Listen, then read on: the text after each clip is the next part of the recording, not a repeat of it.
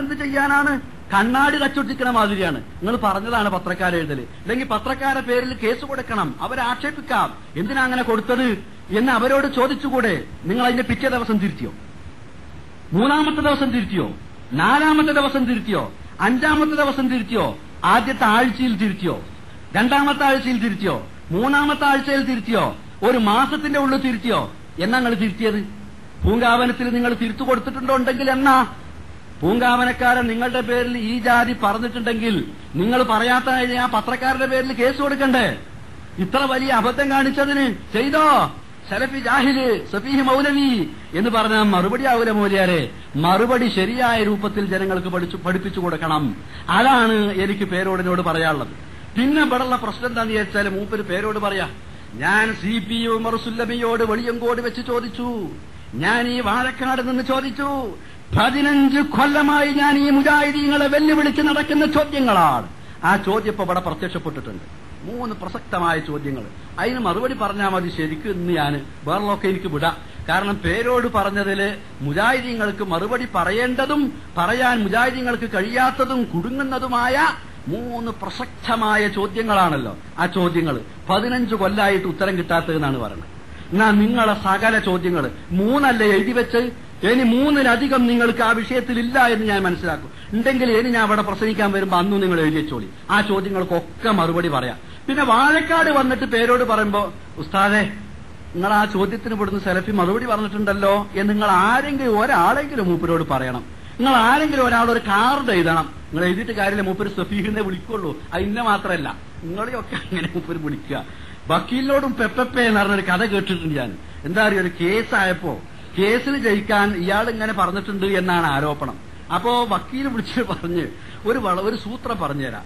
കോടതിയിൽ ഹാജരാക്കുമ്പോൾ ജഡ്ജിന്റെ മുമ്പിൽ ജഡ്ജി എന്ത് ചോദിച്ചാലും നിങ്ങൾ പൊട്ടനാന്ന് ഞാൻ പറയും. പൊട്ടനാന്ന് പറഞ്ഞാൽ ജഡ്ജി അവിടെ വെച്ച് ചോദിക്കും പലതും പറയും. അപ്പൊ എന്ത് ചോദിച്ചാൽ സഫീഹ് ജാഹിൽ എന്ന് പറഞ്ഞ മാതിരി എന്ത് ചോദ്യത്തിനും സഫീഹ് ജാഹിൽ എന്നാണല്ലോ ഇയാൾ പറഞ്ഞത്. അതുമാതിരി ഇങ്ങനെ ഈ പൊട്ടന്റെ കളി ഉണ്ടല്ലോ അതിങ്ങനെ കാണിച്ചാൽ മതി. എന്നാ കേസിൽ ഞാൻ നിങ്ങളെ ജയിപ്പിച്ചു തരാറ്.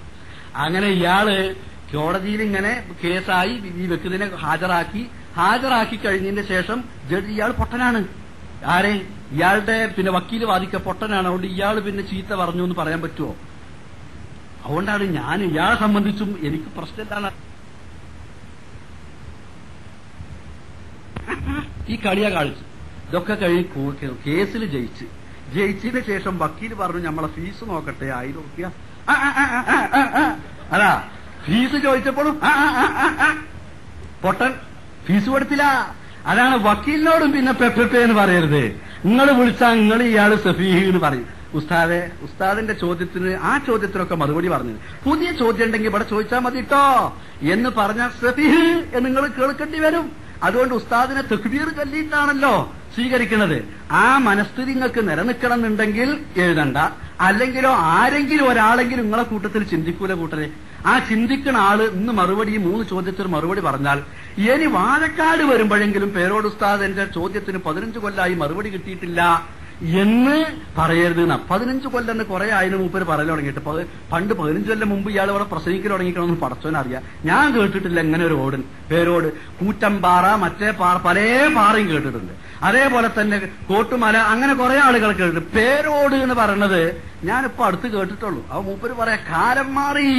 മുസ്ലിയാർക്ക് ഡൽഹിയിൽ നിന്നാണ് ഫോൺ വരുന്നത് വീണ മർക്കസിൽ ഫോൺ ഇപ്പൊ വന്നിട്ടുള്ളൂ. എന്റെ ധാരണ അറിയോ? കുറെ മുമ്പ് അവിടെ ഫോൺ ഉണ്ട് എന്നാണ് മർക്കസിൽ ഇപ്പൊ ഫോൺ വന്നിട്ടേ ഉള്ളൂ. എനിക്കറിഞ്ഞൂടാ. ഇനി ഡൽഹിയിൽ നിന്ന് ഫോൺ വരെ വലിയ ക്രെഡിറ്റാ? ഓ പ്രധാനമന്ത്രിന്റെ ഓഫീസിൽ നിന്ന് ഞങ്ങൾക്ക് ഒരു വിരോധമല്ല. പാലക്കാട്ട് സമ്മേളനം കലക്കാൻ വേണ്ടിയുള്ള എല്ലാ പണിയെടുത്തിട്ട് ആ ഡൽഹിയിൽ നിന്നുള്ള ഫോൺ കൊണ്ടാണ് ആ സമ്മേളനം നടന്നത് നിങ്ങൾ മനസ്സിലാക്കണം. ഞങ്ങളിങ്ങനെ കുറെ നടന്നിട്ട് ഞങ്ങളെ പിന്നാലെ നിങ്ങൾ പതുക്കെ പതുക്കെ നടന്നു വരുന്ന ആളുകളാണ് നിങ്ങൾ അറിയുന്നത് നല്ലതാണ്. അത്ര മാത്രമേ എനിക്ക് പറയാനുള്ളൂ. ഞങ്ങൾ അങ്ങനെ പേടിപ്പിക്കേണ്ട കാലം മാറി. ഡൽഹിയിൽ നിന്ന് മുസ്ലിയാർക്ക് ഫോൺ വരുന്ന കാലമാണ്. ഭീഷണിപ്പെടുത്തുക. അതിലൊന്നും വലിയ പേടില്ല ഡൽഹി അവിടെ ഉണ്ടല്ലോ മുസ്ലിയാരെ മുമ്പ് തന്നെ. അവിടെ പ്രധാനമന്ത്രിയും മുസ്ലിയാരെ മുമ്പ് ഉണ്ടായിട്ടുണ്ടല്ലോ. പ്രധാനമന്ത്രിക്ക് ആഫീസ് ഉണ്ടായിട്ടുണ്ടല്ലോ. ആഫീസിൽ ഫോൺ ചെയ്യണ ഒരാളുണ്ടല്ലോ. അത് മുസ്ലിയാരായിട്ടില്ലല്ലോ. ആഫീസിൽ ഫോൺ ചെയ്യണ ഇപ്പൊ മുസ്ലിയാരല്ലല്ലോ. അപ്പൊ പിന്നെ വലിയ വിഷമമൊന്നുമില്ല. അവിടുന്ന് ഇങ്ങോട്ട് എവിടേക്കെല്ലാം വിളിക്കുന്നുണ്ട്? അങ്ങനത്തെ ഒരു വിളി ഇങ്ങോട്ടും വന്നിട്ടുണ്ടാവും. ഓ ഒറ്റ പ്രസവത്തിന് പത്തെണ്ണം എന്ന് പറഞ്ഞ മാതിരി ആയിരെണ്ണമാണ് ഇറങ്ങുന്നത് എന്നാണ്. ഒരു പേരോടിനോടും ആയിരം പേരോടും ഈ അള്ളാന്റെ ഖുർആാനും നബിന്റെ സുന്നത്തും ഉണ്ടെങ്കിൽ ഒരു പേടിയില്ല. നിങ്ങൾ ആയിരം പേരോടല്ല പതിനായിരം പേരോടും പറയാൻ ഞങ്ങൾക്ക് ഈ ജാതി ഒരു നാവുണ്ടായാൽ മതി. കാരണം എന്താ പറയുക നാവിനല്ല പ്രത്യേകത. അള്ളാന്റെ ഖുർആനാണ് പടള്ളത് നബിന്റെ ഹരീസും ഉള്ളത്. അവ പേരോട് മാത്രാന്ന് വിചാരിക്കണ്ട. ആയിരം പേരാണ് ഇറങ്ങുന്നത് ആയിരം പേരോടും ഞങ്ങൾക്ക് ഈ തെളിവെന്നെ പറഞ്ഞാൽ മതി. ഒരു ലക്ഷം പേരോടും ഒരു പേരോട് വന്നാലും ആയിരം പേരോട് വന്നാലും എത്ര പേരാണോ എത്ര പേരോടും ഞങ്ങൾക്ക് ഈ തെളിവ് തന്നെ പറഞ്ഞാൽ മതി. ഇതാണ് ഇയാളുടെ പേടിപ്പിക്കുക ആ അങ്ങനെ എങ്ങനെ പതിനഞ്ച് കൊല്ലായി. മധുര പതിനേഴുകാരന്റെ പ്രസംഗം എന്ന് പറഞ്ഞുകൊണ്ട് കേൾക്കലുണ്ട്. എന്നാണറിയോ അഞ്ചു കൊല്ലം മുമ്പും മധുര പതിനേഴുകാരന്റെ പ്രസംഗ. കഴിഞ്ഞ കൊല്ലവും പതിനേഴുകാരന്റെ പ്രസംഗ. അതിന്റെ മുമ്പത്തെ കൊല്ലവും പതിനേഴുകാരനാ. എന്താ ഈ പതിനേഴുകാരന്റെ വയസ്സ് കൂടുതലില്ലേ നോട്ടീസ് വായിക്കണവരൊക്കെ ചോദിക്കും. കാരണം അഞ്ചു കൊല്ലം മുമ്പ് പതിനേഴ് ഇന്നും പതിനേഴാ? ഒരു അഞ്ചും കൂടി കൂട്ടിക്കൂടെ? അതുപോലെ പേരോട് പതിനഞ്ച് കൊല്ലമായി. എല്ലാ സ്ഥലത്തും ഇയാൾ പറയണാണ് ശരി നിങ്ങൾ അങ്ങനെ ചോദിക്കും. ഈ വാഴക്കാട്ടെങ്കിലും മറുപടി കിട്ടിയിട്ടില്ല എന്ന് പറയരുത്. എന്താ മൂപ്പര ചോദ്യം എന്നറിയോ? ഞാൻ ആ ചോദ്യത്തിന് മറുപടി തരാം. അതിന്റെ മുമ്പ് ഞാൻ എന്റെ ഈ കഴിഞ്ഞ പ്രസംഗത്തിൽ ഇവിടെ വെച്ച് ചോദിച്ചില്ല. ഞാൻ ഈ നിൽക്കുന്ന സ്ഥലത്ത് വെച്ചിട്ടാണ് ഞാൻ പേരോടിനോട് ചോദിച്ചത്. എന്താണെന്നറിയോ? സ്ത്രീകൾക്ക് ജുമാ ജമാഅത്തുകളിൽ പങ്കെടുക്കൽ ഹറാമാണെന്ന നിങ്ങളുടെ വാദത്തിന് ഖുർആാനിൽ നിന്ന് ഒരായത്ത് ഉദ്ധരിക്കാമോ? എന്റെ ചോദ്യത. സ്ത്രീകൾക്ക് ജുമാ ജമാഅത്തുകളിൽ പങ്കെടുക്കൽ ഹറാമാണ് എന്ന് ഖുർആാനിൽ നിന്ന് ഒരായത്ത് നിങ്ങൾക്ക് ഉദ്ധരിക്കാൻ സാധിക്കുമോ? ഉദ്ധരിച്ച പേരോട് ഇവിടെ. ദുർൽ മൻസൂറാണല്ലോ. ദുർൽ മൻസൂറാ ഖുർആന് ദുറുൽ മൻസൂർ ഇമാം സുയൂത്തി എഴുതിയ തഫ്സീറാ. ഇമാം സുയൂത്തി എഴുതിയ തഫ്സീർ മൂപ്പര വിചാരം ദുറുൽ മൻസൂർ എന്ന് പറഞ്ഞാൽ മുമ്പിലിരിക്കണ കുറെ ആൾക്കാരുണ്ടല്ലോ. അത് മൂപ്പരിങ്ങനെ കോഴി പോകുമ്പോ തള്ളപ്പെട്ട കോഴി പോകുമ്പോ കുറെ കുട്ടികളും ഉണ്ടാകും അപ്പൊ. കാരണം കുട്ടികളെ വിരിച്ചിറക്കണ കോഴിന്റെ കൂടെ. ഇങ്ങനെയാണ് ഒരു ദർസ് നിങ്ങൾ തിരിഞ്ഞു പോകുകയാണെങ്കിൽ കുട്ടിയാളെയും സുയിപ്പാക്കും ആ കുട്ടിയാളെയും കൂട്ടിയിട്ട് ഞങ്ങൾ അടുത്ത ദർസുക്ക് പോലെ അല്ലേ? ഇതിപ്പോ വയലിന് പോകുമ്പോഴും അങ്ങനെ തന്നെ കൊണ്ടോണ് ആ മുമ്പിന് കുറച്ച് കുട്ടികളെ റെഡിയാക്കി നിർത്തിയിരിക്കുക ഓ അപ്പോ നമ്മളെ ഉസ്താദി എല്ലാ ചോദ്യത്തിനും മറുപടി പറഞ്ഞിട്ടുണ്ട്. ഇനി സെലഫി ചോദിക്കും ഖുർആാനിലുണ്ടോ? ഹദീസിലുണ്ടോ? മഹാന്മാര് പറഞ്ഞിട്ടുണ്ടോ? എന്നാ എല്ലാം പറഞ്ഞുതരാ. ഇമാം സുയൂസിയുടെ ദുറുൽ മൻസൂറിലുണ്ട്. ദുറുൽ മൻസൂറിലുണ്ട് എന്തുണ്ട്? ദുറുൽ മൻസൂറിൽ എന്തുണ്ട്? ഞാൻ ഖുർആാനായത്താ ചോദിച്ചത്. ഞാൻ ദുറുൽ മൻസൂറിലെ സുയൂത്തി സുയൂത്തിയുടെ ഇബാറത്തല്ല ഞാൻ ചോദിച്ചത്. ദുറുൽ മൻസൂറിലെ ലൈഫായ റിപ്പോർട്ടല്ല ചോദിച്ചത്. ആയത്താ ചോദിച്ചത്. അത് ഇവിടുത്തെ മൃഗങ്ങൾ കേട്ടിട്ടുണ്ടാവും എനിക്ക് തോന്നുന്നില്ല. കാരണം ഞാൻ പ്രസംഗിച്ചത് മൃഗങ്ങളോടല്ല. ഞാൻ ഇവിടുത്തെ മനുഷ്യന്മാരോടാ ചോദിച്ചത്. ഇവിടുത്തെ വൃക്ഷങ്ങൾ അത് കേട്ടിട്ട് അതിപ്പോ തിരിച്ചു ചോദിക്കുന്നു ഞാൻ പറയില്ല. ഇവിടുത്തെ മനുഷ്യന്മാരോടാ ഞാൻ ചോദിച്ചത്. അത് ഇവിടുത്തെ ആളുകൾ കേട്ടിട്ടുണ്ട്. ഒരായത്ത് പേരോട് ഉദ്ധരിച്ചോ? ഇല്ല. എന്താ ഒരു പാലട്ട അങ്ങോട്ടും ഇങ്ങോട്ടും കടന്നോടെ? എന്റെ ചോദ്യത്തിന് മറുപടി പറയേണ്ട ബാധ്യത നിങ്ങൾക്കില്ലേ? പക്ഷെ നിങ്ങളെപ്പോലെ ഞങ്ങൾ ബോർഡുമേൽ എഴുതി വെക്കൂല. അത് മാത്രമേ വ്യത്യാസം. ചോദ്യത്തിന് മറുപടി പറഞ്ഞിട്ടില്ല എന്ന് പ്രസംഗിക്കുമ്പോ ഞാൻ ഇവിടെ വെച്ച് പറയും. രണ്ടാമത് ഞാൻ ചോദിച്ചു ഇബിന് തൈമയെ സംബന്ധിച്ച്. ഷാഫി പണ്ഡിതനായ ഹാഫിദ് ഇബിൻ ഹജർ അസ്തലാനി എഴുതിയത് പൂർണമായും വായിച്ച് അർത്ഥം പറയാൻ പേരോട് തയ്യാറുണ്ടോ? പേരോടിന്റെ മറുപടി സിറാജുൽ ഹുദയെ കണ്ട് വാ അവിടുന്ന് വായിക്കാന്ന. ആ അവിടുന്ന് എല്ലാം കിട്ടുമല്ലോ ഇവിടെ വന്നിട്ട് ആട്ടിനോടത്ത് പോയിട്ട് പുണ്ണാക്ക് കൊടുക്കാത്തവന് വീട്ടിൽ ചെന്നാ എണ്ണ കൊടുക്കുമെന്നാണ് പഴമക്കാരെ ചോദ്യം. ഇത് തേങ്ങ ആട്ടിനോടത്തെ അവിടെ ചെന്നിട്ട് ഒരു രണ്ടം പുണ്ണാക്ക് ചോദിച്ചിട്ട് പോടാ അവിടുന്ന് പറഞ്ഞ ആട്ടി പറഞ്ഞയക്കണോന് പെരി ചെന്നിട്ട് ആട്ടിക്കൊണ്ടുവന്ന എണ്ണ ഒരു നാഴി എണ്ണ എരുവച്ചാൽ കിട്ടുവോ? ഇല്ല. ഇവിടെ കിതാബ് വെച്ച് കൊണ്ടുവന്നിട്ട് അത് വായിച്ച് അർത്ഥം പറയാൻ ധൈര്യം കാണിക്കാത്ത ആൾ. അതും രണ്ടേ മുക്കാൽ വരെ ഇയാൾ ഇവിടെ പലതും പറഞ്ഞില്ലേ? അത്ര സമയമൊന്നും പാണ്ടല്ലേ ഒരു പതിനാറ് പേജ് വായിക്കാൻ. കിതാബിന്റെ പേരിനെ നോക്കി വായിക്കാത്തെ. ഇബിന് തേമിയന്റെ കിതാബിന്റെ പേര് തെറ്റിച്ച് പറഞ്ഞ ആൾക്ക് പിന്നെ പതിനാറ് പേജ് തെറ്റാതെ ഇന്ന് വായിക്കാൻ കഴിയോ? എനിക്കിപ്പോ സംശയം. ഞാൻ ആദ്യം ഇയാളെ വിചാരിച്ചിരുന്ന ലേശമൊക്കെ ഇയാൾക്ക് അറിയാന്നിരുന്നു കുറച്ച് മൂന്ന് കൂട്ട് അതാ പ്രസംഗ മത്സരത്തിനില്ല എന്ന് മൂപ്പര് പറയാൻ കാരണം. പ്രസംഗ മത്സരം കുറച്ച് നടന്നാലേ ആദ്യത്തെ ഒരു ചാൽ പൂട്ടുമ്പോ രേഷം കട്ടുണ്ടാവും. ഒരു മൂന്ന് ചാലാണ് പൂട്ടിയ കട്ടന്റെ ഉടയി ഉടഞ്ഞിട്ടില്ലെങ്കിൽ അപ്പളാ ഊർച്ചമരെടുത്ത് വെക്കൽ. അല്ലാതെ ആദ്യം തന്നെ വനപ്രവാസിലുണ്ടോന്നല്ല ഒരു മൂന്ന് ചാൽ പൂട്ട്. മൂന്ന് ചാൽ പൂട്ടി കഴിഞ്ഞിട്ട് നമുക്ക് കട്ടുടഞ്ഞിട്ടുണ്ടോ അല്ലേ നോക്കാം. പേരോടിന് കിതാബ് തിരിയോ തെളിവുണ്ടോ എന്ന് അപ്പൊ നോക്കാം. എന്നിട്ട് നമുക്ക് ഊർച്ചരം കിട്ടിയിട്ട് ഊരാ. അതിന്റെ ഇടയ്ക്ക് തന്നെ ആ അമിവത്താണ്ടോ അമിവത്താണ്ടോ എന്ന് പറഞ്ഞ മാതിരി വാദപ്രയോഗത്തിനുണ്ടോ സെലഫി വരൂല എന്റെ മൂക്ക് വരൂല. എങ്ങനെ വരിക? ബുള്ളറ്റ് പ്രൂഫ് തരാ സംരക്ഷണം തരാ. ഒരു സംരക്ഷണവും തരണ്ട. നിങ്ങൾ തോറ്റു എന്നറിഞ്ഞ് എഴുതി തന്നാൽ നാളെ തന്നെ വന്നോളി. വാദപ്രതിവാദത്തിന് വ്യവസ്ഥ നിശ്ചയിക്കാൻ നാളെ വരാ. നാളെ തന്നെ വര വ്യവസ്ഥ നിശ്ചയിക്കാൻ. വാദപ്രതിവാദത്തിന് തോറ്റു ഗണപ്രസംഗത്തിൽ തോറ്റു എന്ന് എഴുതി തരണം. ഇത് ഞങ്ങൾ ആദ്യം മുതൽക്കേ പറഞ്ഞതാ. ആ ജാതി തടി രക്ഷപ്പെടുത്താനുള്ള ഏർപ്പാട് വേണ്ട. ഞാൻ ചോദിച്ചിരുന്നു ഇബിന് തേമിയന്റെ പേരിൽ ഹാഫിൽ ഇബിൻ ഹജർ ലസ്തലാനി മുജാഹിദല്ല ഇബിൻ ഹജർ ഷാഫി പണ്ഡിതനാ. ആ ഇബിൻ ഹജർ ലസ്തലാനി അദ്ദേഹം എഴുതിയിട്ടുള്ളത് പൂർണമായി വായിച്ച് അർത്ഥം പറയാൻ തയ്യാറുണ്ടോ? അപ്പോ പേരോട് പറഞ്ഞു. എന്ത് അറിയോ? സെലഫ് ഇവിടെ വായിച്ചത് ഹാഫിൽ ഇബിൻ ഹജർ ലസ്തലാനി എഴുതിയിട്ടില്ല. വല്ലോഹി സുമ്മ വല്ലോഹി സുമ്മ വല്ലോഹി. അത് തെളിയിച്ചു തന്നാൽ പിന്നെ ഞാൻ ഇവിടെ സ്റ്റേജിൽ കയറി പ്രസംഗിക്കുകയില്ലോ. ഇതാണ് മൂപ്പര് പറഞ്ഞത് ഞാൻ അന്ന് വായിച്ചത് ഇപ്പോഴും വായിച്ചതല്ല കേട്ടോളൂ وشهرة إمامة الشيخ تقي الدين أشهر من الشمس وتلقيبه بشيخ الإسلام في عصره باق إلى الآن على الألسنة الزكية ويستمر غدا كما كان بالأمس ولا ينكر ذلك إلا من جهل مقداره أو تجنب الإنصاف എന്ന് പറഞ്ഞിട്ട് അദ്ദേഹം എഴുതിയ വാചക ഞാൻ വായിച്ചിരുന്നു എന്താ അറിയോ ഹാഫിദ് ഇബിന് തൈമിയ അദ്ദേഹം ഇമാമാണ് ഷെയ്ഖുൽ ഇസ്ലാമാണ്.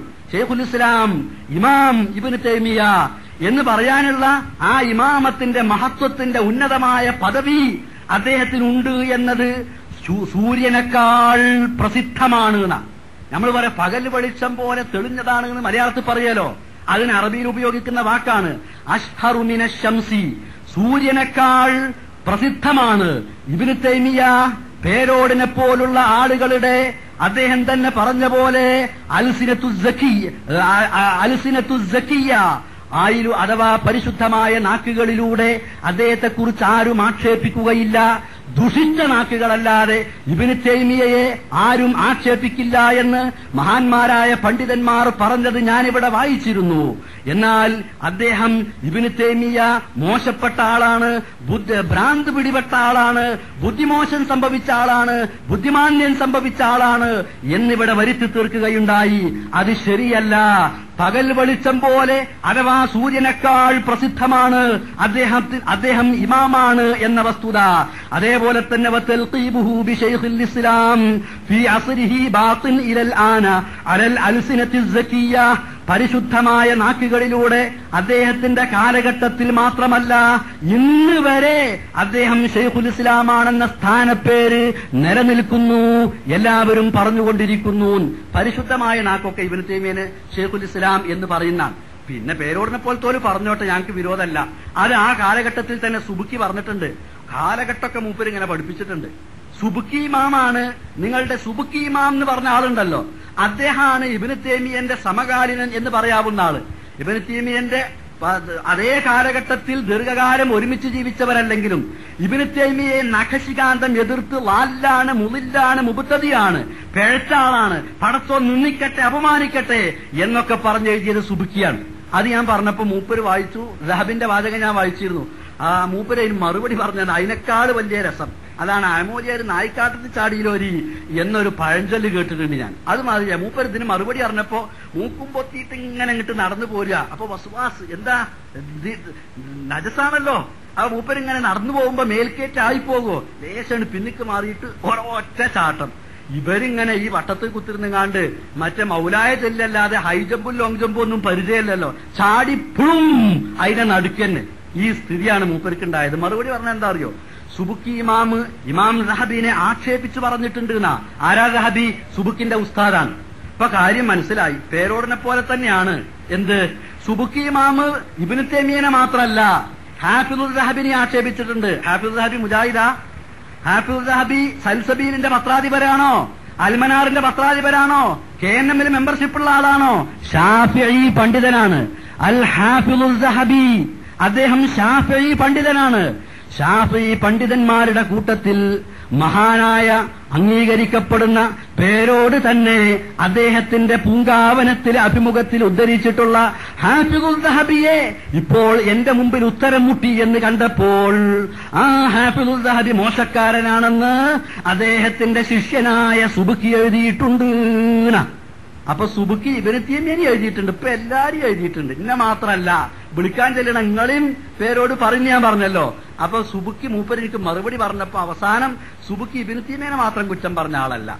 അദ്ദേഹത്തിന്റെ ഉസ്താദിനും കുറ്റം പറഞ്ഞിട്ടുണ്ട്. ആര് ഷാഫി പണ്ഡിതനായ ഷംസുദ്ദീൻ ഹാഫിയെയും അദ്ദേഹം കുറ്റം പറഞ്ഞിട്ടുണ്ട്. അതപ്പോ പേരോട് പറഞ്ഞു. അപ്പൊ അങ്ങനെ ഒരു വിമർശിക്കുന്ന സ്വഭാവമാണ് അദ്ദേഹത്തിനുള്ളത് എന്ന്.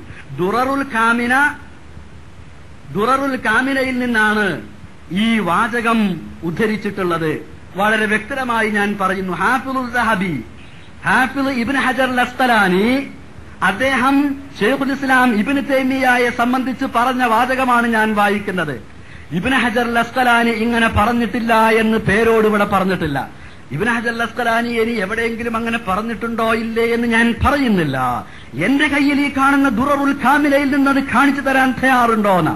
മൂപ്പര കയ്യിലുള്ള ദുററുൽ ഖാമിനെ മറുത്തു വെക്കാൻ ഞാൻ പോരാന്ന് മൂപ്പർക്ക് അറിയാം.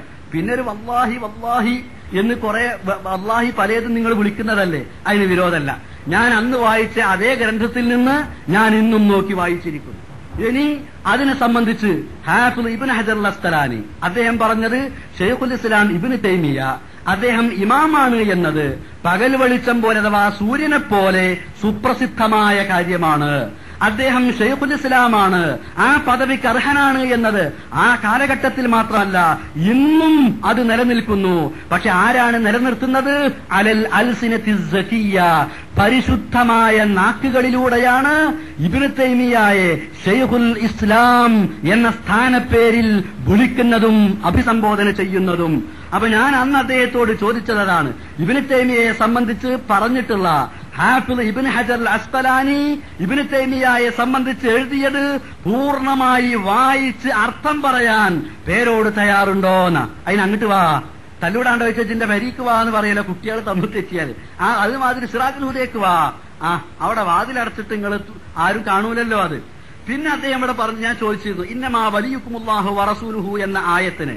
മരിച്ചുപോയ മഹാത്മാക്കളോട് വിളിച്ചു പ്രാർത്ഥിക്കാമെന്ന് അർത്ഥം പറഞ്ഞതായി തെളിയിക്കാമോ എന്ന്. പേരോട് ഏതെങ്കിലും ഒരു കിതാബിന് അങ്ങനെ ഒരു ഉദ്ധരണി വായിച്ചിട്ടില്ല. ഞാനത് വഴിയെ വിശദീകരിച്ച് പറയാം. അപ്പൊ എന്റെ ചോദ്യങ്ങൾക്കൊന്നും അദ്ദേഹം മറുപടി പറഞ്ഞിട്ടില്ല. ഞാൻ കഴിഞ്ഞ പ്രസംഗത്തിൽ ചോദിച്ച ചോദ്യങ്ങളാണ്. എന്നാൽ മൂപ്പര ചോദ്യം പതിനഞ്ച് കൊല്ലമായിട്ടില്ല എന്നാ ശരി പതിനഞ്ച് കൊല്ലം എന്ന് ഇന്ന് മുതൽക്ക് പറയരുത്. ഇവിടെ വെച്ച് പറയാം. എന്താ ചോദ്യം എന്നറിയോ? എല്ലായിടത്തും പറഞ്ഞാൽ ഞങ്ങൾ എല്ലായിടത്തും മറുപടിയും പറയണം മുഹമ്മദ് റസൂലുള്ളാ എന്ന കരിമത്ത് തൗഹീദിൽ വിശ്വസിക്കുന്ന ഒരു മുസ്ലിം മൊഴിതത്ത് കൊണ്ട് സഹായിക്കുമെന്ന വിശ്വാസത്തോടുകൂടി അമ്പിയാക്കളോടോ കറാമത്തുകൊണ്ട് സഹായിക്കുമെന്ന വിശ്വാസത്തോടുകൂടി ഔലിയാക്കളോടോ സഹായം ചോദിക്കുന്നത് ശുർക്കാണെന്നതിന് ശുർക്കാണെന്ന ഖുർആാനിൽ നിന്ന് ഒരായത്തുദ്ധരിക്കാമോ ഇതാണ് മൂപ്പര ചോദ്യം. നിങ്ങൾ ആ ചോദ്യത്തിന്റെ ഉള്ളിലുള്ള ഓരോ പദം കൊണ്ടും നിങ്ങൾ ഉദ്ദേശിച്ചിട്ടുള്ള വൻ തട്ടിപ്പുകൾ നന്നായിട്ട് ഞങ്ങൾക്കറിയാം. എന്താണെന്നറിയോ? ഞാൻ നിങ്ങളിത് ചോദിച്ച അന്ന് ഞാൻ രണ്ടാ ആദ്യത്തെ പ്രാവശ്യം ഇവിടെ മറുപടി പറയാൻ പറഞ്ഞ അന്ന് ഞാൻ പറഞ്ഞു. പണ്ട് മുതലേ സുന്നികളും മുജാഹിദുകളും അഭിപ്രായ വ്യത്യാസമുള്ള ഒരു കാര്യമാണ്. മരിച്ചുപോയ മഹാത്മാക്കളോട് പ്രാർത്ഥിക്കുക എന്ന്. അവരോട് ദ്വാ ചെയ്യുക ഇസ്തിഹാസ ചെയ്യുക എന്ന്. അതേപോലെ തന്നെ മറ്റൊരു വിഷയം തവസുൽ അങ്ങനെ കുറെ വിഷയങ്ങളുണ്ട്. അവ മരിച്ചുപോയ മഹാത്മാക്കളോട് പ്രാർത്ഥിക്കുക ദ്വാ ചെയ്യുക ഇസ്തിഹാസ ചെയ്യുക. ഈ വിഷയത്തിൽ ഞങ്ങൾ പണ്ട് മുതൽക്കേ അഭിപ്രായ വ്യത്യാസമുണ്ട്. അള്ളാന്റെ കയ്യും കാലും എന്ന് പറഞ്ഞ പേരോട് ഇപ്പൊ എന്താണെന്നറിയോ? ഈ വിഷയത്തിൽ ഇവിടെ ചർച്ച വരരുത് വിചാരിച്ചിട്ട് മൂപ്പര് വിഷയം മാറ്റണേ പക്ഷെ അങ്ങനെ മാറാൻ സമ്മതിക്കൂല. ഈ വിഷയോ ആ വിഷയവും എല്ലാ വിഷയവും കണക്കിന് തെളിവുദ്ധരിച്ചിട്ട് ഞങ്ങൾ പറയും. അപ്പൊ ഞാൻ പറഞ്ഞു വന്ന എന്താ ഇയാളുടെ ചോദ്യം മുമ്പേ സുന്നികൾ ഞാൻ മുജാഹിദുകളുടെ അഭിപ്രായ വ്യത്യാസമുള്ള വിഷയതാ. അപ്പോ ഇയാളുടെ ചോദ്യത്തിലുള്ളത് അമ്പിയാക്കളോട് സഹായം ചോദിക്കാൻ പറ്റുമോ ഏത് നിലയ്ക്ക്?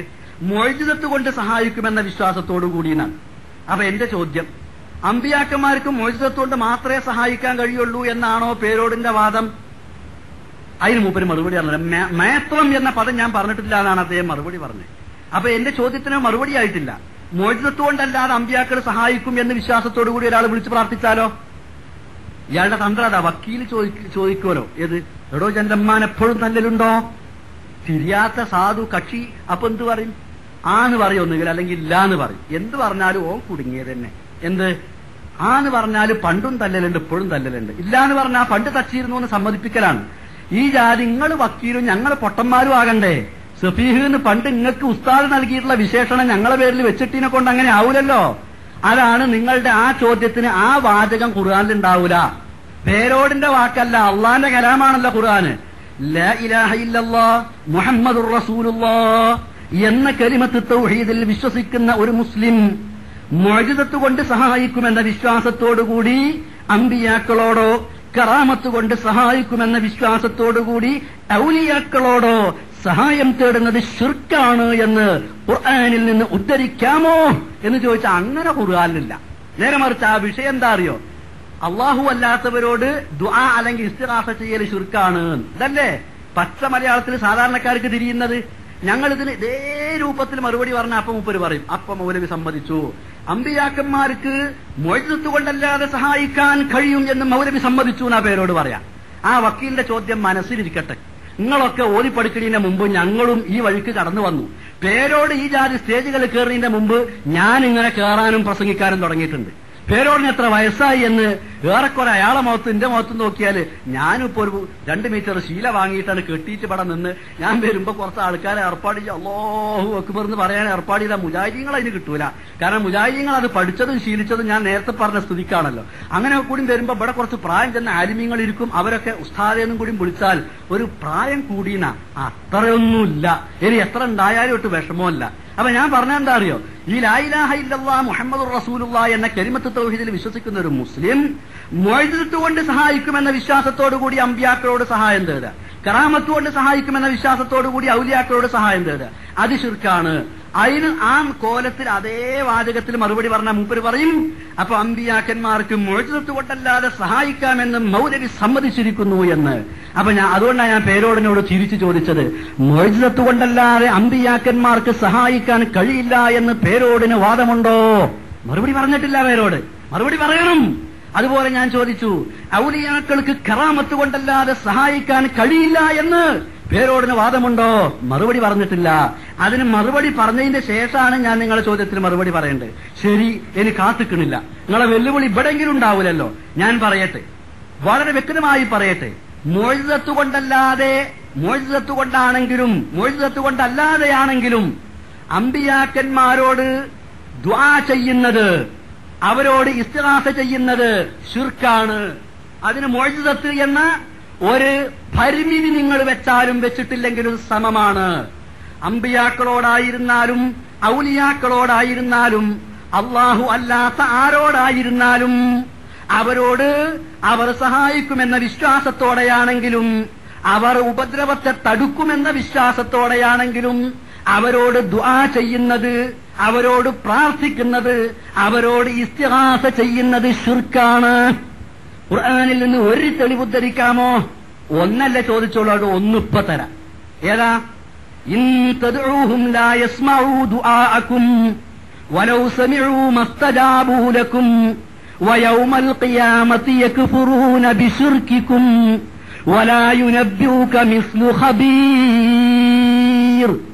സൂറത്തുൽ ഫാത്തിറിലെ പതിനാലാമത്തെ ആയത്ത് നല്ലോണം എഴുതി വെച്ചോളി എന്താ തെളിവ് ഇൻ തദ്ഉഹും ലാ യസ്മഉ ദുആഅക്കും ولو سمعوا ما استجابوا لكم ويوم القيامة يكفرون بشرككم ولا ينبئك مثل خبير ഒരായത്ത് മതിയോ ഇനി രണ്ടെണ്ണം ഉണ്ടോ എന്ന് ഇനി അടുത്ത പ്രസംഗത്തിൽ വരുമ്പോ ചോദിക്കുക അപ്പൊ രണ്ടെണ്ണം പറഞ്ഞുതരാം എന്താ അർത്ഥം? ഇൻ നിങ്ങൾ അവരോട് ദ്വാ ചെയ്താൽ ലാ യസ്മഉ നിങ്ങളുടെ ദുആ അവർ കേൾക്കുകയില്ല.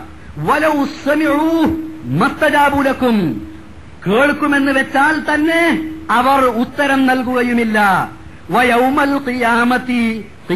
നാളിൽ യക്ഫുറൂന ബിശിർക്കിക്കും നിങ്ങൾ അവരോട് പ്രാർത്ഥിച്ച പ്രാർത്ഥനയെ ആ അള്ളാഹു അല്ലാത്തവരോടുള്ള പ്രാർത്ഥനയാകുന്ന ഷിർക്കിനെ അവർ നിഷേധിക്കുകയും ചെയ്യും.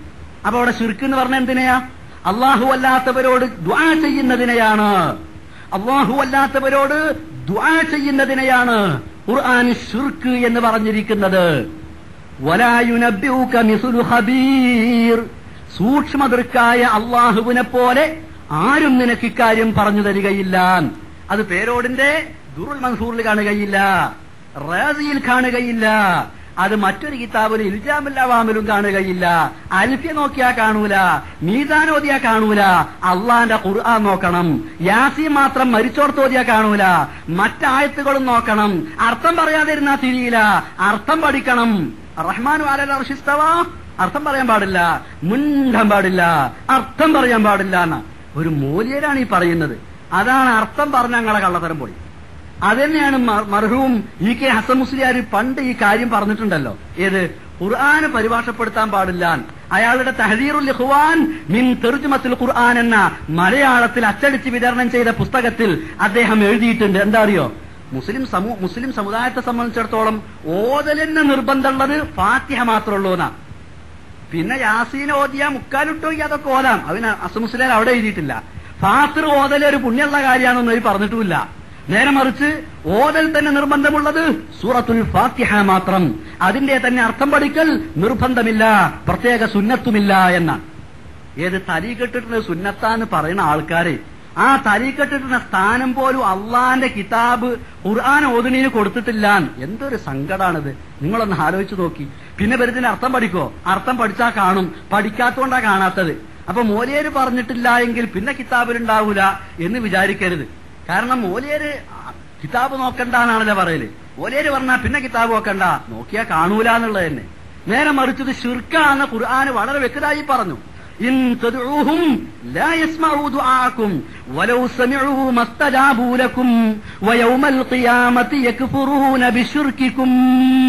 മതിയോ? ഒരായത്തത പിടിച്ചോ? ഇനി മറുപടി പറഞ്ഞിട്ടില്ല എന്ന് പറയണ്ട. മൊഹീദ്ദീൻ ഷെയ്ഖെ രക്ഷിക്കണേ. ബദരീങ്ങളെ കാക്കണേ. മുഹമ്മദ് നബിയേ എന്റെ രോഗം സുഖപ്പെടുത്തി തരണേ എന്നിങ്ങനെ മരിച്ചുപോയ പ്രവാചകന്മാരോടാണെങ്കിലും അതല്ല മരിച്ചുപോയ മഹാന്മാരായ ഔലിയാക്കളോടാണെങ്കിലും ശുഹതാക്കളോടാണെങ്കിലും സ്വാധീനങ്ങളോടാണെങ്കിലും ആരിഫ്യങ്ങളോടാണെങ്കിലും ആരോടാണെങ്കിലും ശരി അവരോട് അവർ സഹായിക്കുമെന്ന വിശ്വാസത്തോടെയാണെങ്കിലും മറ്റെന്ത് വിശ്വാസത്തോടെയാണെങ്കിലും ശരി അവരോട് ദ്വാ ചെയ്താൽ അത് ശുർക്കാണ് എന്നാണ് പരിശുദ്ധ ഖുർആൻ പറഞ്ഞിട്ടുള്ളത്. ഒന്നും കൂടി തരാം. ഒരായത്തു ഹദീസും കൂടി. കൂട്ടി ഇമാം തുർമുദി പ്രവാചകൻ പറഞ്ഞ ഒരു ഹദീസും. ആ ഹദീസ് നബി പറഞ്ഞതിന് ശേഷം ഉടനെ തന്നെ ഖുർആൻ ഒരു ആയത്തും കൂട്ടിയോതി. എന്നാ ആയത്തും ഹദീസും കൂടി ഒന്നായിട്ട് ഒന്നും കൂടി തരാം. ബാക്കി നമുക്ക് പിന്നെ വേണമെങ്കിൽ ഇത് രണ്ടും പോരഞ്ഞും വേണമെന്ന് പറഞ്ഞാൽ അപ്പൊ നമുക്ക് നോക്കാം എന്താണെന്നറിയോ റസൂൽ ഒരിക്കൽ പറഞ്ഞു തുറമുതി ധരിച്ച ഹദീസ സഹിയായ ഹദീസ അദ്ദുആഉ ഹുവൽ ഇബാദ ദുആ പ്രാർത്ഥന അത് ഇബാദത്താണ് എന്നിട്ട് ഖുർആൻ ഒരു ആയത്തോട് നബി وقال ربكم ادعوني استجب لكم ان الذين يستكبرون عن عبادتي سيدخلون جهنم داخرين നിങ്ങളുടെ രക്ഷിതാവ് പറയുന്നു എന്നോട് പ്രാർത്ഥിക്കുവിൻ ഞാൻ ഉത്തരം നൽകാം ദുആ പ്രാർത്ഥനയാകുന്ന ഇബാദത്ത് എനിക്ക് നൽകുന്നതിൽ ആരെങ്കിലും അഹങ്കരിച്ചാൽ നിന്നിനായി അവൻ നരകത്തിൽ പ്രവേശിക്കേണ്ടി വരും. അതാണ് ഖുർആൻ പറഞ്ഞത്. അപ്പൊ ദുആ ഇബാദത്താണെന്ന് ഖുർആൻ പറഞ്ഞു. ദുആ ഇബാദത്താണെന്ന് നബി പഠിപ്പിച്ചു. അള്ളാഹു അല്ലാത്തവർക്ക് ദുആയാകുന്ന ഇബാദത്താണെങ്കിലും അതല്ലാത്ത ഇബാദത്തുകളാണെങ്കിലും ചെയ്താൽ അതിന്റെ പേരാണ് ഷിർക്ക് വലാ തുശ്രികൂ ബിഹി ശൈഅ ഇബാദത്ത് നിങ്ങൾ അള്ളാഹുവിന് ചെയ്യുക. അവന് ഇബാദത്ത് ചെയ്യുന്നതിൽ നിങ്ങൾ പങ്കു ചേർക്കരുത് ശുർക്ക് ചെയ്യരുത്. അപ്പൊ ദുആ ഇബാദത്താണ്. ഹദീസുമായി ആയത്തുമായി. ഞാൻ ഈ പേരോടിനോടല്ലല്ലോ ഇവിടെ കേൾക്കുന്ന സാധാരണക്കാരായ ബുദ്ധിയുള്ള ചിന്തിക്കുന്ന ആളുകളെയാണ് എന്റെ ലക്ഷ്യം. അവർക്കാണിത് മനസ്സിലാവുക. മറ്റേ ആൾ പിന്നെ എന്തെങ്കിലും ജാഹിൽ ഹംക്ക് എന്നൊക്കെ പറഞ്ഞ് അങ്ങനെ പോകും. കുറച്ചും കൂടി പാക്ക് മൂപ്പര് സംഘടിപ്പിച്ചു വരും അതായിരിക്കും ഉണ്ടാവുക. ഇന്ന് ഞാൻ ഒന്ന് രണ്ടായത്തും കൂടി ഓതട്ടെ ഇപ്പൊ തന്നെ. فإذا ركبوا في الفلك دعوا الله مخلصين له الدين فلما نجاهم إلى البر إذا هم يشركون അള്ളാന്റെ ഖുർആനാണ് മറിച്ചു നോക്കിക്കോ സൂറത്തുൽ അങ്കബൂത്തിലെ അറുപത്തി അഞ്ചാമത്തെ ആയത്ത് എന്താണെന്നറിയോ വൈദാറക്കിബൂ ഫിൽ പുൽക്കി മക്കത്തെ മുഷരിക്കിങ്ങൾ ഏർപ്പാടാ അവർ കപ്പലിൽ കയറിക്കഴിഞ്ഞാൽ ആ കപ്പലിലൂടെ കടൽ യാത്ര നടത്തിക്കൊണ്ടിരിക്കുമ്പോൾ ദഅവുല്ലാഹ മുഖ്ലിസീന ലഹുദ്ദീൻ വല്ല ആപത്തും സംഭവിക്കുകയാണെങ്കിൽ അള്ളാഹുവിനെ മാത്രം അവർ വിളിച്ചു പ്രാർത്ഥിക്കും. അള്ളാഹുവിനോട് മാത്രം അവർ ദുആ ചെയ്യും.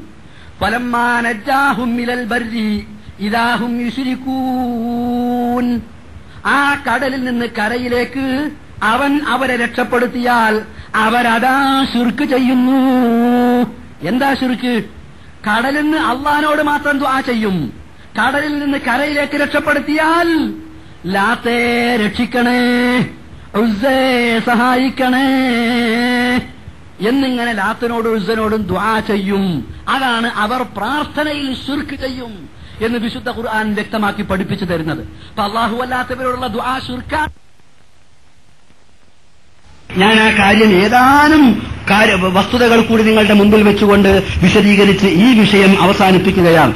ഖുർആൻ പറഞ്ഞു സാധാരണ പേര് ചോദിക്കുന്നത് അറിയാം? മൂല്യമാര് മഹാന്മാരല്ലേ അവർ മരിച്ചാലും കേൾക്കും. അതുകൊണ്ട് മഹാന്മാരായ ആളുകളോട് വിളിച്ചു പ്രാർത്ഥിച്ചാൽ അവർ കേൾക്കുമെന്ന വിശ്വാസത്തോടു കൂടി നമുക്ക് വിളിച്ചു പ്രാർത്ഥിച്ചുകൂടെ?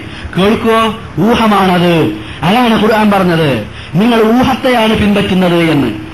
ബദരീങ്ങൾ എന്നോ അവർ കാലം പ്രവാചകന്റെ കൂടെ യുദ്ധം ചെയ്തിരുന്ന ആ കാലഘട്ടത്തിൽ ജീവിച്ചവരാണ്. അവർ യുദ്ധത്തിൽ രക്തസാക്ഷികളായി. അവർ ഇഹലോകത്ത് നിന്ന് വിട പറഞ്ഞിരിക്കുകയാണ്. മുഹീദ്ദീൻ ഷേഖ് എന്നോ മരിച്ചുപോയിരിക്കുന്നു അതേപോലെ തന്നെ റിഫായ് ഷേഖ് എന്നോ മരിച്ചുപോയിരിക്കുന്നു അതേപോലെ തന്നെ മമ്പർത്തത്തങ്ങളും പുത്തമ്പള്ളിക്കല മൂപ്പരും മറ്റു പല ഔലിയാക്കന്മാരും മഹാന്മാരും ഒക്കെ എന്നോ മരിച്ചുപോയവരാണ് ആ മരിച്ചുപോയ ആളുകൾ കേൾക്കും എന്നത് നിങ്ങളുടെ ഊഹമാണ്. അത് തെളിവല്ല. മരിച്ചുപോയവർ കേൾക്കുമെന്നത് ഊഹമാണ്. അള്ളാഹു ഖുർആാനിൽ ഖണ്ഡിതമായി പറഞ്ഞു ഇൻ നിങ്ങൾ വിളിച്ചു പ്രാർത്ഥിച്ചാൽ നിങ്ങളുടെ ദുആ അവർ കേൾക്കുകയില്ല എന്ന് അള്ളയാണ് പറഞ്ഞത്. ഇന്നക്കലാ തുസ്മിഉൽ മരിച്ചവരെ താങ്കൾ കേൾപ്പിക്കുകയില്ല എന്ന് അള്ളാഹുവാണ് പറഞ്ഞത്. ആയത്ത് ഓരോന്നും പേരോട് ശ്രദ്ധിക്കണം അദ്ദേഹത്തോട് പറയണം അതിനൊക്കെ ജനങ്ങൾക്ക് മറുപടി പറഞ്ഞു കൊടുക്കണം. ഇന്നകലാ തുസ്മിഉൽ മൗത ഖുർആനാണ് പറഞ്ഞത് മരിച്ചവരെ താങ്കൾ കേൾപ്പിക്കുന്നവനല്ല. വമാ അൻത ബിമുസ്മിഇൻ ഫിൽ ഖുബൂർ ഖബറുകളിലുള്ളവരെ താങ്കൾ കേൾപ്പിക്കുന്നവനല്ല. അള്ളാഹു ഖുർആനിലാണ് പറഞ്ഞത്. വഹും അൻ ദുആഇഹിം ഗാഫിലൂൻ. ഉത്തരം ചെയ്യാത്തവയോട് വിളിച്ചു പ്രാർത്ഥിക്കുന്ന നിങ്ങളുടെ പ്രാർത്ഥന ശ്രദ്ധിക്കാത്തവരാണവർ. അപ്പൊ അവർ കേൾക്കുന്നില്ല ശ്രദ്ധിക്കുന്നില്ല അവരെ കേൾപ്പിക്കാൻ കഴിയില്ല എന്ന് ഖുർആൻ പറഞ്ഞു. കേൾക്കൂലേ? എന്താ തെളിവ്? മോലിയര ഊഹം? അതാണ് പടച്ചോൻ പറഞ്ഞ അള്ളാഹു അല്ലാത്തവരോട് വിളിച്ചു പ്രാർത്ഥിക്കുന്നവർ പിൻപറ്റുന്നത് ഊഹത്തെ മാത്രമാണ് എന്ന് പടച്ചോൻ പറഞ്ഞത്. അപ്പൊ ഒന്നാതാ. രണ്ടാമത് ഇവർ പറയും അവർ ഉത്തരം ചെയ്യൂലേ? മഹാന്മാരല്ലേ? എന്താ തെളിവ്? മോലിയാര ഊഹം? മരിച്ചുപോയി മഹാന്മാര് സഹായിക്കുമെന്നതിനെന്ത് തെളിവ്? മോലിയാര ഊഹം അള്ള ഖുർആാന് പറഞ്ഞു ലായസ്തജീബൂന അവരുത്തരം ചെയ്യുകയില്ല എന്ന്. നോയിക്കോ വിശുദ്ധ ഖുർആൻ ഒട്ടനവധി സ്ഥലങ്ങളിൽ പറഞ്ഞു ഒമൻ അവല്ലു മിമ്മൻ യദ്ഉ ദൂനില്ലാഹി ലഹു ഇലാ യൗമിൽ ഖിയാമാ. ഖിയാമത്ത് നാൾ വരെ ഉത്തരം ചെയ്യാത്തവയോട് വിളിച്ച് പ്രാർത്ഥിക്കുന്നവനേക്കാൾ വഴിപിഴച്ചവൻ ആരുണ്ട്? ഖിയാമത്ത് നാൾ വരെ ഉത്തരം ചെയ്യൂല എന്നാ അള്ളാഹ് ഖുർആൻ പറഞ്ഞു പക്ഷെ മോലിയരെ ഊഹ ഉത്തരം ചെയ്യും ഉത്തരം ചെയ്യൂലേ ഉത്തരം ചെയ്യാൻ കഴിയൂലേ ഊഹാണ് കഴിയൂല ഉത്തരം ചെയ്യൂല എന്ന് അള്ള പറഞ്ഞു അള്ള കഴിയൂല എന്ന് പറഞ്ഞാൽ പിന്നെ കഴിയില്ല അതേപോലെ തന്നെ വിശുദ്ധ ഖുർആൻ വീണ്ടും പറയുന്നു വല്ലദീന യദ്ഊന മിൻ ദൂനിഹി لا يستجيبون لهم بشيء إلا كباسط كفيه إلى الماء ليبلغ فاه രണ്ട് കൈയും വെള്ളത്തിക്ക് നീട്ടിവെച്ച ഒരാൾ ആ വെള്ളം തൊള്ളിക്കത്തനെ. കൈ ഇങ്ങനെ നീട്ടിയാൽ വെള്ളം തൊള്ളിയിലെത്തുവോ? അതുപോലെയാണ് അള്ളാഹു അല്ലാത്തവരോട് പ്രാർത്ഥിക്കുന്നവന്റെ അവസ്ഥ. അവന്റെ പ്രാർത്ഥനക്ക് ആ പ്രാർത്ഥിക്കപ്പെടുന്ന മഹാന്മാർ ഉത്തരം ചെയ്യുകയില്ല. ലഹും. അവർക്ക് ഒരു ഉത്തരവും നൽകുകയില്ല എന്നാണ് പരിശുദ്ധ ഖുർആൻ പറയും- പറയുന്നത്. ഇനി മോചര് വീണ്ടും പറയും ഒരു തെളിവ്. എന്താ? ഊഹാണ്. അവർ സഹായിക്കൂലേ? അള്ള പറഞ്ഞ് സഹായിക്കൂലാൻ. ഊഹം വിട്ടോളൂ. ഖുർആൻ പറയാ സഹായിക്കൂല. ലാ യസ്തതിഊന നസ്റക്കും വലാ യൻസുറൂൻ. നിങ്ങളെ അവർക്ക് സഹായിക്കാൻ കഴിയുകയില്ല. മോദിയര് പറയും അവർക്ക് സഹായിക്കാൻ കഴിയൂലേ? എന്താ തെളിവ്? തെളിവൊന്നുമില്ല ഊഹം കഴിയൂലേ എന്ന. ഇനിയോ വീണ്ടും വിശുദ്ധ ഖുർആൻ പറഞ്ഞു. മോലിയര് പറയും നല്ലതല്ലേ? അല്ല പറഞ്ഞു വഴികേടാണ്. നല്ലതല്ലേ എന്ന് മോലിയാരെ ഊഹാണ്. ഈ ഊഹത്തെ പിൻപറ്റിയിട്ടാണ് മരിച്ചു മരിച്ചുപോയവരെ വിളിച്ചു പ്രാർത്ഥിക്കാൻ സാധാരണക്കാരെ പ്രേരിപ്പിക്കുന്നത്. വമൻ അവല്ലു അള്ളാഹു അല്ലാത്തവരെ വിളിച്ചു പ്രാർത്ഥിക്കുന്നവനേക്കാൾ വഴിപിഴച്ചവൻ ആരുണ്ട്. നല്ലതല്ല വഴികേടാണെന്ന് അള്ള പറഞ്ഞത്. മോലിയര് വീണ്ടും പറയും അവർ നമ്മളെ കൈയൊഴിയൂല മഹാന്മാരല്ലേ. അവർക്ക് നമ്മൾ നേർച്ച നേർന്നാൽ ദ്വാ ചെയ്താൽ മഹാന്മാരെ സ്നേഹിച്ചാൽ അവർ നമ്മളെ കൈയൊഴിയൂല. എന്താ തെളിവ്? മോലിയരെ ഊഹം അല്ല ഖുർആൻ പറഞ്ഞു ഇത് തബറ അല്ലദീന തുബിഉ من الذين اتبعوا ورأوا العذاب وتقطعت بهم الأسباب ഖുർആനാണ് ഞാൻ ഓതുന്നത് റാസി ഇമാമിന്റെ കൗലല്ല ദുറുൽ മൻസൂർ അല്ല ഖുർആൻ എവിടെയും ചോദിച്ചാൽ ദുറുൽ മൻസൂർ ആ ജാതി ഏർപ്പാടല്ല അള്ളാഹിന്റെ ആയത്താ ഞാൻ പറയുന്നത് ഇത് തബറ അല്ലദീന തുബിഉ മിനല്ലദീന തബഉ പിൻപറ്റ ഈ ജാതി സാധുക്കളുണ്ടല്ലോ. അവരിൽ നിന്ന് പിൻപറ്റപ്പെട്ട നേതാക്കന്മാർ ഒഴിഞ്ഞു മാറുന്ന ദിവസം വറഅവുൽ അദാബ് ശിക്ഷ അവർ കാണുകയും ചെയ്താൽ ബിഹിമുൽ അസ്ബാബ്. ഈ നേതാക്കളും അനുയായികളും തമ്മിൽ ഒരു ബന്ധവുമില്ല. എല്ലാ ബന്ധങ്ങളും മറ്റുപോകുന്ന ആ ദിവസം നേതാവിന് അനുയായിയെ സഹായിക്കാൻ കഴിയാത്ത ദിവസം പേരോടിന് തിൽമീതന്മാരെ സഹായിക്കാൻ കഴിയാത്ത ദിവസം പേരോടിന് അനുയായികളെ സഹായിക്കാൻ കഴിയാത്ത ദിവസം ഒരാൾക്കും ഒരാളെയും സഹായിക്കാൻ കഴിയാത്ത ആ ദിവസം അള്ളാഹുവിന്റെ ശിക്ഷ കണ്ണിൽ കാണുമ്പോൾ ആ നേതാക്കന്മാരവരെ പിൻപറ്റി അനുയായികളിൽ നിന്ന് ഒഴിഞ്ഞു മാറും. ഞങ്ങൾക്ക് നിങ്ങളെ രക്ഷപ്പെടുത്താൻ കഴിയില്ല കേട്ടോ. എന്ന് പറഞ്ഞൊഴിഞ്ഞു മാറുന്ന ദിവസം അവ നമ്മളെ കൈയൊഴിയൂല. എന്താ തെളിവ്? മോലിയാര ഊഹം മാത്രമാണ്. വീണ്ടും വിശുദ്ധ ഖുർആൻ പറയാ അവർ നിങ്ങളുടെ ശത്രുക്കളാകും. നിങ്ങളെ ശത്രുക്കളായി കാണും. വൈദാ സൂറത്തുൽ അഹ്കാഫിലാണ്. എന്റെ വകയല്ല ഖുർആനായത്താണ്. മഹേശ്വരിൽ ഒരുമിച്ച് കൂട്ടപ്പെട്ടാൽ ആ വിളിച്ച് പ്രാർത്ഥിക്കപ്പെട്ട അമ്പിയാക്കളും ഔലിയാക്കളും നേതാക്കളും സഹാദാത്തുക്കളും ശുഹതാക്കളും അവരോട് വിളിച്ച് പ്രാർത്ഥിച്ച ആളുകളെ ശത്രുക്കളായി കാണും. അവരുടെ ശത്രുക്കളായി നിൽക്കും. മിത്രങ്ങളല്ല സഹായികളല്ല. അവർ സഹായിക്കുകയില്ല എന്നാണ് വിശുദ്ധ ഖുർആൻ പറയുന്നത്. ശത്രുക്കളായിട്ടാണ് കാണുക എന്ന് വീണ്ടും വിശുദ്ധ ഖുർആൻ പറഞ്ഞു. അള്ളാഹു അല്ലാത്തവരോടുള്ള ദ്വാ അത് ശുർക്കാകും കാരണം ദുആ ഇബാദത്താണ്. ഞാനതിന് തെളിവുദ്ധരിച്ചു നേരത്തെ അദ്ദുആ ഹുവൽ ഇബാദ എന്ന് പ്രവാചകൻ പറഞ്ഞതും വിശുദ്ധ ഖുർആൻ പറഞ്ഞ വക്കാല റബ്ബുക്കും ഉദ്ഊനി അസ്തജിബുലക്കും ഇന്നല്ലദീന യസ്തക്ബിറൂന അൻ ഇബാദതി സയദ്ഖുലൂന ജഹന്നമ അങ്ങനെയുള്ള ഒട്ടനവധി ആയത്തുകളിൽ ദുആ ഇബാദത്താണെന്ന് ഖുർആൻ പറഞ്ഞു. വീണ്ടും ഖുർആൻ പറയുന്ന കാരണം മോലേര് പറയത് ശിർക്കാകൂല എന്ന്. മുസ്ലിയാരെ ഊഹമാണ്. അള്ള പറഞ്ഞത് അത് ശിർക്കാണ് എന്നാണ്. അതാണ് വയോമൽ യാമത്ത് നാളിൽ അള്ളാഹു അല്ലാത്തവരോട് നിങ്ങൾ പ്രാർത്ഥിച്ച പ്രാർത്ഥനയാകുന്ന ശുർക്കിനെ അവർ നിഷേധിക്കുകയും ചെയ്യും എന്ന്.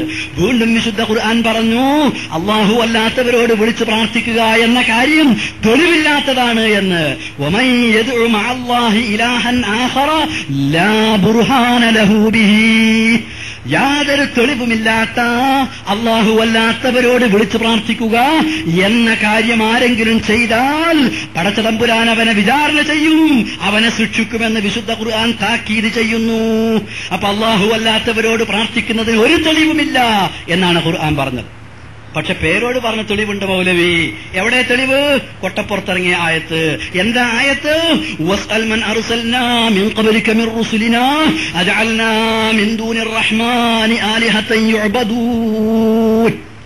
എനിക്ക് പറയാനുള്ളത് പേരോട് ഏതായാലും ഞാൻ ഈ പറഞ്ഞ സ്ഥിതിയില്ല മൂപ്പരെ നോക്കിയിട്ടും കാര്യമില്ല നോക്കാൻ പറയണമില്ല. പിന്നെ സാധാരണക്കാരുണ്ടല്ലോ. കൂറ്റനാട് കെ വി മുഹമ്മദ് മുസ്ലിയാരി എഴുതിയ സുന്നി പണ്ഡിതന. ജീവിച്ചിരിപ്പുള്ള കൂറ്റനാട്ട് കൂറ്റനാടുള്ള മുത്തുണ്ണി മുസ്ലിയാരി എന്ന് പറഞ്ഞ കേവിയ ആ കേവി എഴുതിയ ഖുർആൻ പരിഭാഷങ്ങളൊന്ന് എടുത്തു നോക്കി. അതേപോലെ തന്നെ മരിച്ചുപോയ സമസ്തന്റെ നേതാവായിരുന്ന ടി കെ അബ്ദുള്ള മൗലവി എന്ന മുസ്ലിം എഴുതിയ ഖുർആൻ പരിഭാഷ എടുത്തു നോക്കി. ഇവിടെ രണ്ടും എന്റെ കയ്യിൽ ഞാൻ കൊണ്ടുവന്ന് വെച്ചിട്ടുണ്ട്. ആ ഖുർആൻ പരിഭാഷയിൽ എന്താണ് അർത്ഥം കൊടുത്തിട്ടുള്ളത് എന്ന് ടി കെയുടെ പരിഭാഷയിൽ അദ്ദേഹം വ്യക്തമായി പറഞ്ഞു. അതുപോലെ തന്നെ കൂറ്റനാടിന്റെ പരിഭാഷയിലും എഴുതിയിട്ടുണ്ട്. പേരോട് പറഞ്ഞത് മർമൗലവിന്റെ പരിഭാഷയാണ് ഞാൻ വായിക്കുന്നത്. നിങ്ങൾ അതൊന്നും വായിച്ച ഇന്ന് തെറ്റുപിടിക്കാൻ മാത്രമൊക്കെ ആകണേ ഉള്ളൂ. അച്ചടിച്ചിട്ടുണ്ടെങ്കിൽ പ്രൂഫ് റീഡർ എന്നുള്ള തസ്തിക ഞാൻ നേരത്തെ തന്നെ പറഞ്ഞല്ലോ ഞാൻ പ്രസ് തുടങ്ങട്ടെ അവിടെ നിയമിക്കാൻ ശ്രമിക്കുക ആ ജാതി അല്ലാതെ അതിനുള്ള മർമൗലവിന്റെ ഖുർആൻ പരിഭാഷയെന്ന് തെറ്റുപിടിക്കാൻ എന്നിട്ട് അതിൽ അവിടെ ആ വാക്ക് രക്ഷകൻ ഇവിടെ മിത്രം അവിടെ സഹായി എന്നൊക്കെ പറയാ. മൗലവിന്റെ ഖുർആൻ പരിഭാഷ തെറ്റുണ്ടോ അല്ലേ എന്നുള്ള വിഷയത്തിലല്ല നമ്മളെ അഭിപ്രായ വ്യത്യാസം. നമ്മൾ തമ്മിൽ ഇവിടെ ഒരു വിഷയം പറഞ്ഞിട്ടുണ്ട്. ആ വിഷയത്തിലാണ് അതേപോലുള്ള ബാക്കി മറ്റു കാര്യങ്ങളിലേക്കല്ല നിങ്ങൾ നീങ്ങേണ്ട നീങ്ങേണ്ടത്. നേരെ മറിച്ച് ഞങ്ങൾ വളരെ വ്യക്തമായി ആ വിഷയത്തെ സംബന്ധിച്ച് സംസാരിച്ചപ്പോൾ പറഞ്ഞതിന് മറുപടി പറയാതെ വസ് അൽ മൻ മിൻ വസ് അൽ മൻ ഖബ്ലിക. താങ്കൾക്ക് മുമ്പ് നാം അയച്ചവരോട് താങ്കൾ ചോദിച്ചു നോക്കുക.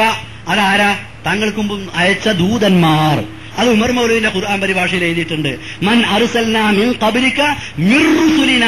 നാം നിയോഗിച്ച നമ്മുടെ ദൂതന്മാരോട് താങ്കൾ ചോദിക്കുക. അതാണ് ഖുർആാനിലുള്ളത്. എന്നിട്ട് എന്താ തെളിവ്? മുഹമ്മദ് നബി അവർക്ക് ഇമാമായി നമസ്കരിച്ചു. നമസ്കരിച്ചിട്ട് അവിടുന്ന് ചോദിക്കാൻ പറഞ്ഞു. ഒരു റിപ്പോർട്ടിലുള്ള നബി ചോദിച്ചു എന്നാണ്. മരിച്ചുപോയ ആളുകളോട് മുഹമ്മദ് നബി പ്രാർത്ഥിച്ചു കൂറ്റനാട് എഴുതി വെച്ചിട്ടുണ്ട് ഈ ആയത്തിന്റെ ചോട്ടിൽ. മരിച്ചുപോയ ആളുകളോട് വിളിച്ചു പ്രാർത്ഥിക്കാൻ ഈ ആയത്ത് തെളിവാണ് എന്ന് പച്ച മലയാളത്തിലല്ലേ കൂറ്റനാടിന്റെ പരിഭാഷ. പേരോടൊന്ന് വായിച്ചു കൊടുക്കുക ഇവിടുത്തെ ആളുകൾക്ക്. ടി മുസ്ലിയാർ എഴുതിയിട്ടുണ്ടോ? ഈ ആയത്തിന്റെ അടിസ്ഥാനത്തിൽ മരിച്ചുപോയ ആളുകളോട് വിളിച്ചു പ്രാർത്ഥിക്കാമെന്ന് തെളിയിക്കാൻ സാധിക്കുമോ? ഞങ്ങൾക്ക് മറുപടി പറയുമ്പോൾ നുണ പറഞ്ഞാൽ പോരാ. ഞാൻ പറഞ്ഞു ഈ ആയത്തിന് രണ്ട് രൂപത്തിലുള്ള വ്യാഖ്യാനം മഹാന്മാരായ മുഫസരിങ്ങൾ നൽകിയിട്ടുണ്ട്. ആ രണ്ട് വ്യാഖ്യാനവും അംഗീകരിക്കുന്നതിന് ഞങ്ങൾക്ക് വിഷമമില്ല. ഒന്ന് വിശുദ്ധ ഖുർആൻ ഈ വചനം കൊണ്ട് ഉദ്ദേശിക്കുന്നത് മരിച്ചുപോയ പ്രവാചകന്മാരോട് ചോദിക്കാനല്ല നേരെ മറിച്ച് വിശുദ്ധ ഖുർആാനിന്റെ വളരെ ഏറ്റവും അറബി ഭാഷയിൽ സാഹിത്യപരമായുള്ള ഒരു ശൈലിയാണ്. അതിന് മന്ദിപ്പുമാരി ഓതണം ഞങ്ങളോടല്ല ഓതിപ്പടിക്കണം പേരോട് ഓതണം അല്ലെങ്കിൽ ഓതിയരോട് ചോദിക്കണം. മാനിയൊക്കെ ഓതിയിട്ടുണ്ടെങ്കിൽ ഇങ്ങനെ തെറ്റിച്ചർത്ഥം പറയില്ല. ഖുർആൻ ഞാൻ വേറൊരായത്ത് പറയാം. എന്താ അറിയോ? വസ് അലിൽ കറിയ എന്താ കറിയ എന്ന് പറഞ്ഞാൽ അതൊരു പെണ്ണിന്റെ പേരല്ല. മറിയ എന്നൊക്കെ പറയും പോലെ കറിയ എന്ന് പറഞ്ഞ പെണ്ണല്ല. നേരെ മറിച്ച് കറിയ എന്ന് പറഞ്ഞ ഗ്രാമം ആ രാജ്യത്തോട് ചോദിച്ചു നോക്കൂ എന്നാണ്. അപ്പോ മക്കേ എന്നെ സഹായിക്കണേ എന്ന് വിളിച്ചു പ്രാർത്ഥിക്കാം എന്നതിന് അർത്ഥമുണ്ടോ? കാരണം സാധാരണ നമ്മൾ വിളിച്ചാൽ കേൾക്കൂലല്ലോ. അപ്പൊ എന്താ അതിന്റെ അർത്ഥം എന്നറിയോ? പേരോട് തന്നെ ഇവിടെ പറഞ്ഞു. ഇവിടുത്തെ മരങ്ങളോട് ചോദിച്ചാൽ അവർ പറയും. പേരോട് ഉദ്ദേശിച്ചത് മരം ഇവർക്ക് നേർച്ച ആലൊക്കെ ഉണ്ടാകലുണ്ടല്ലോ? അതുപോലെ ഈ മരത്തിന് പുണ്യുണ്ട് എന്ന് മൂപ്പര് വിശ്വസിച്ചിട്ടുണ്ടോ എന്ന് എനിക്ക് അറിഞ്ഞൂടാ. സാധാരണഗതി പറയൽ എല്ലാവരും കേട്ടിട്ടുണ്ട് എന്നതിനുള്ള ഒരു ആലങ്കാരിക പ്രയോഗമാണത് അതുപോലെയാണ് ആ രാജ്യത്തോട് ചോദിച്ചു നോക്കൂ. നിങ്ങൾ ഇന്ത്യയോട് ചോദിച്ചു നോക്കൂ. ഇന്ത്യ പറയും. പല പ്രഗത്ഭരായ വാഗ്മികൾ അവരുടെ പ്രസംഗത്തിൽ പറയാറ്. എന്താണ് അതിന്റെ അർത്ഥം? ഇന്ത്യ ആ രാജ്യത്തെ ജനങ്ങളോട് ചോദിച്ചു നോക്കൂ അവർ പറയുമെന്നാണ്. ഇതേ രൂപത്തിൽ എന്ന് പറഞ്ഞ ഐ അഹ്ലൽ കറിയ ജലാലയിന് മുതൽക്കുള്ള തഫ്സീറുകളൊക്കെ മറിച്ചു പോയിക്കോളി ഓ അപ്പൊ തഫ്സീറുള്ളത് ഇങ്ങോട്ട് എടുത്തു വെച്ചാൽ ആ തഫ്സീറുകൾ അതിൽ കാണുന്ന മുഴുവനും സ്വീകരിക്കുന്നവരല്ല ഞങ്ങൾ. കാരണം എന്താണെന്നറിയോ? ആ ചിലങ്ങനല്ലേ ജലാലയിനി നിങ്ങളല്ലേ? ഞാൻ തഫ്സീറിന്റെ കഥ ലേശം കഴിഞ്ഞിട്ട് പറയാം. അള്ളാന്റെ ആയത്തിന് അർത്ഥം പറയുമ്പോൾ വേറെ ആയത്തുകൾ എടുത്തു വെക്കണം. ആയത്തിന് ആയത്തിന്റെ അടിസ്ഥാനത്തിൽ മനസ്സിലാക്കണം. ഇല്ലെങ്കിൽ ഹദീസ് ഉദ്ധരിക്കണം ഹദീസിന്റെ അടിസ്ഥാനത്തിൽ മനസ്സിലാക്കണം. അതേപോലെ തന്നെ ഭാഷ അറിയുന്ന മഹാന്മാരായ പണ്ഡിതന്മാർ ഈ ആയത്തിന്റെ അവതരണ പശ്ചാത്തലം ഉദ്ധരിച്ചുകൊണ്ട് വ്യക്തമാക്കി തന്ന സംഭവങ്ങളുടെ വെളിച്ചത്തിലും അതിനെ വ്യാഖ്യാനിക്കണം. അതല്ലാതെ ഒരായത്തിന്റെ പേരിൽ എഴുതി വെച്ചതൊക്കെ കൂടി പറയുകയാണെങ്കിൽ നിങ്ങളിവിടെ റാസി മാമിനാണല്ലോ വലിയ മഹത്വം പറഞ്ഞത്. റാസിന്റെ തെഫ്സീറിൽ എഴുതിയത് എന്താണെന്ന് അറിയാം നിങ്ങൾക്ക്? ഞാനൊരു സംഭവം പറയാം. ഇമാം റാസിയുടെ തെഫ്സീറിൽ അദ്ദേഹം ഉദ്ധരിച്ചിട്ടുണ്ട്. സുലൈമാൻ നബി ബിൽഖീസ് രാജ്ഞി ഇങ്ങോട്ട് വരുമ്പോ വരുന്നതിന്റെ മുമ്പ് തന്നെ ബിൽഖീസ് രാജ്ഞിന്റെ കൊട്ടാരം ഇവിടെ സുലൈമാൻ നബിനെ സ്വീകരിക്കാൻ വേണ്ടി കൊട്ടാരമൊക്കെ അണിയിച്ചൊരുക്കിയിട്ടുണ്ട് അപ്പൊ അവിടെ സ്ഫടികം കൊണ്ട് കടന്നു വരുന്ന ഭാഗത്ത് സ്ഫടികമൊക്കെ വളരെ റെഡിയാക്കി വെച്ച് എന്നിട്ട് അതിനടിയിലൂടെ വെള്ളം ഇങ്ങനെ ഒഴുകി പോവുക. ആ വെള്ളത്തിൽ മത്സ്യവും കൊണ്ട് വന്നിട്ടുണ്ട് എന്നാ. തഫ്സീറിൽ എഴുതി വെച്ചതാ പറയുന്നത്. എന്നിട്ട് മത്സ്യം ഇട്ടിട്ട് മത്സ്യം ആ വെള്ളത്തിലൂടെ ഇങ്ങനെ പോകുമ്പോ ബിൽഖീസ് രാജ്ഞി ഇങ്ങനെ കയറി വരിക. കയറി ഇങ്ങനെ വരുമ്പോ ഇത് വെള്ളാണല്ലോ. സ്ഫടികമായതുകൊണ്ട് വെള്ളമാണ് അതിന്റെ മുകളിൽ ഗ്ലാസ് ഉണ്ട് ഇത് ഒറ്റ നോട്ടത്തിൽ കാണൂല. അപ്പൊ തുണി ഇങ്ങനെ പൊക്കി. ആര് തുണി എന്ന് പറഞ്ഞാൽ ഇപ്പൊ സാരിയാണോ? എനിക്ക് അറിഞ്ഞോളാം വസ്ത്രം പൊക്കീന കാലിന്റെ തൊട കാണുന്നത് വരെ. അപ്പൊ സുലൈമാൻ നബി നല്ലോണം ഇങ്ങനെ നോക്കി. എന്താ നോക്കാൻ കാരണം എന്നറിയോ? ബിൽഖീസ് കാലിന്റെ തൊടമേ കഴുതന്റെ കഴുതന്റെ കാലുമുള്ള പോലെ രോമുണ്ട് എന്നും കാൽ കഴുതന്റെ കാൽ പോലെയാണ്. അല്ലെങ്കിൽ കാലിന്റെ അടി ഇതുണ്ടല്ലോ കുളമ്പുണ്ട് ഇങ്ങനെയൊക്കെ പല ജാതി അഭിപ്രായങ്ങളും കേട്ടിട്ടുണ്ട്. അപ്പൊ കാലിന്റെ തുടമ്മ രോമുണ്ടോ കഴുതനെ പോലെ അതല്ല കാൽ കഴുതന്റെ കാൽ പോലെയാണോ? കഴുതനെ പോലെ കാലിന് കുളമ്പുണ്ടോ എന്നൊക്കെ നോക്കാൻ വേണ്ടി സുലൈമാൻ നബി നല്ല നോക്കുമ്പോ നല്ല കാലാണ്. നല്ല കാൽ കാരണം ഞാൻ വേറെ പറയണ്ടല്ലോ. എന്താണ് കാൽമക്ക് നോക്കിയിട്ട് കണ്ടത്? അങ്ങനെ പിന്നെ കല്യാണാലോചന നടന്നു കല്യാണം കഴിച്ചതും പല തഫ്സീലുകളിൽ എഴുതി വെച്ചിട്ടുണ്ട്. റാജി അത് ഉദ്ധരിച്ചിട്ടുണ്ട്. അമ്പിയാക്കളെ തെറി പറയണത് പറയുന്നത് അമ്പിയാക്കളെ മോശമായി പറഞ്ഞ മുജാരിങ്ങളാ ഞങ്ങളെ പേരിൽ ഇങ്ങനെ പറഞ്ഞാൽ മതിയോ? റാസി മാമു എന്ന് പറഞ്ഞ് ഉദ്ധരിക്കുകയാണെങ്കിൽ നിങ്ങൾ വിശ്വസിക്കോ ഇത്? സുലൈമാൻ നബി ബിൽഖിസ്ലാത്തിന്റെ കാലിന്റെ തൊട കാണാൻ വേണ്ടിയാണ്. എന്നിട്ട് നല്ല സുന്ദരിയാണ് കാലിന് കുഴപ്പമൊന്നുമില്ല എന്ന് കണ്ടപ്പോ വിവാഹം. അങ്ങനെ വിവാഹം കഴിച്ചു എന്ന് പറഞ്ഞ മുഫസ്സിരിങ്ങളുണ്ട്. അല്ല വേറെ ഒരാൾക്ക് തുബായിന് വിവാഹം ചെയ്തു കൊടുത്താന്ന് പറഞ്ഞ ആളുകളുണ്ട്. ഇതൊരു തഫ്സീറ. അതേപോലെ തന്നെ മറ്റേ പല ജാതിയും എന്തിനാണ് ഇപ്പൊ ഇതൊക്കെ പറഞ്ഞത്? വൈലൽ അർദ് കൈഫ സുത്തിഹത്ത് ഭൂമി എങ്ങനെയാണ്? ഗോളാകൃതിയുള്ള ഭൂമി പരന്നു കിടക്കണ മാതിരിയാണ് നമുക്ക് അനുഭവം. പക്ഷെ ഇവർ വിശ്വസിക്കുവോ? പേരോട് വിശ്വസിക്കുവോ? ഇവിടുത്തെ സാധാരണക്കാരായ വിവരമുള്ള സുന്നികൾ വിശ്വസിക്കില്ല എന്ന് എനിക്കറിയാം. പേരോട് വിശ്വസിക്കോ അല്ലാതെ ഇനി പറഞ്ഞ ഒക്കെ വിശ്വസിക്കണമെങ്കിൽ ഭൂമി ഗോളാകൃതിയിലല്ല എന്നതാണല്ലോ ഈ ആയത്തിന്റെ അർത്ഥം. ഈ ആയത്തിന്റെ അർത്ഥം ഭൂമി ഗോളാകൃതിയിലല്ല എന്ന്. ആ ആയത്തിന്റെ അർത്ഥം അതല്ല. ഗോളാകൃതിയിലാണ് എന്ന് ഖുർആാന്റെ സൂചന ഉണ്ട് എന്ന് വേറെ ചില പണ്ഡിതന്മാരും പറഞ്ഞിട്ടുണ്ട്. ഇനി ഖുർആാനിൽ ലോകത്ത് നടക്കുന്ന ശാസ്ത്രകാര്യങ്ങളൊക്കെ എഴുതുന്നത് ശാസ്ത്ര ഗ്രന്ഥമല്ല നേരെ മറിച്ച് ശാസ്ത്രത്തിന് എതിര് വിശുദ്ധ ഖുർആാനിൽ കാണാനും സാധിക്കുകയില്ല. അപ്പൊ ഭൂമി ഗോളാകൃതിയിലല്ല പിന്നെ അങ്ങനെ പരന്നിട്ടാ. എന്നതാണ് ആരവാദം. ജലാലിയിൽ എഴുതിച്ച് വിശ്വസിക്കാൻ നമ്മളെ കിട്ടൂല. അപ്പൊ തഫ്സീറിൽ കാണുന്ന മുഴുവൻ വിശ്വസിക്കണോ? ഒലക്കത് ഹമ്മത്ത് ബിഹി വഹമ്മ എന്താ? ഹമ്മത്ത് ബിഹി വഹമ്മ ബിഹാ. തഫ്സീർ എഴുതിച്ച് യൂസുഫ് നബിനെ അദ്ദേഹത്തെ ഒരു മോശപ്പെട്ട കാര്യത്തിന് ക്ഷണിക്കുകയും നിർബന്ധിക്കുകയും ചെയ്തു എന്നാണല്ലോ നമ്മൾ യൂസഫ് ക്രിസ്ത പണ്ടേ കേട്ടത്. പക്ഷെ ഈ ആയത്തിന്റെ തഫ്സീൽ എഴുതി എന്താണ് നിങ്ങൾക്ക്? ഹമ്മത്ത് ബിഹാ വഹമ്മ ബിഹി. ബീവിക്ക് മാത്രമല്ല അങ്ങോട്ട് താല്പര്യം. അതേപോലെ തന്നെ അതേപോലെ തന്നെ യൂസുഫ് നബി താല്പര്യം പ്രകടിപ്പിച്ചു എന്ന് മാത്രമല്ല തഫ്സീറിൽ എഴുതി വെച്ചിരിക്കുന്നത്. യൂസുഫ് നബി തന്റെ വസ്ത്രങ്ങളൊക്കെ അഴിച്ചു വെച്ചു. എന്നിട്ട് ആ ചീത്ത പ്രവർത്തിക്ക് ഒരുങ്ങി. അപ്പോഴാണ് വാതിലിന് മുട്ടുന്ന ശബ്ദം കേട്ടത്. ആ ശബ്ദം കേട്ടപ്പോൾ അദ്ദേഹത്തിന്റെ വികാരം വിരലിനുള്ളിലൂടെ പുറത്തുപോയി. എങ്ങനെ പണി? വികാരം വിരലിനുള്ളിൽ കൂടി പുറത്തു പോണ പണി. മാത്രമല്ല യൂസുഫ് നബിയെ വ്യഭിചാരത്തിന് വേണ്ടിയിട്ട് അവിഹിത ബന്ധത്തിന് വേണ്ടി വസ്ത്രമൊക്കെ അഴിച്ചു വെച്ചു ഒരുങ്ങിയെന്ന് യൂസുഫ് നബിനെ കുറിച്ച് എഴുതി വെച്ചത് എവിടെയാ?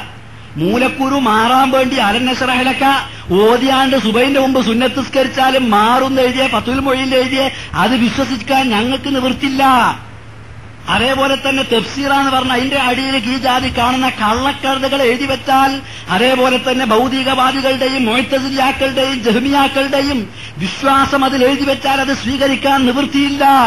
ഖുർആാനിന് അർത്ഥം പറയുമ്പോൾ ശ്രദ്ധിക്കണം. എന്നാ അവരിന്റെ നേരായ രൂപത്തിൽ അർത്ഥം പറഞ്ഞു പറഞ്ഞുകൊടുത്ത ഇയാൾ അത് നോക്കുവോ? അത് മനസ്സിലാക്കോ അത് സ്വീകരിക്കോ? അത് തിരിയില്ല. ഇബിന് തീമിയന്റെ കിതാബിന്റെ പേര് തെറ്റാതെ വായിക്കാൻ അറിയാത്ത ആൾ കൂറ്റന ടി കെ അബ്ദുള്ള മുസ്ലിയാരെ പരിഭാഷ എടുത്തൊന്ന് വായിച്ചു നോക്കി. അതിൽ എഴുതിയിട്ടുണ്ട്. അതെങ്കിലും ഒന്ന് വായിച്ചിട്ട് വേണ്ടേ ഗണ്ണന പ്രസംഗത്തിന് ഒരുങ്ങാൻ.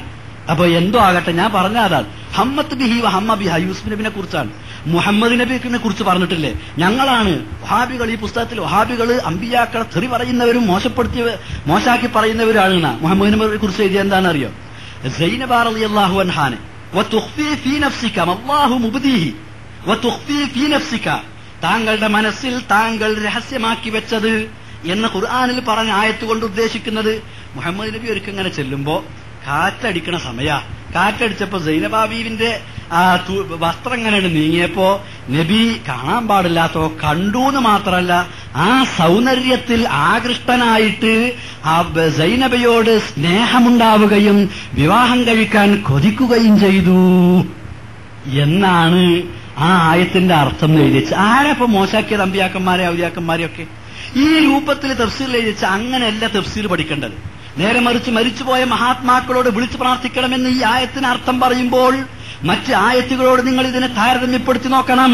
ഈ ആയത്തിന് നിങ്ങൾ പറഞ്ഞ ജലാലയിൽ തന്നെ എന്തർത്ഥം പറഞ്ഞു എന്ന് നോക്കണം. റാസി മറിച്ചു നോക്കണം. സ്വാവി മറിച്ചു നോക്കണം. ബൈലാവി മറിച്ചു നോക്കണം. നെസഫി മറിച്ചു നോക്കണം. അതുപോലുള്ള മഹാന്മാരായ മുഫസ്സിരിങ്ങളുടെ തഫ്സീറുകളൊക്കെ മറിച്ചു നോക്കണം. ഇബിന് ജരീറിയുടെ ഇബിന് ജരീറിന്റെ തഫ്സീർ മുതൽക്ക് ഇബിന് ഖഷീറിന്റെ നെസഫിയുടെ ബൈലാവിയുടെ റാസിയുടെ ജലാലയുടെ ജമലിന്റെ അബുസൂദിന്റെ ഈ തഫ്സീറുകളൊക്കെ ഒന്ന് പരിശോധിച്ചു നോക്ക്. അതിലുള്ളതൊക്കെ നോക്കി വായിച്ച് ആളുകൾക്ക് മനസ്സിലാക്കി കൊടുക്കാൻ തയ്യാറുണ്ടോ? രണ്ട് രൂപത്തിലാണ് ആയത്തിനർത്ഥം പറഞ്ഞത്. ഒന്ന് ഞാൻ നേരത്തെ പറഞ്ഞ പോലെ ഇവിടെ അഹുരൽ കറിയ എന്ന് ആ രാജ്യത്തോട് ചോദിക്കൂ എന്ന് പറഞ്ഞാൽ ആ രാജ്യക്കാരോട് ചോദിക്കൂ എന്നാണ് അതിന്റെ അർത്ഥം. അതുപോലെ താങ്കൾക്ക് മുമ്പ് നാം നിയോഗിച്ച പ്രവാചകന്മാരോട് ചോദിച്ചു നോക്കൂ എന്ന് പറഞ്ഞാൽ ഐ ഖബ്ലിക. താങ്കൾക്ക് മുമ്പ് നാം നിയോഗിച്ച പ്രവാചകന്മാരുടെ സമുദായങ്ങളോട് ചോദിച്ചു നോക്കൂ. അത് ഖുർആാനിൽ വേറൊരു ആയത്ത് തന്നെ ഉണ്ട് അഹ്ലൽ കിതാബീന. താങ്കൾക്ക് മുമ്പ് നാം വേദഗ്രന്ഥം നൽകി നൽകിയിട്ടുള്ള ജൂതന്മാരും ക്രിസ്ത്യാനികളുമാകുന്ന ആ വേദക്കാരോട് ചോദിച്ചു നോക്കൂ എന്ന് ഖുർആാനിൽ തന്നെ ഒരായത്തുണ്ട്. അങ്ങനെയാണ് ഇതിനർത്ഥം പറയേണ്ടത്. ഇതാണ് ഏറ്റവും സ്വീകാര്യമായ അർത്ഥവും. എന്നാൽ ചില പണ്ഡിതന്മാരൊക്കെ മുഹമ്മദ് നബി ഇവരോട് ചോദിച്ചിട്ടില്ല. ഇത് ഇവരുടെ സമുദായത്തോട് ചോദിച്ചു നോക്കൂന്ന. എന്താ ചോദിക്കേണ്ടതെന്ന് പറയോ? വിളിച്ചു പ്രാർത്ഥിക്കാൻ പറ്റുമോ പറ്റൂലേ? വിളിച്ചു പ്രാർത്ഥിക്കാനല്ല പറയുന്നത്. അള്ളാഹു അല്ലാത്ത ആളുകളോട് പ്രാർത്ഥിച്ചുകൊണ്ട് ദ്വാ ചെയ്തുകൊണ്ട് അതുപോലുള്ള വിവാദത്തുകൾ ചെയ്തുകൊണ്ട് ഇലാഹിന്റെ സ്ഥാനത്തേക്ക് അവരെ ഉയർത്തുക. അഥവാ അള്ളാഹുവിന് പുറമെ ആലിഹത്തിന് പ്രാർത്ഥിക്കപ്പെടുന്ന ഇലാഹുകളെ സ്വീകരിക്കാൻ നാം അവരോട് നിർദ്ദേശിച്ചിട്ടുണ്ടോ?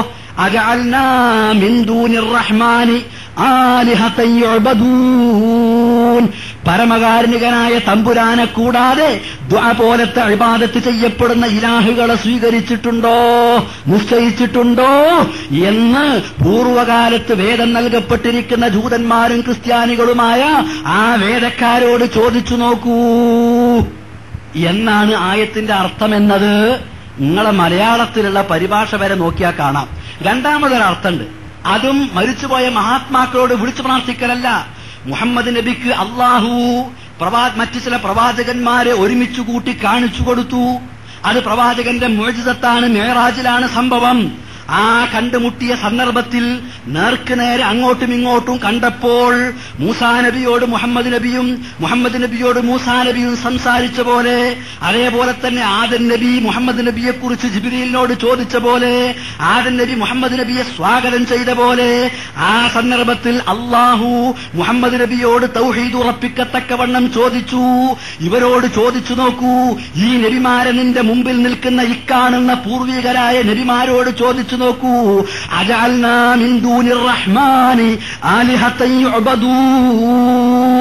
അള്ളാഹുവിന് പുറമെ അഴിബാദത്ത് ചെയ്യപ്പെടുന്ന ആരാധിക്കപ്പെടുന്ന ഇലാഹുകളെ നാം നിശ്ചയിച്ചിട്ടുണ്ടോ എന്ന് ഇവരോട് ചോദിച്ചു നോക്കൂ എന്നാണ്. ചില തഫ്സീർ എഴുതി എന്താ അറിയോ? വലൻ യെസ് അൽ നബി പറഞ്ഞ എനിക്ക് അങ്ങനെ ചോദിക്കേണ്ട ആവശ്യമല്ല. അങ്ങനെ അള്ള പറഞ്ഞിട്ടില്ല. അള്ളാഹ്ക്ക് വേറെ പങ്കാളികളില്ല. അള്ളല്ലാത്തവരോട് പ്രാർത്ഥിക്കാൻ പാടില്ല. ആ കാര്യത്തിൽ സംശയമല്ല. നബി ചോദിച്ചിട്ടില്ല. നബി ചോദിച്ചില്ല എന്നാണ് മുഫസ്സിരിങ്ങൾ എഴുതി വെച്ചത്. അതല്ലാതെ ഞാൻ ഇപ്പോഴും എന്റെ ചോദ്യത്തിന് മറുപടി പറയാതെ പേരോട് വളർന്നിട്ട് സെലഫി ഒരൊറ്റ ചോദ്യത്തിന് മറുപടി പറഞ്ഞിട്ടില്ല. സുഫി മൗലവി എന്ന് പറഞ്ഞാൽ പോരാ. എന്റെ ചോദ്യം എന്ന ആയത്തിന്റെ വ്യാഖ്യാനത്തിൽ മലയാളത്തിൽ സുന്നി പണ്ഡിതന്മാർ അച്ചടിച്ച് പ്രസിദ്ധീകരിച്ച ഇപ്പോൾ വിപണിയിൽ വാങ്ങാൻ കിട്ടുന്ന രണ്ട് ഖുർആൻ പരിഭാഷകളിൽ ഒന്ന് ടി കെ അബ്ദുള്ള മുസ്ലിയാരുടെ ഖുർആൻ പരിഭാഷയാണ്. സാധാരണക്കാരായ ബുദ്ധിയുള്ള ദീനി സ്നേഹികളായ സുന്നി സുഹൃത്തുക്കളോട് എനിക്ക് പറയാനുള്ളത് പേരോടിനെ നിങ്ങൾ കാത്തു നിൽക്കേണ്ടതില്ല. നിങ്ങൾ ആ ഖുർആൻ പരിഭാഷ മലയാളത്തിലുള്ളതൊന്ന് വാങ്ങി വായിച്ചു നോക്കൂ. അതിൽ എന്താണ് അർത്ഥം കൊടുത്തിരിക്കുന്നത് എന്ന്. ഈ ആയത്തിന്റെ വ്യാഖ്യാനത്തിൽ മരിച്ചുപോയ മഹാത്മാക്കളോട് വിളിച്ച് പ്രാർത്ഥിക്കാം. എന്നാണ് ഇതിന്റെ അർത്ഥമെന്ന് പേരോടിന് തെളിയിക്കാൻ സാധിക്കുമോ? ആ ചോദ്യം ഇപ്പോഴും ഈ അന്തരീക്ഷത്തിൽ ഉയർന്നു നിൽക്കുന്നു. ഇവിടുത്തെ സുന്നികളും ഈ സംസാരം കേൾക്കുന്ന ആളുകളൊക്കെ അത് കേട്ടിട്ടുണ്ട്. പിന്നെ പേരോട് പറഞ്ഞിരുന്നത് ഇന്നമാ വലിയുക്കുമുല്ലാഹു വറസൂലുഹു വല്ലദീന ആമനുല്ലദീന യുഖീമൂന സ്വലാത്ത ഇതാണ് ആദ്യം മൂപ്പര് ചോദ്യം. ഞാൻ ഇവിടെ പ്രസംഗിക്കാൻ വന്നപ്പോൾ മറുപടി പറഞ്ഞു. രണ്ടാമത്തെ വരവിൽ പേരോടി പറഞ്ഞു മൂപ്പർക്ക് എന്തെങ്കിലും ഒന്ന് സെലഫി പറഞ്ഞിട്ടില്ല എന്ന് പറയണം. ഈ ഓതി ആയത്ത് സെലഫി മറുപടിയേ പറഞ്ഞിട്ടില്ല എന്ന്. ഇവിടുത്തെ ആളുകൾക്കൊക്കെ അറിയാം. ഞാൻ പറഞ്ഞു ഞാൻ അതിന് പറഞ്ഞ് മറുപടി പറഞ്ഞിട്ടുണ്ട്. ടേപ്പ് റെക്കോർഡ് ഒന്നുകൂടി കേൾക്കണം എന്ന്. പിന്നെ വന്നപ്പോ പേരോട് പറഞ്ഞ എന്താണ് അറിയോ ആ ആയത്തൊക്കെ ഓതിയിട്ടുണ്ട്. ഓതിയത് കൊണ്ട് മറുപടി ആവൂല. മറുപടി ആവൂല എന്ന് പറഞ്ഞിട്ട് പിന്നെ മൂന്നാമത് കഴിഞ്ഞ പ്രാവശ്യം വന്നപ്പോ മൂപ്പൊരു ട്രിക്ക് പ്രയോഗിച്ചു. ആ വിഷയം ഞാനിവിടെ ശരിക്ക് വായിച്ച് വിശദീകരിച്ചിട്ടുണ്ടായിരുന്നു. ആ വായിച്ച് വിശദീകരിച്ചതിന് യാതൊരു മറുപടിയും പറയാൻ സാധിക്കാതെ അദ്ദേഹം ഇവിടെ സ്വീകരിച്ചിട്ടുള്ള നിലപാട് ഉമർ ഉമർ മൗലവിന്റെ ഖുർആൻ പരിഭാഷ അതിലെ പദങ്ങളെടുത്തു അതൊക്കെ നമുക്ക് പിന്നെ നോക്കാം. ഞങ്ങളെ ബുക്കിന്റെ അച്ചടിത്തെറ്റ് കണ്ടുപിടിക്കുക ഞങ്ങൾ വേറെ നിങ്ങളെ നിയോഗിച്ചോളാം. ഇപ്പൊ നമ്മൾ ഗണനപ്രസം ഒരു വിഷയത്തെ സംബന്ധിച്ച മരിച്ചുപോയ മഹാത്മാക്കളോട് പ്രാർത്ഥിക്കുന്നതിന് ഇസ്തിഹാസ ചെയ്യുന്നതിന് ഈ ഇന്നമാ വലിയുക്കുമുല്ലാഹു വറസൂലുഹു എന്ന ഈ ആയത്ത് ആരെങ്കിലും തെളിവിനുദ്ധരിച്ചിട്ടുണ്ടോ? ആയത്തിന്റെ വ്യാഖ്യാനത്തിൽ ആരെങ്കിലും പറഞ്ഞിട്ടുണ്ടോ എന്ന്. അപ്പൊ അദ്ദേഹം പറഞ്ഞത് ഞാൻ റാസിയുടെ ഇബാറത്ത് വായിച്ചു എന്നാണ്. എന്നിട്ട് എന്തേ വായിച്ചത്? ലൈസ ഇല്ലാ ബിമാനൻ നാസുരി വൽ എന്താണ്? സ്നേഹിക്കുന്ന സഹായി എന്നാണ്. ആ അർത്ഥവും തെറ്റാണ്. മൂപ്പര പറഞ്ഞ അർത്ഥം. റാജി അത് മാത്രമല്ല പറഞ്ഞത്. റാജി വളരെ വിശദമായി ചർച്ച ചെയ്തിട്ടുണ്ട്.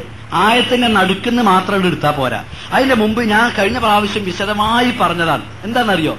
ഇന്നമാ വലിയുക്കുമുല്ലാഹു വറസൂലുഹു ഒറ്റ ആയത്ത് നടുക്കുന്ന് എടുത്തിട്ട് അതിന്റെ സന്ദർഭം നോക്കാതെ അപ്പുറത്ത് പറഞ്ഞത് നോക്കാതെ മുഫസ്ലിങ്ങൾ പറഞ്ഞത് നോക്കാതെ ചുരുങ്ങിയത് ഈ കൂറ്റനാടിന്റെ ഖുർആൻ പരിഭാഷെങ്കിലും ഒന്നും മറിച്ചു നോക്കാതെ വെറുതെ ജനങ്ങളുടെ മുമ്പിൽ കളവ് പറയരുത് പൊതുജനങ്ങളെ വഞ്ചിക്കരുതേ എന്നാണ് എനിക്ക് പറയാനുള്ളത്. ഞാൻ പറഞ്ഞു യാ അയ്യുഹല്ലദീന ആമനു ലാ തത്തഖിദുൽ യഹൂദ വന്നസ്വാറാ ഔലിയാ. വിശ്വാസികളെ നിങ്ങൾ ജൂതന്മാരെയും ക്രിസ്ത്യാനികളെയും ഔലിയാക്കളായി സ്വീകരിക്കരുത് എന്നാണ് വിശുദ്ധ ഖുർആൻ. ആദ്യം ആരെ ഔലിയാക്കളാക്കാൻ പാടില്ല എന്ന് വിശദീകരിച്ചു. അതിനുശേഷം രണ്ട് മൂന്നായത്തുകൾക്ക് ശേഷം വീണ്ടും വിശുദ്ധ ഖുർആൻ പറയുന്നു ഇന്നമാ വലിയുക്കുമുല്ലാഹു വറസൂലുഹു വല്ലദീന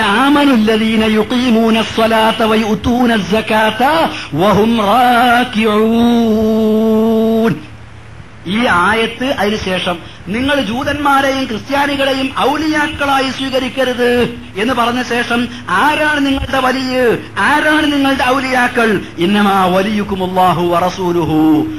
അള്ളാഹുവും അവന്റെ റസൂലും വല്ലതീന ആമനുല്ലതീന യുഖീമൂന സ്വലാത്ത വയൂത്തൂന സക്കാത്ത വഹും റാക്കിഴൂൻ റുക്കൂ ചെയ്തുകൊണ്ടിരിക്കുന്ന അഥവാ നമസ്കരിച്ചുകൊണ്ടിരിക്കുന്ന സക്കാത്ത് നൽകിക്കൊണ്ടിരിക്കുന്ന സത്യവിശ്വാസികളുമാണ് നിങ്ങളുടെ വലിയകൾ എന്നാണ് പരിശുദ്ധ ഖുർആൻ പറഞ്ഞത്. അപ്പൊ ആരെ വലിയായി സ്വീകരിക്കാൻ പാടില്ലെന്ന് പറഞ്ഞു.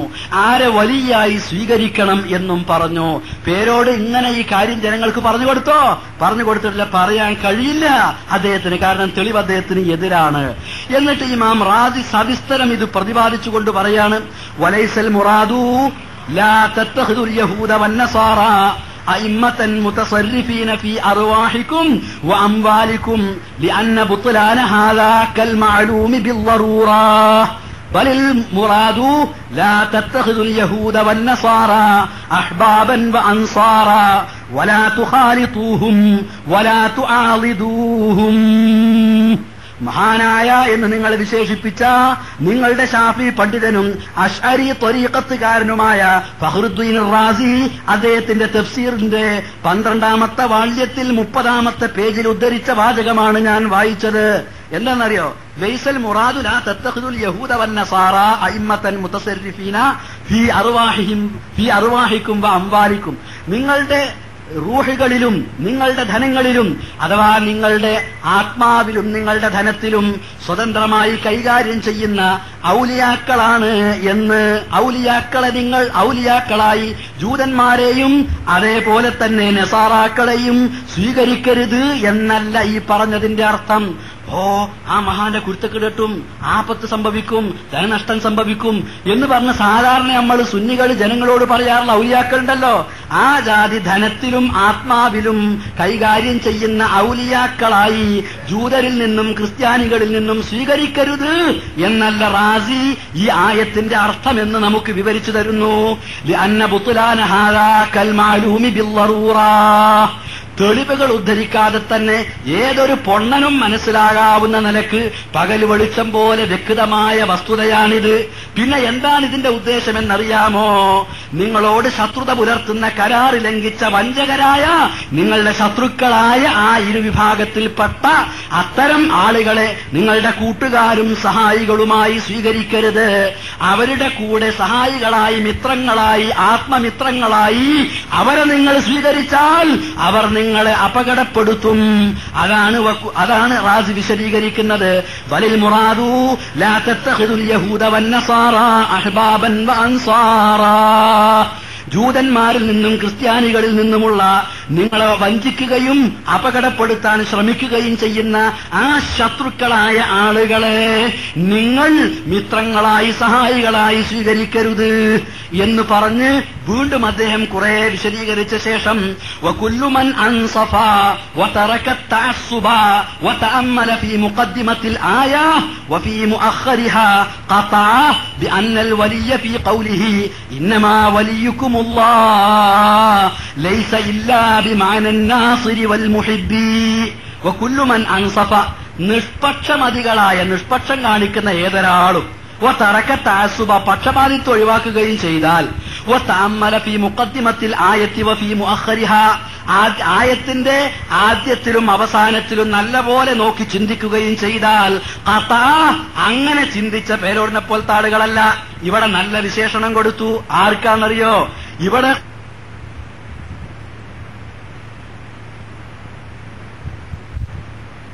അള്ളാഹുവിന്റെ വചനത്തിലെ വലിയ എന്ന വാക്കിന്റെ ഇന്നമാ വലിയുക്കുമുള്ള എന്ന ആയത്തിന്റെ വാക്കിന്റെ അർത്ഥം ലൈസ ഇല്ലാഭിമാനൻ മുഹിബി സഹായി അതേപോലെ തന്നെ സുഹൃത്ത് എന്നല്ലാതെ മറ്റൊരർത്ഥം അതിനില്ല എന്ന് മനസ്സിലാക്കാം. പേരോടിന് മനസ്സിലായില്ല. എന്റെ കാരണം? പക്ഷപാതിയാണ്. നിഷ്പക്ഷമതിയല്ല.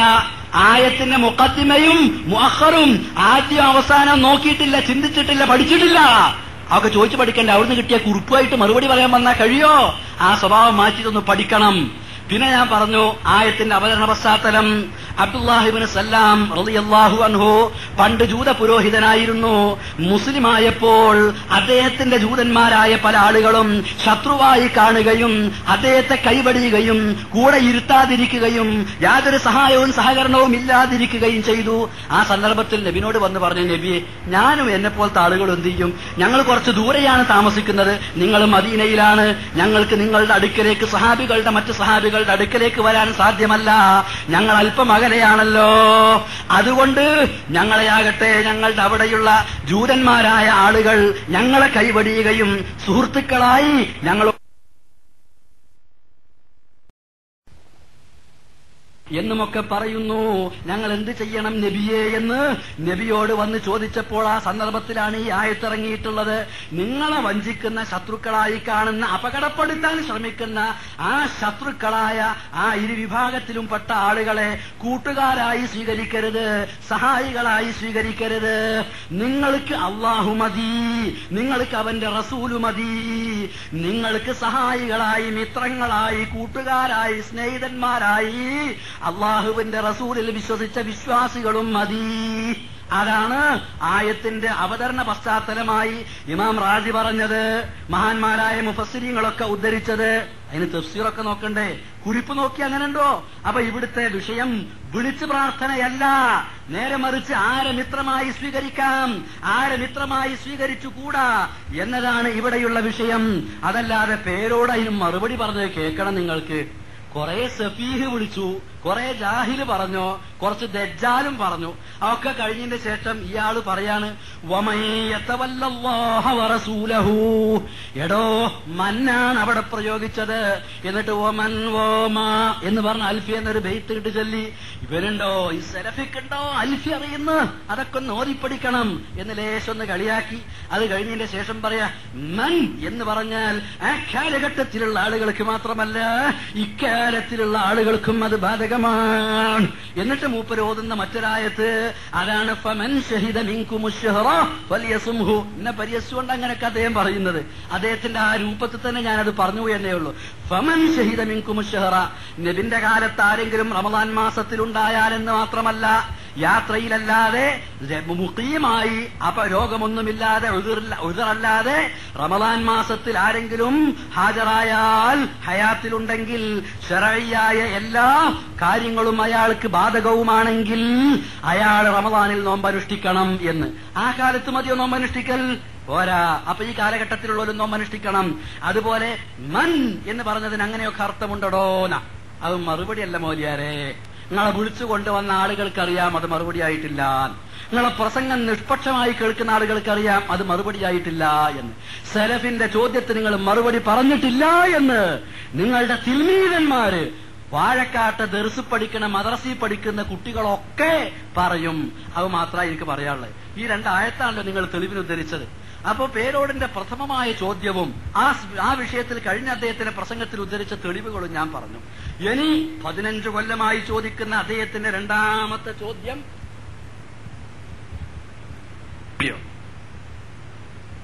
പ്രവാചകന്റെ ഏതെങ്കിലും ഒരു ഭാര്യയോ പുത്രിയോ ഏതെങ്കിലും ഒരു ജുമാക്കോ ജമാഅത്തിനോ പങ്കെടുത്തതായി ഖുർആാനിൽ നിന്നൊരായത്തുകൊണ്ടോ ഒരു ഹദീസ് കൊണ്ടോ തെളിയിക്കാൻ സാധിക്കുമോ എന്ന്. ഇതാണ് രണ്ടാമത്തെ ചോദ്യം. അപ്പൊ ഒന്നാമത്തെ ചോദ്യത്തിന് മറുപടി പറഞ്ഞിട്ടില്ല എന്ന് സുഹൃത്തുക്കളെ ഇവിടെ വാഴക്കാട്ടുള്ള സുന്നി സുഹൃത്തുക്കളെങ്കിലും ഇനി പറയരുത്. മറുപടി പറഞ്ഞു കഴിഞ്ഞു. ഇനി രണ്ടാമത്തെ പേരോടിന്റെ ചോദ്യം. ഇവിടെ എഴുതി വെച്ച ചോദ്യവും അത് തന്നെയാണ്. ഞാൻ പറയട്ടെ ഖുർആാനിൽ ആയിഷാ ബീവി ലുഹുറിസ്കരിച്ചിട്ടുണ്ട് എന്ന് എഴുതി വെച്ചിട്ടില്ല. അതിന്റെ അർത്ഥം ആയിഷാ ബീവി ലുഹുറിസ്കരിച്ചിട്ടില്ല എന്നാ? ഫാത്തിമ ബീവി ലുഹുറിസ്കരിച്ചു എന്ന് ഖുർആാനിൽ എഴുതി വെച്ചിട്ടില്ല. അതിനർത്ഥം ഫാത്തിമ ബീവി ലുഹുറിസ്കരിക്കേണ്ടതില്ല എന്നാ? പോട്ടെ ഏതെങ്കിലും ഖാലിദ് ബിൻ വലീദ് റളിയല്ലാഹു അൻഹു ലുഹുർ നിസ്കരിച്ചിരുന്നു എന്നോ ജുമാക്ക് പോയിരുന്നു എന്നോ ഖുർആാനിൽ എഴുതി വെച്ചിട്ടില്ല. ഒരു ഹദീസ് കാണിച്ചു തരാൻ സാധിക്കും നിങ്ങൾക്ക്? ഖാലിദ് ബിൻ വലീദ് റളിയല്ലാഹു അൻഹു അദ്ദേഹം ഹിജറ രണ്ടാം വർഷത്തിലെ റബിയുൽ അവൽ മാസത്തിലെ മൂന്നാമത്തെ വെള്ളിയാഴ്ച ജുമാക്ക് പങ്കെടുത്തു എന്നതിന് ഖുർആനിൽ നിന്ന് ഒരായത്ത് ഉദ്ധരിക്കാമോ? ഒരു ഹദീസ് ഉദ്ധരിക്കാമോ? അങ്ങനെ ചോദിച്ചാൽ നല്ല ചോദ്യമാണ് നമ്മളെ ഉസ്താദ് ചോദിച്ചത്. ഞാനാ ചോദിച്ചതെന്ന് വിചാരിച്ചാൽ എന്റെ സംസാരം കളിക്കുന്ന മുജാഹിദീങ്ങൾ പറയും അതെന്ത് വിട്ടിത്താ മുസ്ലിങ്ങൾ ജുമാക്ക് പോകണം അത് നിർബന്ധമാണ്. ഖുർആൻ പറഞ്ഞാൽ പിന്നെ അബൂക്കർ സിദ്ദീഖ് പോയിന്നോ ഉൽ ഖത്താബ് പോയിന്നോ പ്രത്യേകം പറയണോ? അതിനൊരു ആയത്ത് വേണോ? അതിനൊരു ഹദീസ് വേണോ? അത് സാധാരണക്കാരായ മുജാഹിദീങ്ങൾ കാരണം അതിന് ലേശം ബുദ്ധിയും ചിന്തയൊക്കെ വേണം. അങ്ങനെ ആയാൽ പിന്നെ നിങ്ങൾ അവിടെ നിൽക്കൂലല്ലോ. നിങ്ങൾ ഇങ്ങോട്ട് വരുമല്ലോ ഞങ്ങളെ കൂട്ടത്തേക്ക്. അതുണ്ടെങ്കിൽ ആ ചോദ്യത്തിന് അർത്ഥമില്ല എന്ന് പറയും. അതാണ് ഒരു പ്രശ്നം. രണ്ടാമത്തെ എന്താ അറിയോ? ഈ ചോദ്യത്തിന് ഇപ്പൊ ഖുർആാനിലല്ല ഹദീസിൽ ഉണ്ടായാലും മദീന പറഞ്ഞു. ഞാൻ പല സ്ഥലത്തും ഇതിന് പറഞ്ഞിട്ടുണ്ട്. ഞാൻ അദ്ദേഹത്തിന് ഒന്നാമത് ഞാൻ ഈ തത്വം തന്നെ അദ്ദേഹത്തോട് പറയട്ടെ. ഒന്ന് ഒരാൾ ജുമാക്ക് പങ്കെടുത്തു എന്ന് പ്രത്യേകം പറയേണ്ടതില്ല. അല്ലെങ്കിൽ ജമാഅത്തിൽ പങ്കെടുത്തു എന്ന് പ്രത്യേകം പറയേണ്ടതില്ല. മുസ്ലിങ്ങളായ പുരുഷന്മാർക്ക് ഒന്നായിട്ട് ഒരു ഹുക്കുമുണ്ടെങ്കിൽ അത് ന്യൂനതയില്ലാത്ത പ്രായപൂർത്തിയെത്തിയിട്ടുള്ള ശരഴിയായ ഉതിറില്ലാത്ത എല്ലാ പുരുഷന്മാർക്കും ആ ഹുക്കുമ് ബാധകമാണ്. അല്ലാന്ന് പേരോടിന് വാദം വാദമുണ്ടെങ്കിൽ അത് തെളിവ് ഇവിടെ നിർത്തണം. അത് ജനങ്ങൾക്ക് പറഞ്ഞു കൊടുക്കണം. രണ്ടാമത് മുസ്ലിം സ്ത്രീകൾക്ക് സുന്നത്തായ ഒരു കാര്യം. അത് ആയിഷ ബീവി ചെയ്തു എന്ന് തെളിവ് പ്രത്യേകം പറയേണ്ടതില്ല. ഫാത്തിമ ബീവി ചെയ്തു എന്ന് പ്രത്യേകം തെളിവ് പറയേണ്ടതില്ല. വക്കീലിനെ ആളെ പറ്റിക്കണ ചോദ്യം ചോദിച്ച് രക്ഷപ്പെടാൻ തടിയെടുക്കാമെന്ന് വിചാരിക്കണ്ട. അള്ളാന്റെ റസൂലിന്റെ ഭാര്യ പള്ളിയിൽ പുരുഷന്മാരുടെ കൂടെ ജമാഅത്തായുള്ള നമസ്കാരത്തിൽ പങ്കെടുത്തു എന്നതിന് ഞാൻ ഇവിടെ ഇന്ന് തെളിവുദ്ധരിക്കും മുമ്പ് പല സ്ഥലങ്ങളിലും പേരോടിനെതിരിൽ ഞാൻ മറുപടി പറഞ്ഞപ്പോൾ ഉദ്ധരിച്ചതാണ്. ഇനിയെങ്കിലും ഈ പതിനഞ്ച് കൊല്ലം ഒന്നുകിൽ പതിനാറ് കൊല്ലാക്കണം. അല്ലെങ്കിൽ ഈ ചോദ്യം മറുപടി കിട്ടിയിട്ടില്ല എന്ന് പറയൽ നിർത്തണം. ചുരുങ്ങിയത് ഈ വാഴക്കാട്ട് വന്നെങ്കിലും പേരോടത് പറയൽ നിർത്തണം. ഇനി പറഞ്ഞാൽ ഇവിടുത്തെ സുന്നികൾ മനസ്സിലാക്കണം അതിന് മറുപടി കിട്ടിയിട്ടുണ്ട് എന്ന് ഞാൻ അതിനുള്ള വ്യക്തമായ മറുപടി പറയാം. അപ്പൊ എന്താണെന്ന് ഞാൻ ഒന്ന് അതിന്റെ തത്വമാണ് പറഞ്ഞത്. മുസ്ലിം സ്ത്രീകൾക്ക് ജുമാക്ക് പോകൽ ഹറാമാണെങ്കിൽ അള്ളാന്റെ റസൂലിന്റെ ഭാര്യമാർക്കും ഹറാം അല്ലാത്തവർക്കും ഹറാമാണ്. അതേപോലെ തന്നെ ലൂറ് നമസ്കരിക്കൽ നിർബന്ധമാണെങ്കിൽ എല്ലാവർക്കും നിർബന്ധമാണ്. അങ്ങനെയാണ്. ഇനി അല്ല പ്രത്യേകത ഉണ്ട് എങ്കിൽ അത് പ്രത്യേകമായി എടുത്തു പറയണം. അങ്ങനെ പ്രത്യേകമായി എടുത്തു പറയേണ്ട ഒരു കാര്യമാണോ ഇത്? അല്ല. അപ്പൊ മുസ്ലിം സ്ത്രീകൾ പ്രവാചകന്റെ കൂടെ വിശ്വാസിനികൾ ജുമാക്കും ജമാഅത്തിനും പങ്കെടുത്തിട്ടുണ്ട്. എന്ന് തെളിവുണ്ടായി കഴിഞ്ഞാൽ പിന്നെ അതിൽ ഫാത്തിമാബി പോയി എന്ന് കാണിക്കാൻ കഴിയോ? ആയിഷ ബി പോയി കാന്ന് കാണിക്കാൻ കഴിയോ? ഉമ്മസലമ പോയി എന്ന് കാണിക്കാൻ പറ്റുമോ ബീവി പോയി എന്ന് തെളിയിക്കാൻ കഴിയോ? ഹദീജ പോയി എന്ന് തെളിയിക്കാൻ കഴിയോ? എന്ന് ചോദിച്ചാൽ തിരിച്ച് ഞാൻ അങ്ങോട്ട് പറഞ്ഞതിന് തെളിയിക്കാൻ കഴിയോ? ഹിജറ അഞ്ചാമത്തെ വർഷം റബിയുൽ അവൽ മാസം മൂന്നാമത്തെ വെള്ളിയാഴ്ച അബൂബക്കർ സിദ്ദീഖ് ജുമാക്ക് പോയി എന്ന് തെളിയിക്കാൻ സാധിക്കുമോ? ഖുർആൻ എന്നൊരായത്ത് ഉദ്ധരിക്കാൻ കഴിയുമോ? ഒരു ഹരീസ് ഉദ്ധരിക്കാൻ കഴിയുമോ? ഞാൻ കുറെ കൊല്ല ഇത് ചോദിക്കൽ തുടങ്ങിയിട്ട് എന്ന് പറഞ്ഞാൽ നിങ്ങളെന്താ ബുദ്ധിയുള്ളവർ പറയും? എന്തൊരു പൊട്ടനാണ് അവന്? എന്നാണ് പറയാ. ആ ചോദ്യത്തിന് അർത്ഥമല്ല മുസ്ലിയാരെ. ഇനിയെങ്കിലും നിങ്ങളെ സംസാരം നിങ്ങളെ ആളുകൾ മാത്രമല്ല കേൾക്കുന്നത് ബുദ്ധിയുള്ള കുറെ ആളുകൾ അത് കേൾക്കുമെന്ന് വിചാരിക്കണം. ആ നിരക്ക് വേണ്ടി നമ്മൾ സംസാരിക്കാൻ.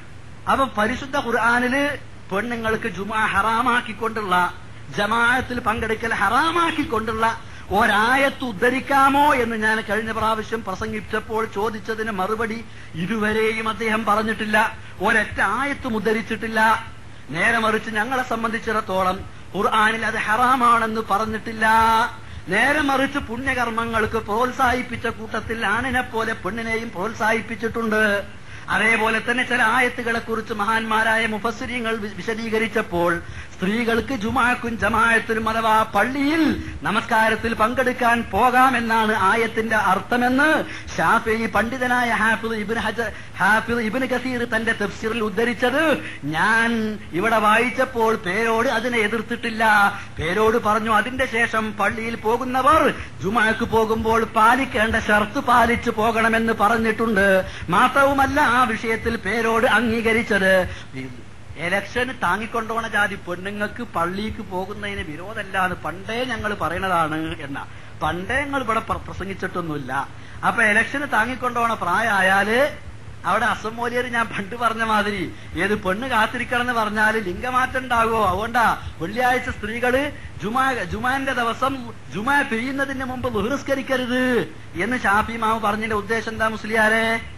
അതിനുള്ള ഉദ്ദേശം ഷാഫി എന്നെ പറഞ്ഞാൽ അന്നഹു അല്ലഹു യഖ്ദിറു അലാ ജുമാ ഒരു പക്ഷേ ആ സ്ത്രീക്ക് അതുപോലെ എഴുതിറുള്ള പുരുഷന്മാർക്ക് കുട്ടികൾക്ക് അടിമകൾക്ക് ഇവർക്ക് ജുമാക്ക് വരാൻ കഴിഞ്ഞേക്കാം. ഫയക്കൂനു ഇത്തിയാനു ഹാ ഹൈറല്ലഹു ആ എഴുതിറുള്ള നിർബന്ധമില്ലാത്ത പെണ്ണുങ്ങളടക്കമുള്ള ആളുകൾ ജുമാക്ക് വന്നാൽ ജുമാക്ക് വരലാണ് അവർക്കുത്തമം അതാണ് അതിന്റെ അർത്ഥം എന്ന് പറഞ്ഞപ്പോ എന്താ അന്ന് പറഞ്ഞറിയോ അതല്ല. പിന്നെന്താ? അതിങ്ങനെ വല്ല പെണ്ണും ആ ജുമാന്റെ സമയം കഴിഞ്ഞിടക്ക് പെട്ടെന്നാണായി പോയാലോ? അപ്പൊ ജുമാ ജുബാവൂലേ അപ്പൊ പള്ളിക്ക് കൊണ്ടുവരുന്നാണ് അതിന്റെ അർത്ഥം. ഞാൻ അതിന് മറുപടി അറിഞ്ഞപ്പോ പറഞ്ഞു അപ്പൊ ഹസീബ് ഇടയ്ക്ക് ഇങ്ങനെ തുണി ഇങ്ങനെ ഒന്ന് പൊന്തിച്ചു വെക്കണം അല്ലെങ്കിൽ ഇങ്ങനെ കൈകൊണ്ട് തപ്പി വെക്കണം. കുത്തുബ് അങ്ങനെ ഓതിനിന്റെ അടിയിൽ കൂടി. അഥവാ ആ ഹസീബ് ആണ് പെണ്ണായി പോയാൽ അത് പാടില്ലല്ലോ. അപ്പോ എപ്പോഴാണ് ഈ ആണ് പെണ്ണായി പോകാൻ തപ്പിയോക്കും ചെയ്യേണ്ടി വരൂലേ? മൂപ്പർ കയ്യിൽ മറുപടി ഒന്നുമില്ല. അപ്പൊ ആ ജാതിങ്ങൾ ആളെ വഷളാക്കണ ചോദ്യം ചോദിച്ചിട്ട് കാര്യമല്ല അതൊക്കെ തിരിച്ച് അങ്ങോട്ടും പറയാണ്ട് അത് പറയലല്ല അവിടെ തെളിവ് തെളിക്കലാണ് പ്രധാനം. അപ്പൊ ഞങ്ങൾ പറഞ്ഞ എന്താ അറിയോ? സ്ത്രീകൾ എന്ന് പറഞ്ഞാൽ ഇപ്പൊ വൃദ്ധകൾക്ക് പോകാൻ സമ്മതിച്ചു. യുവതികൾക്ക് അതിന്റെ ഷർത്തനുസരിച്ച് പോകാനും സമ്മതിച്ചു. പിന്നെ ഏത് തീ ഏത് കൊല്ലാണ്? സ്ത്രീകൾക്ക് ജുമാ ജമാഅത്തിൽ പങ്കെടുക്കൽ വിരോധിച്ചത് അതൊന്ന് പറയാമോ? പേരോട് പറഞ്ഞത് അത് റാഷിദീങ്ങളുടെ കാലത്ത് വിരോധിക്കാൻ തുടങ്ങിയിട്ടുണ്ട്. എന്നാൽ കിഫായ എന്ന ഗ്രന്ഥത്തിൽ മഹാനവറുകൾ അതിന്റെ മുഅല്ലിഫ് മഹാനായ ആ പണ്ഡിതൻ എഴുതിയത് നമ്മുടെ ഈ കാലഘട്ടത്തിൽ സ്ത്രീകൾക്ക് ജുമാജമായത്തിൽ പങ്കെടുക്കൽ ഹറാമാണെന്ന് ഖണ്ഡിതമായി പറയേണ്ടതുണ്ട് എന്നാണ്. അള്ളാന്റെ ആയത്തൊക്കെ ഇറങ്ങിക്കഴിഞ്ഞ് റസൂലുള്ളാന്റെ കാലത്ത് പെണ്ണുങ്ങൾ മരിക്കോളം ജുമാക്കുജമായത്തിനും പങ്കെടുത്തിട്ട് ഖുർആന് കൊണ്ടും ഹദീസ് കൊണ്ടും സ്ഥിരപ്പെട്ട റസൂലുള്ള വിരോധിക്കാത്തൊരു കാര്യം സുന്നത്തായി നടപ്പിലാക്കിയിരുന്ന ഒരു കാര്യം ഇജ്മാലുണ്ടെന്ന് ഷാഫി പണ്ഡിതന്മാര് തന്നെ രേഖപ്പെടുത്തിയിട്ടുള്ള കാര്യം അത് ഹറാമാണ് എന്ന് പേരോട് പ്രസംഗിച്ചാൽ അത് മുസ്ലിം സമുദായം സ്വീകരിക്കില്ല. അത് ആളുകൾ അംഗീകരിക്കില്ല. അത് ഏതെങ്കിലും ഒരാൾ അയാളുടെ കിതാബിൽ അറബിയിലൊരു വാചകത്തിലാക്കി എഴുതി വെച്ചാൽ ഈ കാലഘട്ടത്തിൽ അത് ഹറാമാണെന്ന് ഖണ്ഡിതമായി പറയേണ്ടതുണ്ട് എന്ന് പറഞ്ഞാൽ ആ വാക്ക് പ്രമാണമല്ല ഞങ്ങൾക്ക് ബാധകമല്ല. പേരോടിനെ പോലുള്ള ആളുകൾക്ക് മുക്കല്ലിരിയങ്ങൾക്ക് ബാധകമാണ്. അത് മുത്തബിങ്ങൾക്ക് ബാധകമല്ല. ഏ മുത്തബി എന്ന് പറഞ്ഞാൽ മുക്കല്ലിദയാണോലോ പേരോട് ഇവിടെ പ്രസംഗിച്ചതാ. അല്ല കിതാബൊക്കെ ഒന്ന് മറിച്ചു നോക്ക്. അൽ മുക്കല്ലിദിനെ കുറിച്ച് പറഞ്ഞെന്താ അറിയോ? അൽ മുക്കല്ലിദ് ജാഹിലുന്നാണ് ജാഹിലി അല്ല. മുക്കല്ലിദീങ്ങളായ ആളുകളാണ് ജാഹിലിങ്ങൾ എന്ന് ഷാഫി മദ്ഹബിലെ പണ്ഡിതന്മാര് കിതാബിൽ എഴുതി വെച്ചിട്ടുണ്ട്. എന്നാൽ അള്ളാന്റെ കിതാബിലും റസൂലുള്ളന്റെ ഹദീസിലുമുള്ള തെളിവുകളെ പിൻപറ്റണം. അള്ള ഖുർആാന് പറഞ്ഞു റബ്ബിക്കും. നിങ്ങളുടെ രക്ഷിതാവിങ്കൽ നിന്ന് നിങ്ങൾക്ക് അവതരിപ്പിക്കപ്പെട്ടത് നിങ്ങൾ ഇത്തിബായ് ചെയ്യുക നിങ്ങൾ പിൻപറ്റുക അത് നിങ്ങൾ സ്വീകരിക്കണം എന്ന് വിശുദ്ധ ഖുർആൻ കൽപ്പിക്കുന്നു. നേരെ മറിച്ച് മഹാന്മാരായ പണ്ഡിതന്മാര് പ്രമാണത്തിന്റെ അടിസ്ഥാനത്തിൽ പറഞ്ഞതല്ലാത്ത കാര്യങ്ങളാണെങ്കിൽ അത് അന്ധമായി തകരീത് ചെയ്യാൻ പിൻപറ്റണം. അള്ള ഖുർആൻ പറഞ്ഞു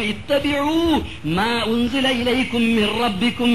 നിങ്ങളുടെ രക്ഷിതാവിങ്കൽ നിന്ന് നിങ്ങൾക്ക് അവതരിപ്പിക്കപ്പെട്ടത് നിങ്ങൾ ഇത്തിവായി ചെയ്യുക നിങ്ങൾ പിൻപറ്റുക. അത് നിങ്ങൾ സ്വീകരിക്കണം എന്ന് വിശുദ്ധ ഖുർആൻ കൽപ്പിക്കുന്നു. നേരെ മറിച്ച് മഹാന്മാരായ പണ്ഡിതന്മാര് പ്രമാണത്തിന്റെ അടിസ്ഥാനത്തിൽ പറഞ്ഞതല്ലാത്ത കാര്യങ്ങളാണെങ്കിൽ അത് അന്ധമായി തകരീത് ചെയ്യാൻ പാടില്ല. അങ്ങനെ തകരീത് ചെയ്യുന്നവൻ ജാഹിലാണ്. അവൻ വിവരമില്ലാത്തവനാണ്. ഞാൻ മുക്കല്ലിതാണ് എന്ന അഭിമാനത്തോടുകൂടി പറഞ്ഞ അത്തരം മുക്കല്ലിദീങ്ങളെ കുറിച്ചാണ് മഹാന്മാരായ ഷാഫി പണ്ഡിതന്മാർ തന്നെ എഴുതി വെച്ചത് മുക്കല്ലിദ് ജാഹിലാണ് എന്ന്. ആ ജാഹിലീങ്ങൾക്ക് അത് സ്വീകരിക്കേണ്ട ബാധ്യതയുള്ളൂ. നേരെ മറിച്ച് ഇമാം ഷാഫി തക്രീത് ചെയ്യാൻ പാടില്ലെന്ന് പറഞ്ഞിട്ടുണ്ട്. എന്നെ നീ മുസ്ലിയോട് തന്റെ ശിഷ്യനോട് പറയുന്നു ലാ തുക്കല്ലിത് നീ വലാ തുക്കല്ലിത് മാലിക്കൻ നീ എന്നെ അന്ധമായി തക്രീത് ചെയ്യരുത്. എന്റെ ഉസ്താദായ ഇമാം മാലിക്കിനെ തക്രീത് ചെയ്യരുത്. വലൽ ഔസാഴിയ അതേപോലെ തന്നെ ഔസാഹി ഇമാമിനെ തക്രീത് ചെയ്യരുത്. ഒരൊറ്റ ഇമാമിനെയും അന്ധമായി തക്രീത് ചെയ്യാൻ പാടില്ല.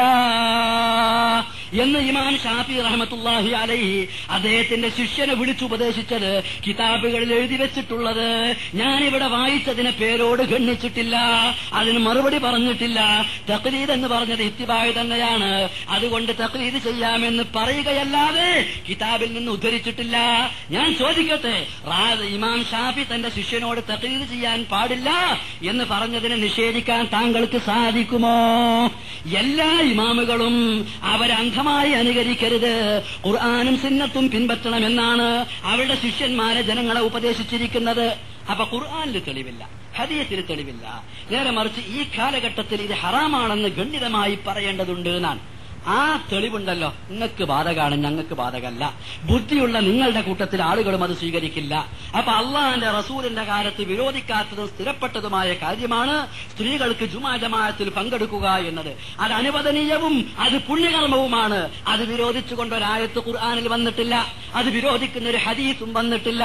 നേരെ മറിച്ച് നബി വഫാത്താകുന്നത് വരെ എല്ലാ സ്ത്രീകളും ജുമാ ജമാഅത്തുകളിൽ പങ്കെടുത്തിട്ടുണ്ട് എന്ന് പേരോട് സമ്മതിച്ചിരിക്കുന്നു. അതേപോലെ തന്നെ ഈ കാലഘട്ടത്തിൽ വൃദ്ധകൾക്ക് എപ്പോഴും പള്ളികളിൽ ജുമാ ജമാഅത്തുകൾ പങ്കെടുക്കാമെന്ന് കിതാബിലുള്ള പരമാർത്ഥം പേരോട് സമ്മതിച്ചിരിക്കുന്നു. വൃദ്ധകളല്ലാത്ത യുവതികൾക്ക് അവർക്ക് പ്രത്യേകമായി പറഞ്ഞ അഥവാ കണ്ടീഷനുകൾ ആ കണ്ടീഷനുകൾ സുഗന്ധം പൂശാതെയായിരിക്കണം സൗന്ദര്യം പ്രകടിപ്പിക്കാതെ പ്രദർശിപ്പിക്കാതെയായിരിക്കണം. മാന്യമായ രൂപത്തിൽ വസ്ത്രം വേഷം ധരിച്ചുകൊണ്ട് അവർക്ക് ജുമാജമാഴത്തുകളിൽ പങ്കെടുക്കാമെന്നും പേരോട് സമ്മതിച്ചിരിക്കുന്നു. എന്നാൽ ഈ കാലഘട്ടത്തിൽ സ്ത്രീ സ്ത്രീകൾക്ക് പോകുന്നത് തടയേണ്ടതുണ്ട് എന്ന് കിഫായ എന്ന അറബിയിലുള്ള ഏതോ ഒരു ഷാഫി ഹോജ എഴുതി വെച്ചിട്ടുണ്ട്. അതാണ് തെളിവ്. അത് ഖുർആാനല്ല കേട്ടോ. അത് ഹദീസല്ല. അത് തെളിവല്ല. അത് സ്വീകരിക്കാൻ നിവൃത്തിയില്ല. മൂലക്കുരുമാറാൻ മാറാൻ അരണ്യശ്രേരൊക്കെ ഓതിയാ മതി എന്ന് പറഞ്ഞ ജാതിയുടെ സ്വീകരിക്കാൻ ഞങ്ങളെ കിട്ടൂല. ഭാര്യയ്ക്ക് രോഗം വന്നാൽ അമ്മോശാക്കാന്റെ അടുത്താണ് കൊണ്ടുപോയി ആക്കിക്കാളി. വാടക വീടാണ് ഭാര്യ. എങ്ങനുണ്ട്? ഇവരൊക്കെ മനസ്ഥിതി. ഫത്തുൽ എഴുതിച്ച് ചികിത്സിക്കണ്ടാൻ മാന്യമായ രൂപത്തിൽ വസ്ത്രം വേഷം ധരിച്ചുകൊണ്ട് അവർക്ക് ജുമാജമാഴത്തുകളിൽ പങ്കെടുക്കാമെന്നും പേരോട് സമ്മതിച്ചിരിക്കുന്നു. എന്നാൽ ഈ കാലഘട്ടത്തിൽ സ്ത്രീകൾക്ക് പോകുന്നത് തടയേണ്ടതുണ്ട് എന്ന് കിഫായ എന്ന അറബിയിലുള്ള ഏതോ ഒരു ഷാഫി ഹോജ എഴുതി വെച്ചിട്ടുണ്ട്. അതാണ് തെളിവ്. അത് ഖുർആാനല്ല കേട്ടോ. അത് ഹദീസല്ല. അത് തെളിവല്ല. അത് സ്വീകരിക്കാൻ നിവൃത്തിയില്ല. മൂലക്കുരു മാറാൻ അരണ്യശ്രേരൊക്കെ ഓതിയാ മതി എന്ന് പറഞ്ഞ ജാതിയുള്ളത് സ്വീകരിക്കാൻ ഞങ്ങളെ കിട്ടൂല. ഭാര്യക്ക് രോഗം വന്നാൽ അമ്മോശാക്കാന്റെ അടുത്താണ് കൊണ്ടുപോയി ആക്കിക്കാളി. വാടക വീടാണ് ഭാര്യ. എങ്ങനുണ്ട് ബരക്കൊരു മനസ്ഥിതി? ഫത്തുൽ മൊയില എഴുതിച്ച് ചികിത്സിക്കണ്ടാൻ. പെണ്ണിന് സോക്കേട് വന്നാൽ കാര്യമായ ഒരു സോക്കേട് വന്ന അക്കാലത്ത് അധികവും എന്താണെന്നറിയാം? ബൈപ്പാസാ പലർക്കും. അത് ഒരു ഒന്നൊന്നര ലക്ഷം ഉറുപ്പിയും വേണം. നല്ല സുഖം. ആ ഫത്തുൽ മൊയ്യനുണ്ട് എന്താ? അസുഖം വന്നു ഭാര്യക്ക് അമ്മോശാക്ക് ഒരു പാവം മനുഷ്യൻ. ഇയാൾക്ക് പണം ഉണ്ടെങ്കിൽ തന്നെ കിതാബ് അനുസരിച്ചിട്ട് ഭാര്യനോട് ചങ്ങോയിക്കോ. ബാപ്പാനോട് ചികിത്സിച്ചു തരാൻ പറയും. ആ ബാപ്പാ കഴിയുന്നില്ലല്ലോ ഏ ഫസുൽ മൊഴിന്ന് അങ്ങനെ ഞാൻ ഷാഫിയാ! ഞാൻ പേരോടിന്റെ പ്രസംഗം കേട്ടിട്ടുണ്ട്. ഫത്തുൽ മൊയ്യൻ സത്യമാൻ. അതിലുള്ളത് മുഴുവനും പ്രമാണമാണ്. അത് സ്വീകരിക്കണം. ആണ് കൊണ്ടുപോയി ആക്കുക. പാവം ആ മനുഷ്യൻ എന്ത് ചെയ്യും? പെണ്ണിന്റെ സ്ഥിതി എന്താവും? എന്നാൽ അത് ശരിയാണോ? അങ്ങനല്ലേ? ഭാര്യനെ വാടക വീടിനോടല്ല ഉപമിച്ചിരിക്കുന്നത്. അപ്പൊ കിതാബിൽ നോക്കി എന്തിനാ കഞ്ചാവ്? കഞ്ചാവ് പോലത്തെ ലഹരി പദാർത്ഥങ്ങൾ ലഹരി ആഗോളം ഉപയോഗിക്കാന്നില്ലേ അതിൽ? ഇല്ലേ? ആ ജാതിങ്ങളെ കിതാബിന്റെ ഉള്ളിലുള്ള കഥകളൊക്കെ ഞാൻ പുറത്തു കൊണ്ട സമയമില്ലല്ലോ ഇതിന്. വേറെ തന്നെ എമ്പാടും പറയാണ്ടല്ലോ. അപ്പൊ ആ നിലക്കുങ്ങൾ ഒരു കിതാബിൽ ഇങ്ങനെ എഴുതി വെച്ചാൽ അറബിയിലുള്ള വാചകമാണ് അത് വായിച്ചാൽ അത് പ്രമാണമല്ല. മുജാഹിദികളും സുന്നികളും ഒരു വിഷയത്തിൽ തർക്കമുണ്ടാവുമ്പോൾ തെളിവിനുദ്ധരിക്കാവുന്ന പ്രമാണമാണോ അത്? നിങ്ങളെപ്പോലെയുള്ള മുക്കല്ലിദീങ്ങൾക്ക് നിങ്ങളുടെ ആളുകൾ എഴുതി വെച്ചത് അംഗീകരിക്കൽ നിർബന്ധമാകും. അത് ഇതുപോലത്തെ ഒരു സന്ദർഭത്തിൽ പ്രമാണമല്ല. ഖുർആാനായത്താണ് പ്രമാണം ഹദീസാണ് പ്രമാണം. അതാണ് നിങ്ങൾ തെളിവിനുദ്ധരിക്കേണ്ടത്. അപ്പോ ഈ വിഷയത്തിലുള്ള അഭിപ്രായ വ്യത്യാസം ഏറെക്കുറെ തീർന്നു. പക്ഷെ പേരോട് ഇപ്രാവശ്യം ഈ വിഷയത്തെക്കുറിച്ച് പരാമർശിച്ച സന്ദർഭത്തിൽ ഒരു കാര്യം അദ്ദേഹം പറഞ്ഞിട്ടുണ്ട്. അതെന്താ അറിയാം നിങ്ങൾക്ക്? ആ സെലഫിനെ പോലുള്ള ആളുകൾക്ക് തിരിയൂല. ബുദ്ധിയുള്ള ആളുകൾക്ക് തിരിയും. റസൂലുള്ളാന്റെ കാലത്ത് തന്നെ ലമനാഹുന്ന എന്ന് പറഞ്ഞതിൽ നിന്ന് സ്ത്രീകൾക്ക് പോകാൻ പാടില്ല എന്നൊരാശയം അതിന് ഉള്ളതായി ബുദ്ധിയുള്ള ആളുകൾക്കൊക്കെ തിരിയും എന്ന് പറഞ്ഞിട്ട് എന്തോ അബൂക്കർ സിദ്ദീഖിന്റെ ഒരു കഥയും റസൂലുള്ള വപ്പാത്താകുന്നതിന് മുമ്പുള്ള സംഭവം പിന്നെ കുറച്ചൊരു കരച്ചിലും ഒക്കെ കൂടി അദ്ദേഹത്തിന്റെ പ്രസംഗത്തിലുണ്ട്. എനിക്ക് അങ്ങനെ കരഞ്ഞങ്ങാണ്ട് ഇടങ്ങാറാകേണ്ട കാര്യമൊന്നുമില്ല. ഞാൻ അതിന്റെ ആ വസ്തുത ഒന്ന് നിങ്ങൾക്ക് വിശദീകരിച്ച് തരാം. മൂപ്പരെന്താ ഞാൻ പോയി എന്നുള്ളതിനുള്ള മൂപ്പരെ ചോദ്യത്തിനുള്ള മറുപടിന്റെ കൂട്ടത്തിൽ ആ വിഷയത്തിൽ മൂപ്പര് പ്രാവശ്യം പറഞ്ഞതും കൂടി പറയണല്ലോ.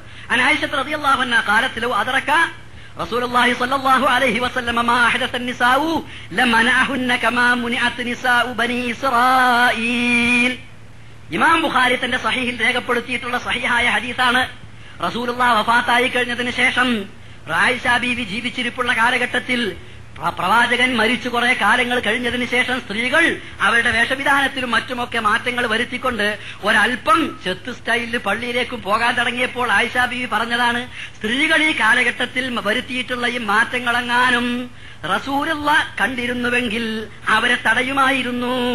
ഇസ്രായേലി സ്ത്രീകൾ തടയപ്പെട്ട പോലെ എന്ന്. അപ്പൊ അതിന് പേരോടിന്റെ മറുപടി എന്താണെന്നറിയോ? നബി കണ്ടിട്ടില്ലാത്തത് കൊണ്ട് തടയാതിരുന്നതാണ് കണ്ടാ തടയുമെന്ന് അതിനർത്ഥല്ലേ എന്ന്. അതല്ല മഹൂ മുഖാലഫ എന്ന് പറഞ്ഞിട്ട് ഉസൂലിൽ ഫിഖയിൽ ഒന്നുണ്ട്. എന്താ പറയുക പറഞ്ഞതിനുള്ള നേരെ അതിന്റെ നേരെ ആ പറഞ്ഞതിനുള്ള സി എച്ചിന്റെ ഭാഷയിൽ പറഞ്ഞാൽ വ്യംഗ്യന്തരേണയുള്ള അർത്ഥം അല്ലെങ്കിൽ പ്രകാരാന്തരേണയുള്ള അർത്ഥം എന്നൊക്കെ പറയലുണ്ട്. അങ്ങനെയൊക്കെ പറഞ്ഞ് ഇറങ്ങാറാണ്ടതില്ല ഇത് ചെറുതൊന്നുമല്ല എന്ന് പറഞ്ഞാൽ വലുതാണ് എന്നാണല്ലോ അതിന്റെ ഒരു ഉദ്ദേശം. അതേപോലെ ആ നിലയ്ക്ക് കിട്ടുന്ന ആശയം അത് എല്ലായിടത്തും പിടിക്കാൻ പറ്റൂലാണ് ഉസൂലിന്റെ കിതാബിലുള്ളത് ഇസ്മായിൽ മുസ്ലിയാരോട് മുസ്ലിയാരോടൊന്ന് ചോദിച്ചാൽ മതി. ചിലപ്പോ നമ്മളെ മറ്റേ ഇതുണ്ടല്ലോ ആ സ്പീക്കേഴ്സ് ഫോറത്തിൽ അത് പറഞ്ഞു തന്നിട്ടുണ്ടാവൂല. അതൊന്ന് ചോദിച്ചാൽ അറിയാം. ഒരാ തെഷ്ടറൂബി ആയാത്തി സമനം കലീലാ എന്റെ ആയത്ത് തുച്ഛമായ വിലക്ക് വിൽക്കരുത്. എന്ന് പറഞ്ഞാൽ തോനക്കായിട്ടാണെങ്കിൽ ആയത്ത് മാറ്റി മാറ്റിമറിച്ചോളി അതിനർത്ഥല്ല എല്ലായിടത്തും ഈ മഫു മുഖാരം പറ്റൂല ഉസൂലൊക്കെ ഒന്ന് പഠിച്ചിട്ട് വേണ്ടേ? ഗണന പ്രസംഗത്തിന് ഇറങ്ങാന് അപ്പൊ അതുപോലെ മൂപ്പര് പറയാ ല മന അഹുന്ന ഇവിടെ മഫു മുഖാലഫ അല്ലട്ടോ മൂപ്പര് പറഞ്ഞത് ഇവിടെ നിന്ന് ഇതിങ്ങനെ ഊഹിച്ച് ബുദ്ധിയുള്ളവന് മനസ്സിലാക്കാന്ന. എന്നിട്ട് എന്താ ബുദ്ധി? നബി അറിയുമായിരുന്നെങ്കിൽ തടയുമായിരുന്നു എന്ന് പറഞ്ഞാൽ നബി അറിയാത്ത നിലക്കാണ് ആ കാലഘട്ടത്തിൽ പെണ്ണുങ്ങൾ പോയിട്ടുണ്ടാകുക അഥവാ നബി അറിയുന്ന നിലയ്ക്ക് പോയിട്ടുണ്ടായിരുന്നെങ്കിൽ തടയായിരുന്നു ഒരു മോലിയര് പറയാ വൈരുദ്ധ്യങ്ങളുടെ കലവറ. വൈരുദ്ധ്യമേ നിന്റെ പേരോ പേരോട് എന്ന് ചോദിക്കേണ്ട സ്ഥിതിയിൽ അയാൾ ഒരു വിഷയം പറഞ്ഞാലുള്ള സ്ഥിതി. ഒന്നും പൂർത്തിയായി പറയരുത് ലേശം പറയുമ്പോൾ അപ്പുറത്തേക്കാണ് അവിടുന്ന് ലേശം അപ്പുറത്തേക്കാണ് ഒരു വിഷയം കൃത്യമായി വെച്ചിട്ട് അതിലൊരു ഖണ്ഡന പ്രസംഗം നടത്താൻ അങ്ങനെ ഒരു നാല് ചാൽ ഇങ്ങനെ പറഞ്ഞാൽ നിങ്ങളെ തെളിവിന്റെ കഥ. ഇപ്പൊ തന്നെ പലതും ജനങ്ങൾക്ക് ബോധ്യമായിട്ടുണ്ട് എന്താണെന്നറിയാൻ ഞാൻ എന്റെ ഭാഗത്തിന് പറയണില്ല ഇബിൻ ഹജർ ഫത്തുൽ ബാരി പറഞ്ഞ് ഞാൻ അന്ന് ചോദിച്ചിരുന്നു. പൂർത്തിയായി ഇബിൻ ഹജർ ഈ ആയത്തിന്റെ വ്യാഖ്യാനമായി ഫത്തുൽ ബാരിയിൽ പറഞ്ഞത് വായിച്ചിട്ട് മലയാളത്തിൽ അർത്ഥം പറയാൻ പേരോട് തയ്യാറാകുമോന്ന് ആകൂല. കഴിയില്ല. കഴിഞ്ഞാലും പറയില്ല. പറഞ്ഞ ആ പേരോടിന്റെ വാദം പൊളിയും. എന്തതിലുള്ളതെന്ന് അറിയോ അതിൽ പ്രസക്തമായ കുറച്ച് ഭാഗങ്ങൾ മാത്രം ഞാൻ വായിക്കാം. ഇബ്ന ഹജർ അസ്കലാനി പറയാ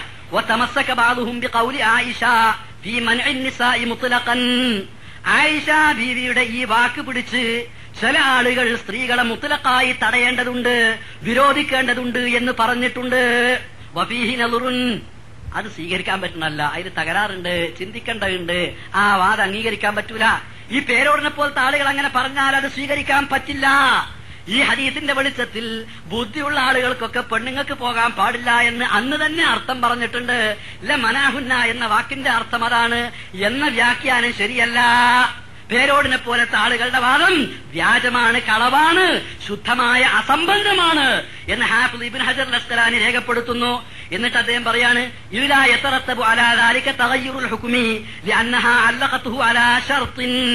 കാരണം ഹുക്കുമ റസൂലുള്ളാന്റെ കാലത്തുണ്ടായിരുന്ന ഹുക്കുമ ഭേദഗതിയാവുക മാറ്റം വരിക എന്നുള്ളത് ഈ വാചകത്തിന്റെ ഈ ഹദീസിന്റെ അടിസ്ഥാനത്തിൽ ഭേദഗതി വരികയില്ല അങ്ങനെ പറയാൻ പറ്റില്ല. കാരണം ഉപാധിയോട് കൂടെയാണ് ആയിഷാ ബീവി പറഞ്ഞിട്ടുള്ളത്.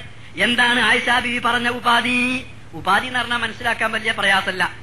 നമ്മളെ സ്വാഗത പ്രസംഗത്തിൽ അഷ്റഫ് അഷറഫ് അഷ്റഫ് സാഹിബ് നേരത്തെ തന്നെ പറഞ്ഞിരുന്നല്ലോ ഗണ്ണന പ്രസംഗത്തിൽ ഞങ്ങൾ തോറ്റു എന്ന് എഴുതി തന്നാൽ ഞങ്ങൾ വാദപ്രതിവാദത്തിന്റെ കാര്യം ആലോചിക്കാമെന്ന് അതിനാണ് ഉപാധി എന്ന് പറയാ. ആ ഉപാധി സ്വീകരിച്ചുകൊണ്ട് എഴുതി തരി ഉപാധി പാലിക്കിൻ വാദപ്രതിവാദത്തിന്റെ വ്യവസ്ഥ നാളെ തന്നെ നമുക്ക് നിശ്ചയിക്കാം അതിന് ഒരുമിച്ച് കൂടാം അതിനാ ഉപാധി എന്ന് പറയാം. അതുപോലെ ആയിഷ ഇവിടെ ഒരു ഉപാധി വെച്ചു. എന്താണ് ആ ഉപാധി എന്നറിയാമോ? ആ ഉപാധി ലം യൂജദ് ബിനാഅൻ അല ലം യൂജദ് ആ ഷർത്ത് ഉണ്ടായിട്ടില്ല.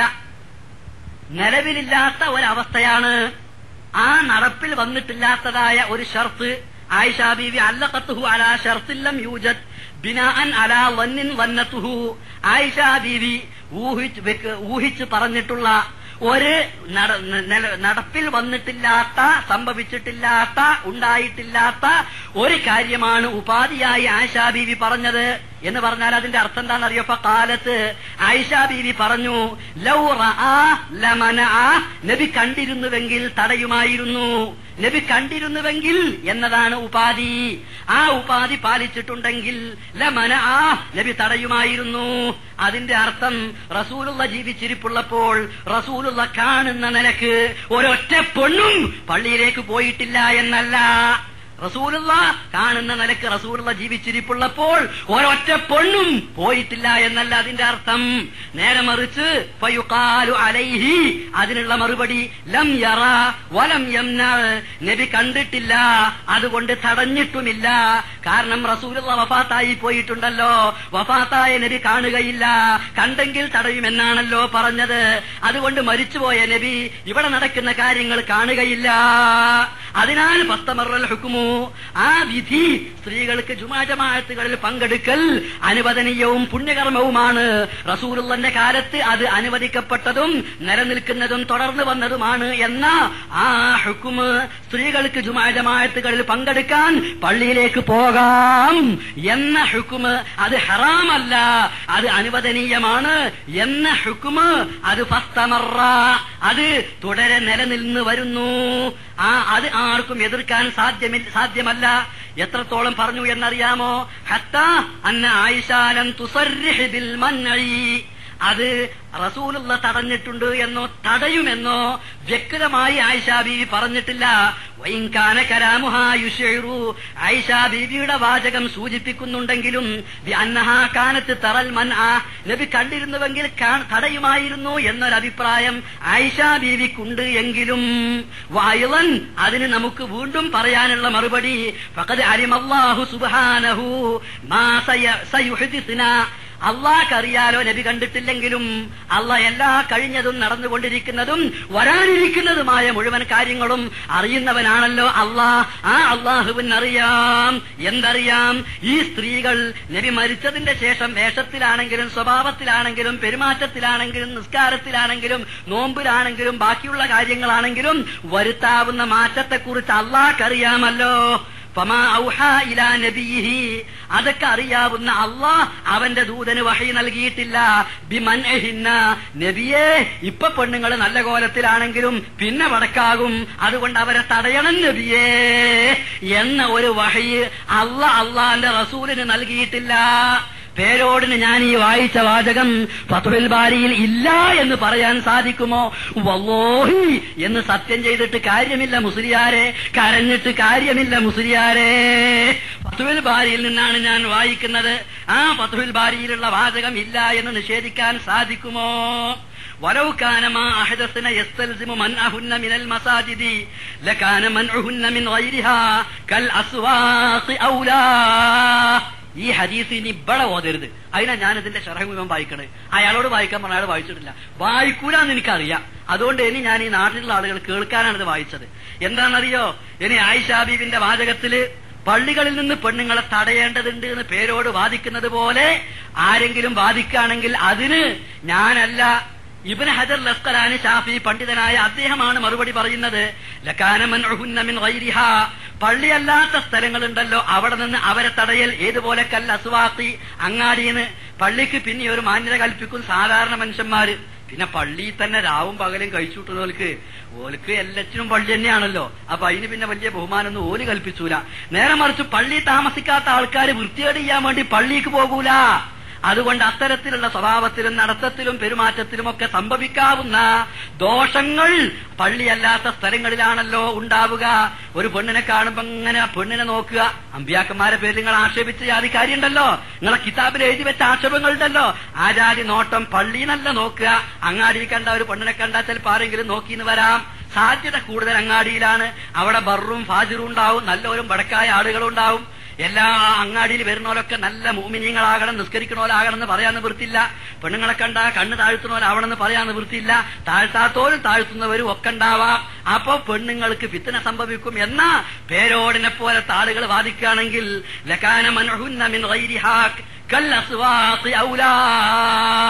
അങ്ങാടികൾ പോലുള്ള സ്ത്രീകളിലേക്ക് സ്ഥലങ്ങളിലേക്ക് സ്ത്രീകൾ പോകുന്നതിനെ തടയലാണ്. പള്ളിയിലേക്ക് പോകുന്നതിനേക്കാൾ തടയാൻ ഏറ്റവും കടപ്പെട്ടത് ഏറ്റവും അർഹമായത്. അത് തടയാമെന്ന് ഈ പേരോട് പ്രസംഗിച്ചോ? ഏതെങ്കിലും മോലിയാര് പ്രസംഗിച്ചോ? പ്രസംഗിച്ചാൽ നടക്കുവോ? മാത്രമല്ല പെണ്ണുങ്ങളെ പള്ളിക്കേ കൊണ്ടുപോകാൻ പാടില്ലാത്തതുള്ളൂ.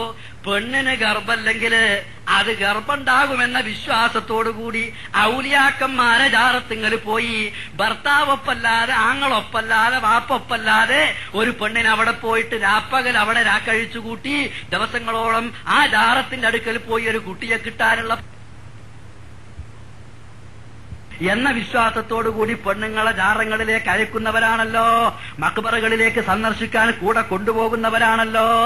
എന്തിനാന്നറിയാം നമ്മളെ ഇവിടുത്തെ ഇതുണ്ടല്ലോ. ഈ ശോരാക്കന്മാര് കൊണ്ടോട്ടിന്റെ അടുത്തുള്ള ഓമാനൂർ ശോരാക്കന്മാര് ആ ശോരാക്കന്മാരെ നേർച്ച നടന്ന ചോറ് കുളമ്പലെങ്ങനെയാ റോട്ടിന്റെ അപ്പുറത്ത് ആണുങ്ങൾ ഇപ്പുറത്ത് പെണ്ണുങ്ങൾ.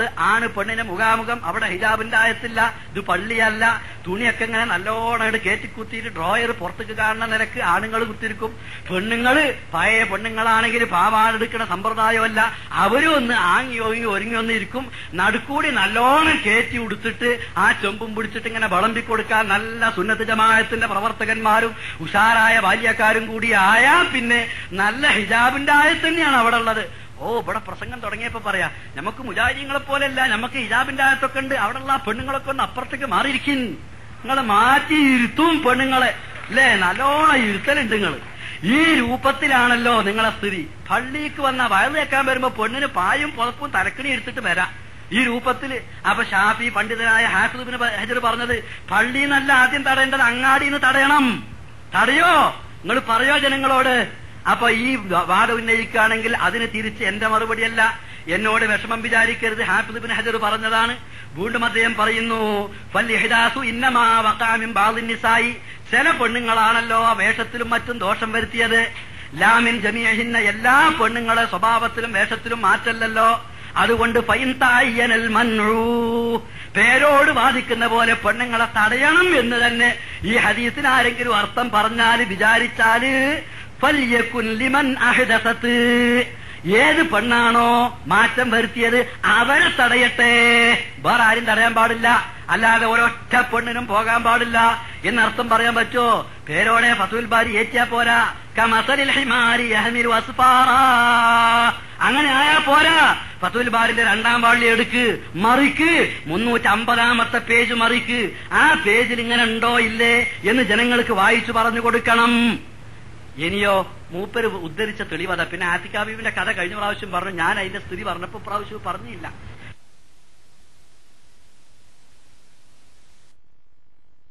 പെണ്ണാണോ മാറ്റം വരുത്തിയത്? അവരെ തടയട്ടെ. വേറെ ആരും തടയാൻ പാടില്ല. അല്ലാതെ ഒരൊറ്റ പെണ്ണിനും പോകാൻ പാടില്ല. എന്നർത്ഥം പറയാൻ പറ്റുമോ? പേരോടെ ഫത്തുൽ ബാരി ഏറ്റിയാ പോരാ. അങ്ങനെ ആയാ പോരാ. ഫത്തുൽ ബാരിന്റെ രണ്ടാം വാള്ളി എടുക്ക് മറിക്ക്. മുന്നൂറ്റി അമ്പതാമത്തെ പേജ് മറിക്ക്. ആ പേജിൽ ഇങ്ങനെ ഉണ്ടോ ഇല്ലേ എന്ന് ജനങ്ങൾക്ക് വായിച്ചു പറഞ്ഞു കൊടുക്കണം. ഇനിയോ മൂപ്പര് ഉദ്ധരിച്ച തെളിവത പിന്നെ ആത്തിക്കാബീബിന്റെ കഥ കഴിഞ്ഞ പ്രാവശ്യം പറഞ്ഞു. ഞാൻ അതിന്റെ സ്ഥിതി പറഞ്ഞപ്പോ പ്രാവശ്യം പറഞ്ഞില്ല. പിന്നെ മൂപ്പര് പറഞ്ഞെന്താ അറിയാം? ഷാഫി മാമിന്റെതൊക്കെ ഞാൻ വായിച്ചിരുന്നു. ഷാഫി മാമിന്റെ ഉമ്മന വിഭാഗത്ത് ഞാൻ കഴിഞ്ഞ പ്രാവശ്യം വായിച്ചതിന് മറുപടി ഉണ്ടോ? ഉമ്മ കഴിഞ്ഞിട്ട് ഉമ്മാണ് ഷാഫി മാമിന്റെ കിതാബ്. അതിന്റെ ബക്കത്ത് എഴുതി വെച്ചത് ഞങ്ങൾ വായിച്ച്. മോലിയമാർക്ക് അല്ലെങ്കിൽ തന്നെ ഒരു ഏർപ്പാടുണ്ട്. കിതാബ് നന്നാക്കുക എന്ന് പറഞ്ഞിട്ട് നിങ്ങൾ പഴയ ഒരു പത്തുൽമോയും വാങ്ങി നോക്കി. അപ്പൊ അതിനൊരു ഷറഹുണ്ടാവും. കിതാബ് മൂല്യമാർ നോക്കുമ്പോ എങ്ങനെ നോക്കും? പിന്നെ കുറച്ച് നേരം എങ്ങനെ തിരിച്ചു പിടിക്കണം? പിന്നെ അതൊരു തല പിടിച്ചു തിരിക്കണം. പിന്നെ ഒന്ന് ഇങ്ങോട്ട് പിടിച്ചു തിരിക്കണം. കാരണം ഒരാളൊരു കിതാബ് എഴുതും മറ്റേളതിന് ഷറഹ എഴുതും. ഷറഹിന് പിന്നെ ഹാഷി എഴുതും. ഹാഷിയൊക്കെ താരീഖ് എഴുതും. താരീഖിൽ തഹീഖ് എഴുതും. പിന്നെ ഒരു നോക്കുന്ന ആളെ ഭാഗം ഒരു അടിക്കുറിപ്പ് എന്ന് പറഞ്ഞിട്ട് വേറൊന്ന് എഴുതും. പിന്നെ ഒരു മുലാഹത എഴുതും. പിന്നെ ഒരു ഹത്തൽ തീർക്കലുണ്ടാവും. ഇങ്ങനെ ഞങ്ങളെല്ലാം കൂടി എഴുതി എഴുതി തിരിച്ചും മറിച്ചും അങ്ങോട്ടും ഇങ്ങോട്ടും ഒക്കെ പിടിച്ചു നോക്കണേ. ഈ ഏർപ്പാടുണ്ടല്ലോ. കിതാബ് നേർക്ക് നേരെ നോക്കിയിട്ട് അത് വായിച്ച് അർത്ഥം പറയണം. ഇന്നെ തോന്നിയാസം വിളിച്ചാൽ മറുപടി ആവൂല. അത് നിങ്ങൾ വിളിച്ചോളി. പക്ഷെ വിരോധമല്ല മറുപടി ജനങ്ങൾക്ക് ഇങ്ങനെ പറഞ്ഞു കൊടുക്കണം. അപ്പൊ ഇനി പേരോട് പറഞ്ഞിട്ടുള്ളത് സ്ത്രീകൾക്ക് ഇങ്ങനെ ജുമാക്കും ജമാഅത്തിനും പങ്കെടുക്കാം എന്നുള്ളത് നബിന്റെ ഭാര്യമാർ ആരെങ്കിലും പോയതായി തെളിയിക്കാൻ സാധിക്കുമോ? വല്ല ഹദീസ് ഉദ്ധരിക്കാമോ എന്നാണല്ലോ? ഒരു നബിന്റെ ഭാര്യന്റെ പേര് പറഞ്ഞുകൊണ്ട് തന്നെ വേണമെങ്കിൽ പറഞ്ഞുതരാം. ഇനി ഞാൻ ഒരു ഹരീസും കൂടി വായിക്കട്ടെ. ബുഹാരി ഉദ്ധരിച്ചതാണ്. ബുഹാരി കയ്യിലുള്ള ഫത്തുൽ ബാരി ആണെങ്കിൽ മറിച്ചു നോക്കുക. ബുഹാരി ആണെങ്കിൽ ഇപ്പത്തെ ബുഹാരിക്ക് ഹദീസിന് നമ്പർ ഉണ്ട് സൗകര്യത്തിന് വേണ്ടി പറഞ്ഞുതരാം. എണ്ണൂറ്റി അറുപത്തി ആറാമത്തെ ഹദീസ് ബുഹാരിയിൽ അതിന് ഉമ്മി സലമത്ത് റളിയല്ലാഹു അൻഹ ഫത്തുൽ ബാരിന്റെ രണ്ടാം വാള്യത്ത് കാണും. തെരഞ്ഞ തെരയാൻ ഇടങ്ങാറാകണ്ട. ഇപ്പൊ തന്നെ പടകി പോയി തെരയാ. എന്താണെന്നറിയോ അൻ ഉമ്മി സലമ റളിയല്ലാഹു അൻഹ قالت كان رسول الله صلى الله عليه وسلم إذا سلم قام النساء حين يقضي تسليمه ويمكث هو في مقامه يسيرا قبل أن يقوما قال ونرى والله أعلم إن ذلك كان لكي ينصرف النساء قبل أن يدركهن أحد من الرجال എന്താണെന്നറിയോ അൻ ഉമ്മി സലമത്തെ കാലത്ത് കാന റസൂലുള്ള ഉമ്മ സലമ റളിയല്ലാഹു അൻഹ പറയാ സ്ത്രീകള് നിസ്കരിച്ച് സലാം വീട്ടിയാൽ പെണ്ണുങ്ങൾ ഉടനെ തന്നെ എഴുന്നേൽക്കും. സലാം വീട്ടി കഴിഞ്ഞാൽ. നബി അവിടെ കുറച്ച് സമയം ഇരിക്കും. നബി എന്തിനാ അവിടെ ഇരിക്കണത്? കൂട്ടപ്രാർത്ഥന നടത്താനല്ല. അങ്ങനെ ഒരു ഏർപ്പാട് ഇസ്ലാമിലില്ല ഫറു നമസ്കാരത്തിന്റെ ശേഷം ഇമാമ് വലത്തോട്ട് തിരിഞ്ഞിരുന്നിട്ട് രണ്ട് കയ്യും പൊന്തിച്ചിട്ട് ദ്വാ ചെയ്യ.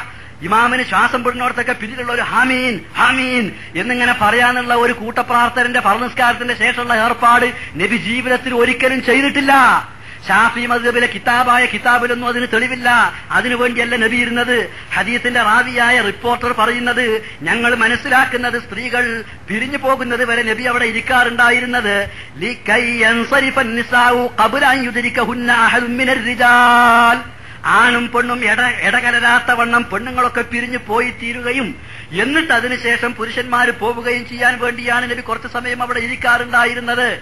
ഞാൻ ചോദിക്കട്ടെ റസൂറുള്ളന്റെ കാലത്ത് റസൂറുള്ളന്റെ കൂടെ പള്ളിയിൽ വന്ന് നമസ്കരിച്ചിരുന്ന ഈ സൽക്കർമ്മത്തിന് പുണ്യകർമ്മത്തിന് നല്ല കാര്യത്തിന് വേണ്ടി പങ്കെടുത്തിരുന്ന ഈ സ്ത്രീകളുടെ കൂട്ടത്തിൽ നബിമാര് നബിയുടെ ഭാര്യമാര് പങ്കെടുത്തിരുന്നില്ല. നബിയുടെ മകൾ പങ്കെടുത്തിട്ടില്ല എന്നതിലൊരു തെളിവ് ധരിക്കാൻ പേരോടിന് സാധിക്കുമോ? അള്ളാന്റെ റസൂലിന്റെ കൂടെ പള്ളിയിൽ നമസ്കരിക്കാൻ വേണ്ടി വന്നിരുന്ന സ്ത്രീകളെന്ന് പറഞ്ഞ ആ സ്ത്രീകളുടെ കൂട്ടത്തിൽ റസൂലുള്ളാന്റെ ഭാര്യമാര് പങ്കെടുത്തിട്ടില്ല ഉൾപ്പെടില്ല. റസൂലുള്ളാന്റെ മക്കൾ ഉൾപ്പെടില്ല എന്നതിന് ഖുർആാനിൽ നിന്നൊരായത്ത് വേണ്ട.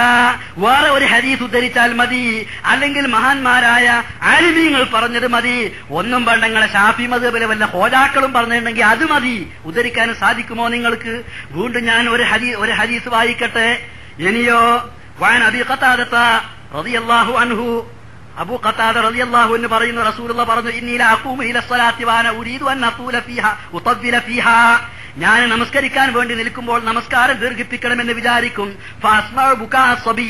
കുട്ടിന്റെ കരച്ചിലേക്കും ഞാൻ നിസ്കരിക്കുമ്പോ ഫാതജവ്വദു ഫീ സ്വലാത്തി. ഞാൻ നിസ്കാരം നീട്ടൂല ചുരുക്കും. എന്താ കാരണം? കറാഹിയത്താൻ അശുക്കാല ഉമ്മിഹി. നിസ്കാരം നീണ്ടു നീണ്ടു പോയാൽ ആ നൊരോളിക്കുന്ന കുട്ടിന്റെ ഉമ്മാക്ക് വിഷമുണ്ടാകുമല്ലോ. ആ അമ്മാനെ വിഷമിപ്പിക്കലാകുമല്ലോ എന്ന് വിചാരിച്ചിട്ട് ഞാൻ നിസ്കാരം ചുരുക്കും. അപ്പൊ മോലിയാർ പറയും പേരോടെ ഇനി വന്നാ പറയും പെരിയിലുള്ള കുട്ടികൾ നൊരോളിച്ചാൽ പള്ളിയിൽ നിക്കരിച്ച പെരിയിലുള്ള കുട്ടികൾ നിലവിളിച്ചാൽ പെരിയിലിരിക്കുന്ന പെണ്ണുങ്ങൾ അവിടെ വെച്ച് അവിടെയുള്ള പെണ്ണുങ്ങൾ അവർക്ക് വിഷമുണ്ടാകുമല്ലോ എന്ന് വിചാരിച്ചിട്ടാണ് റസൂലുള്ള ഇവിടെ നിസ്കാരം ചുരുക്കുന്നത് എന്ന്. എന്തൊരു ബുദ്ധിത്താണത്. പെരിയിലുള്ള കുട്ടികൾ നിലവിളിച്ചിട്ട് പെണ്ണുങ്ങൾക്ക് വിഷമുണ്ടാടി നബിസ്കാരം ചുരുക്കിയാൽ എന്താ ആശ്വാസ? ഓ അപ്പൊ പേരോട് മുജ്തഹിദാവും മൂപ്പര് പറയും എന്താ പറയാ അറിയോ? അതായത് ആ കുട്ടിനെ ഒന്ന് പിടിക്കണമെങ്കിൽ നോക്കണമെങ്കിൽ നിലവിളി മാറ്റണമെങ്കിൽ റസൂലുള്ളന്റെ ഒപ്പം നിസ്കരിക്കണ ആ സഹാബിണ്ടല്ലോ ആ ഭാര്യന്റെ ഭർത്താവ് അവരണ്ടെത്തണം അവർക്ക് പോകാൻ വേണ്ടിയിട്ടാണ്. ആ ജാതി കളവൊന്നും ഇങ്ങോട്ട് കൊണ്ടുവരണ്ട. ഞാൻ എന്റെ വക പറയുന്നില്ല. ഈ ആയത്തിന്റെ വ്യാഖ്യാനത്തിൽ ഹദീസിന്റെ വ്യാഖ്യാനത്തിൽ ഹാഫിദ് ഇബിൻ ഹജർ പറഞ്ഞു അതേപോലെ തന്നെ ഇമാം നബബി പറഞ്ഞു ഇതേ ഹദീസ് മറ്റൊരു പദത്തിൽ മുസ്ലിമിലും വന്നിട്ടുണ്ട്. എന്താ അറിയോ? റസൂലുള്ള നിസ്കരിക്കാൻ ഇങ്ങനെ അല്പം വൈക ഇഷ ലേശം പിന്തിപ്പിക്കും. അപ്പൊ നിസ്കാരം തുടങ്ങാൻ വൈകുമ്പോ പള്ളിയിൽ വന്നിട്ടുള്ള പെണ്ണുങ്ങളും കുട്ടികളും ഉണ്ടല്ലോ. കാരണം പെട്ടെന്ന് ഉറക്കം വരും ആണുങ്ങളെക്കാൾ പെണ്ണുങ്ങൾക്ക്. കുട്ടികൾക്ക് ഉറക്കം വരും. ഇവർക്കൊക്കെ ഇങ്ങനെ ഉറക്കം തൂങ്ങൽ തുടങ്ങി. അത് കണ്ട ഉമർ ബിൻ ഖത്താബ് വിളിച്ചു പറയാണ്. ഉമർ ബിൻ ഖത്താബ് റബി അള്ളാഹുവിന് പറഞ്ഞു ഉമർ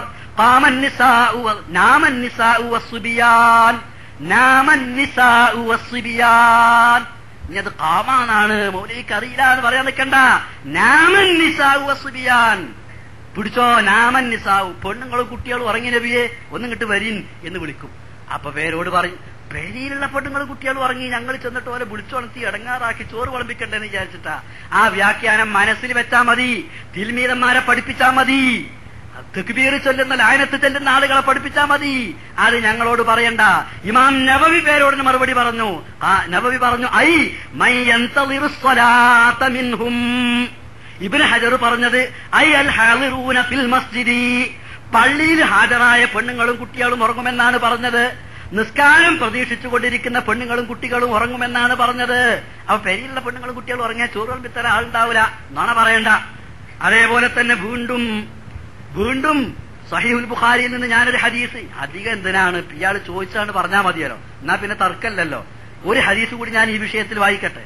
അൻ റളിയല്ലാഹു അൻഹ ഖാലത്ത് കുന്ന നിസാഉൽ മുഅ്മിനാത്തി യഷ്ഹദന മഅ റസൂലില്ലാഹി സ്വല്ലല്ലാഹു അലൈഹി വസല്ലം صلاة الفجر متلفعات بمروطهن ثم ينقلبن إلى بيوتهن حين يقضين الصلاة لا يعرفهن أحد من الغلس ബുഖാരിയിലുണ്ട് മുസ്ലിമിലുണ്ട് പേരോടെ ഇത് ഞാൻ എന്റെ വക പട മറുപടി പറയാൻ വേണ്ടി വായിക്കല്ല നല്ലോണം ശ്രദ്ധിച്ചോളി ഉണ്ടോ അല്ലേ വെറുതെ എന്നെ തെറി പറഞ്ഞോണ്ട് മറുപടിയാകൂല നിങ്ങളെ അണികൾ നിങ്ങളെ വിടൂല അതിന് മറുപടി പറയണമെന്ന് അവർ പറയത്തക്കവണ്ണം ഞാൻ തെളിവോടെ വായിക്കും. എന്താണ് അത് ആയിഷ ബീവിയാണ് പറയുന്നത്? ആരാണ് ആയിഷ ബീവി? നബിന്റെ ഭാര്യയാണ്.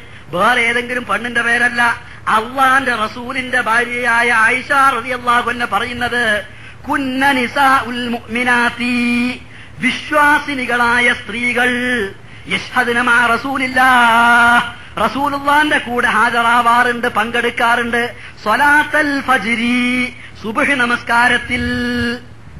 എങ്ങനെ മുത്തലഫ്യാത്തിന്റെ മുറി മുറൂത്തിനെ പുതപ്പൊക്കെ ചുറ്റി പുതച്ചുകൊണ്ടാണ് പള്ളിക്ക് വരുന്നത്. സുമ അങ്കലിബിന് ഇലാബ് യൂത്തി അപ്പൊ നബിന്റെ കൂടെ നബി ഒരിക്കൽ പള്ളി പള്ളിക്ക് വരാതെ പരിയിൽ വെച്ച് നിസ്കരിച്ചിരുന്നു. അപ്പൊ നബിന്റെ കൂടെ പെണ്ണുങ്ങൾ നിസ്കരിച്ചു. ആ ജാതി നുണ പറയാൻ നോക്കണ്ട. ഹദീസിന്റെ മുഖദ്ദമും ഹരീസിന്റെ മുഅഖറും നടു മുറിച്ച് അരിയും തലയും മുറിച്ച് നടു മാത്രം വായിക്കരുത് മുഴുവൻ വായിക്കണം. ബാക്കി ഭാഗത്ത് ആ വാദത്തെ ഗണ്ണിക്കുന്നു. റസൂലത വീണ്ടും പറയുന്നത് സുമ്മയങ്കലിബിന ഇലാബുയൂത്തിഹിന്ന ആയിഷ റളിയല്ലാഹു അൻഹ പറയുന്നത് റസൂലിന്റെ കൂടെ നമസ്കരിച്ചു കൊണ്ടിരിക്കുന്ന ആ സ്ത്രീകൾ നമസ്കാരം കഴിഞ്ഞാൽ സുമ്മയങ്കലിബിന ഇലാബുയൂത്തിഹിന്ന അവർ അവരുടെ വീടുകളിലേക്ക് പിരിഞ്ഞു പോകും. ഹീനയക്ലീന സ്വലാത്ത. അപ്പൊ പരി നല്ല നിസ്കരിച്ചെന്ന് ഉറപ്പല്ലേ? നിസ്കാരം കഴിഞ്ഞാൽ. ലാ യാരിഫുന്ന അഹദുമിനൽ വലസി. ഇരുട്ടുകൊണ്ട് അവർ അവരാരും എന്ത് ചെയ്യൂല? തിരിച്ചറിയില്ല. അപ്പൊ ഇരുട്ട് പോലും പെണ്ണുങ്ങൾ പള്ളിയിൽ വന്നിട്ട് നബിന്റെ കൂടെ നിസ്കരിച്ചു പോയിരുന്നു. ഏത് പെണ്ണുങ്ങളാ? നിസാവുൽ ഭൂമിനാത്തി റസൂലുള്ളാന്റെ കാലത്തുണ്ടായിരുന്ന വിശ്വാസിനികൾ എന്നാണ്. അള്ളാന്റെ റസൂലിന്റെ ജീവിതകാലത്തെ വിശ്വാസിനികളുടെ കൂട്ടത്തിൽ റസൂലുള്ളാന്റെ ഭാര്യമാർ ഉൾപ്പെടില്ല എന്ന് പേരോടിന് വാദമുണ്ടോ? നിങ്ങളെ മൂന്ന് ചോദ്യത്തിന് മറുപടി പറഞ്ഞാൽ മതി. എന്റെ ചോദ്യത്തിന് മറുപടി ഇയാളെ കൊണ്ട് പറയിപ്പിക്കേണ്ട ബാധ്യത ചോദ്യം എഴുതിച്ചോൽക്കില്ലേ? ഇല്ലെങ്കിൽ ചോദിപ്പിക്കണ്ട. പറയാൻ കഴിയൂല പറയില്ല. ഞാൻ ചോദിക്കുന്നു കുന്ന നിസാവുൽ മൂമിനാത്തി യശദിനമാ റസൂലില്ല. റസൂലുള്ളാന്റെ കൂടെ സുബഹി നമസ്കാരത്തിൽ റസൂലുള്ളാന്റെ കാലഘട്ടത്തിലെ വിശ്വാസിനികൾ പങ്കെടുക്കാറുണ്ട് എന്ന് പറഞ്ഞാൽ നബിന്റെ ഭാര്യമാരാ കാലഘട്ടത്തിലെ വിശ്വാസിനികളല്ല എന്ന് പറയാൻ പേരോടിന് സാധിക്കുമോ? ഖുർആാനിൽ ഏതായാലും അത് പറയില്ലല്ലോ. അപ്പൊ ഞാൻ അങ്ങനെ ഒരു ചോദ്യം ചോദിക്കുന്നതിന് അർത്ഥമല്ല. വല്ല ഹദീസ് കൊണ്ട് മുദ്രിക്കാൻ സാധിക്കുമോ? കോടതിയിൽ പറയും. ഏത് പണ്ട് മുത്തനൂര് പള്ളിക്കേസിന്റെ അന്ന് ഫാത്തിമ ബീവിനോട് റസൂള്ള പറഞ്ഞു C P Abookar Moulavi C P Abookar Moulavi ആ മുജാഹിദ് ഭാഗത്ത് കോടതിയിൽ ഹാജരായിട്ടുള്ള അപ്പൊ സി പി അബൂക്കർ മൗലവിന്റെ ചോദ്യം റസൂലുള്ള ഫാത്തിമ ബിബിനോട് പറഞ്ഞല്ലയാ ഫാത്തിമ ബിന്ത മുഹമ്മദ് എന്നിങ്ങനെ പറഞ്ഞല്ല നരകത്തിൽ നിന്റെ തടി നീ തന്നെ കാത്ത മോളെ. നേരെ മറിച്ച് വാപ്പാക്ക് നിന്നെ രക്ഷപ്പെടുത്താൻ കഴിയില്ല. പണം വേണോ വാപ്പ തരാ. എന്ന് നബി പറഞ്ഞു. അപ്പോ അമ്പിയാക്കന്മാർക്കാണെങ്കിലും ഔര്യാക്കന്മാർക്കാണെങ്കിലും അവർക്ക് പ്രിയപ്പെട്ട ആളുകളാണെന്നുള്ള നിലയ്ക്ക് ശുപാർശ ചെയ്തുകൊണ്ട് സ്വർഗത്തിലാക്കാൻ കഴിയൂല. അത് സ്വന്തം മകളോടാണ് ഫാത്തിമ ബീവിനോടാണ് പറഞ്ഞത്. എന്താണ് പേരോടിനെ പോലെ ആ കാലഘട്ടത്തിൽ മുജാരിങ്ങളെ മറുപടി പറയാൻ വേണ്ടി ഞാൻ മറുകണ്ഠൻ ചാടും. വഹാബിക്ക് മറുപടി പറയാൻ. എന്നിട്ട് ഞാൻ കണ്ടത്തിലേക്ക് തന്നെ തിരിച്ചു വരും. എന്നാ കാലഘട്ടത്തിൽ പ്രസംഗിച്ചിരുന്ന ഒരാളുടെ ഇന്ന് മരിച്ചുപോയി. ആളെ പേര് പറഞ്ഞതിന് അർത്ഥമല്ലല്ലോ. കോടതിയിൽ അയാൾ പറഞ്ഞത് ആ അന്ന് ഫാത്തിമ ബീവി വിശ്വാസിനിയായിരുന്നില്ല അത് കോടതിയിൽ ജയിക്കാൻ വേണ്ടി നുണ പറഞ്ഞ അള്ളാന്റെ കോടതിയിൽ വിടൂല. അത് നിങ്ങൾ മനസ്സിലാക്കണം. ഇവിടെ ഞങ്ങളുടെ മുമ്പിൽ പൊതുജനങ്ങൾ മറുപടി പറയുമ്പോ പൊതുജനങ്ങളെ തൃപ്തിപ്പെടുത്താൻ എന്തോ പറഞ്ഞു എന്ന് വരുത്താൻ വേണ്ടി എന്തെങ്കിലും പറഞ്ഞാൽ പോരാ. അള്ളാന്റെ മലക്കുകൾ നിങ്ങളെ വാക്കുകളൊക്കെ എഴുതി വെക്കുന്നുണ്ട്. ആ എഴുതി വെച്ചിട്ടുള്ള രോപ രേഖ നിങ്ങളെ കയ്യിലേക്ക് തരും പേരോടിന്റെ കയ്യിലേക്ക് തരും പേരോടിന്റെ ഇടത് കയ്യിലേക്ക് തന്നെ തരും.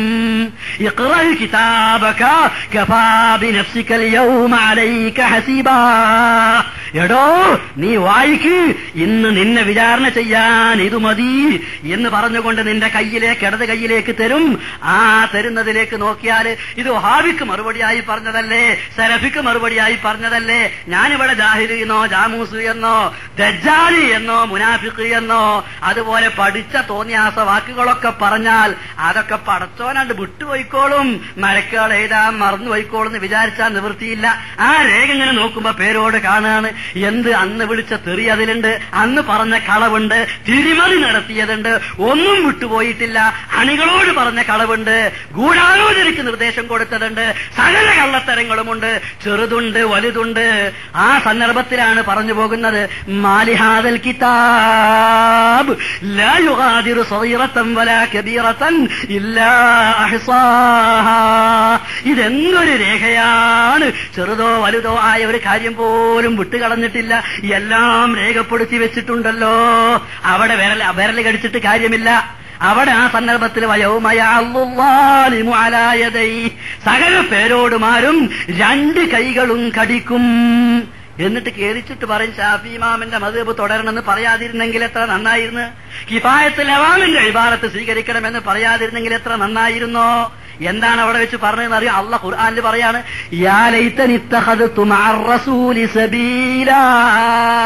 റസൂലുള്ള കൊണ്ടുവന്ന മാർഗം റസൂലുള്ളാന്റെ കൂടെ പിന്തുടർന്ന് ജീവിച്ചിരുന്നെങ്കിൽ ഹദീസല്ല സ്വീകരിച്ചത് ഹദീസിൽ സ്ത്രീകൾക്ക് പോകൽ ഹറാമാണെന്ന് പറഞ്ഞിട്ടില്ല.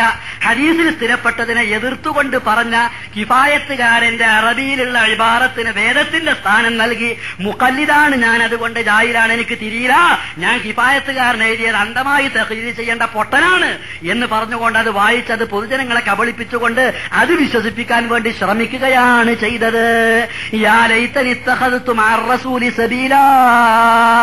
റസൂലുള്ള കൊണ്ടുവന്ന മാർഗം റസൂലിന്റെ ചര്യ അത് സ്വീകരിക്കുകയും പിൻപറ്റുകയും ചെയ്തിരുന്നെങ്കിൽ എത്ര നന്നായിരുന്നേനെ. എന്ന് അവിടെ വെച്ച് കൈകടിക്കേണ്ട ഗതികേടുണ്ടാവാതിരിക്കണമെങ്കിൽ എന്റെ വാക്കുകേട്ട് സ്വീകരിക്കണ്ട.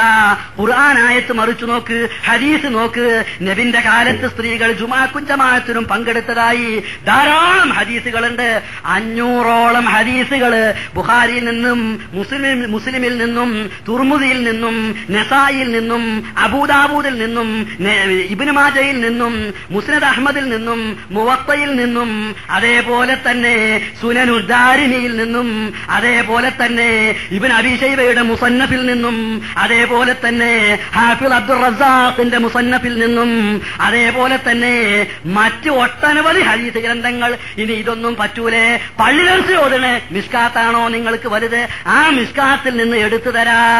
എല്ലാ ഹദീസ് ഗ്രന്ഥങ്ങളും കൂടി നോക്കിയാൽ അഞ്ഞൂറിലധികം ഹദീസുകൾ നിങ്ങൾ ഈ വിഷയത്തിൽ എന്നെ അങ്ങനെ തെളിവുദ്ധരിക്കാൻ സാധിക്കില്ല എന്ന് പറഞ്ഞ് സ്ത്രീകൾക്ക് ജുമാക്കും ജമാഅത്തിനും പങ്കെടുക്കാൻ പാടുണ്ടോ ഇല്ലേ എന്ന വിഷയം മാത്രം എടുത്തു വെച്ചുകൊണ്ട് ഒരു ദിവസം ഒരു ഖണ്ഡന പ്രസംഗത്തിന് തയ്യാറായാൽ എനിക്ക് വളരെ വ്യക്തമായി അഞ്ഞൂറ് കണക്കിന് ഹദീസുകൾ നിങ്ങളുടെ മുമ്പിൽ വായിച്ചു കേൾപ്പിക്കാനുണ്ട്. അതിന് ചിലത് മാത്രമാണ് ഈ സന്ദർഭത്തിൽ പറഞ്ഞത് ഞാൻ ചോദിച്ചത് ഇപ്പൊ എന്താണെന്നറിയോ?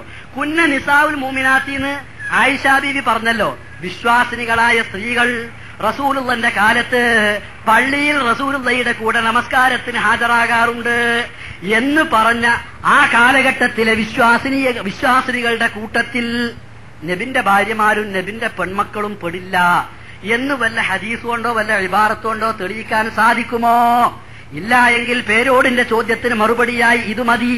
ഞങ്ങളുടെ മുജാഹിദീങ്ങളുടെ വിശ്വാസം ഞാൻ മനസ്സിലാക്കുന്നിടത്തോളം വാശിയുള്ള മറുപടി പറയാൻ കുടുങ്ങുമ്പോൾ ഇതുപോലെ സംസാരിക്കുന്ന പേരോടല്ലാത്ത സുന്നികളടക്കമുള്ള സകല മുസ്ലിമീങ്ങളുടെയും വിശ്വാസം ഞാൻ മനസ്സിലാക്കുന്നത് റസൂലുള്ളാന്റെ കാലഘട്ടത്തിലുള്ള വിശ്വാസിനികൾ എന്ന് പറയുന്ന സ്ത്രീകളുടെ കൂട്ടത്തിൽ ആരുൾപ്പെടും നബിയുടെ ഭാര്യമാരുൾപ്പെടും നബിയുടെ പെൺമക്കൾ ഉൾപ്പെടും. അതേപോലെ തന്നെ വിശ്വസിച്ച സകല സഹാബി വനിതകളും ഉൾപ്പെടും എന്നതാണ് എല്ലാ വിശ്വാസികളും മുസ്ലിമീങ്ങളും വാദിക്കുന്നത് അംഗീകരിക്കുന്നത്.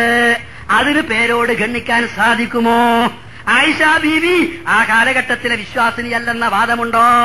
അതേപോലെ തന്നെ മറ്റുള്ള പ്രവാചകന്റെ പത്നിമാർ ആ കാലഘട്ടത്തിലെ വിശ്വാസിനികളുടെ കൂട്ടത്തിൽ ഉൾപ്പെടില്ലെന്ന് വാദമുണ്ടോ? അതുപോലെ തന്നെ പ്രവാചകന്റെ പുത്രിമാർ ആ കാലഘട്ടത്തിലെ വിശ്വാസിനികളല്ലെന്ന് താങ്കൾക്ക് വാദമുണ്ടോ? ഇല്ലെങ്കിൽ അത് അത് തന്നെ പോലെ നിങ്ങൾക്ക് തെളിവ്? അപ്പൊ പറയാം അതൊക്കെ കാലഘട്ടത്തിലെന്ന്. ആ കാലഘട്ടത്തിൽ ആ കാലഘട്ടത്തിലല്ല. ഇബിൻ ഹജർ ഫതുൽ ബാരിയിൽ എഴുതിയത്. ഇബിൻ ഹജറിനെ ഫതുൽ ബാരി കൊണ്ടുവരണ പോരാ. ആ ഫതുൽ ബാരിയിൽ തന്നെ രേഖപ്പെടുത്തിയിട്ടുള്ളത്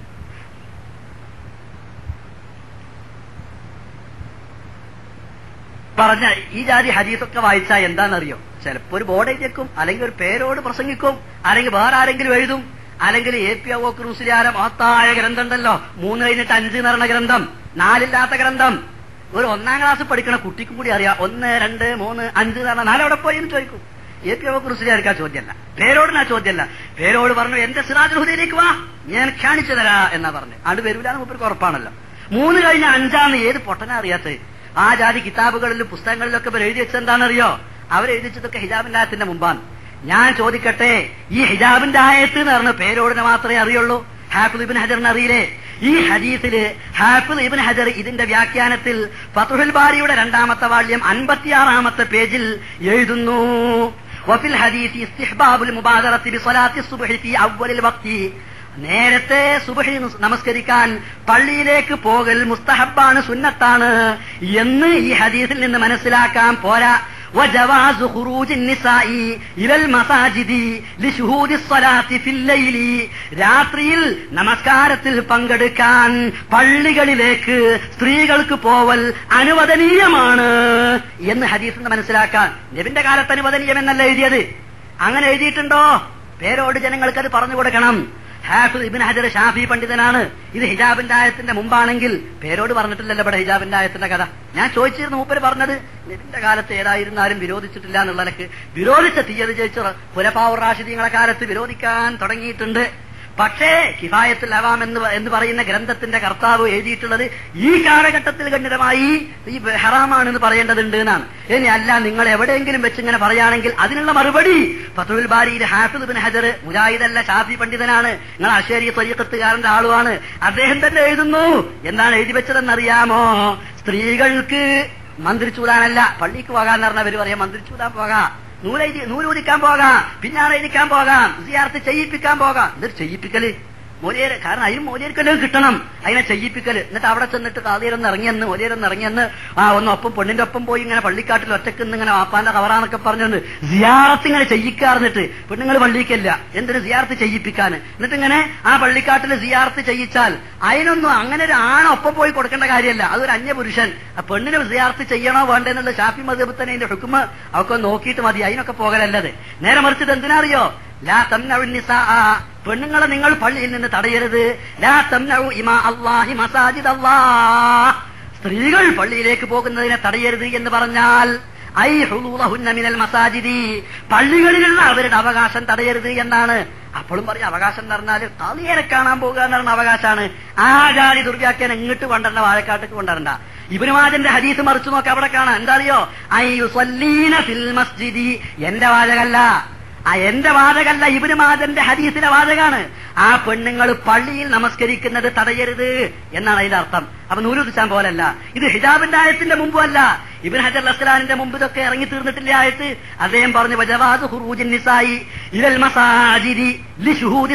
ഫില്ലൈലി രാത്രിയിൽ സ്ത്രീകൾക്ക് നമസ്കാരത്തിൽ പങ്കെടുക്കാൻ പള്ളികളിലേക്ക് പോകൽ അനുവദനീയമാണെന്ന് ഈ ഹദീസിൽ നിന്ന് മനസ്സിലാക്കാം. അതാണ് പേ ഇബിന് ഹജർ എഴുതി പേരോടെ രീതിയില കാണൂല. കിതാബൊക്കെ മൂപ്പര കയ്യിലുണ്ട്. അതൊക്കെ കാറിൽ മറിക്കാന് എടുക്കാന് കൊടുക്കാന് കുറെ ആളുകളൊപ്പം കൊണ്ട് നടക്കും. എന്ത് കാര്യം?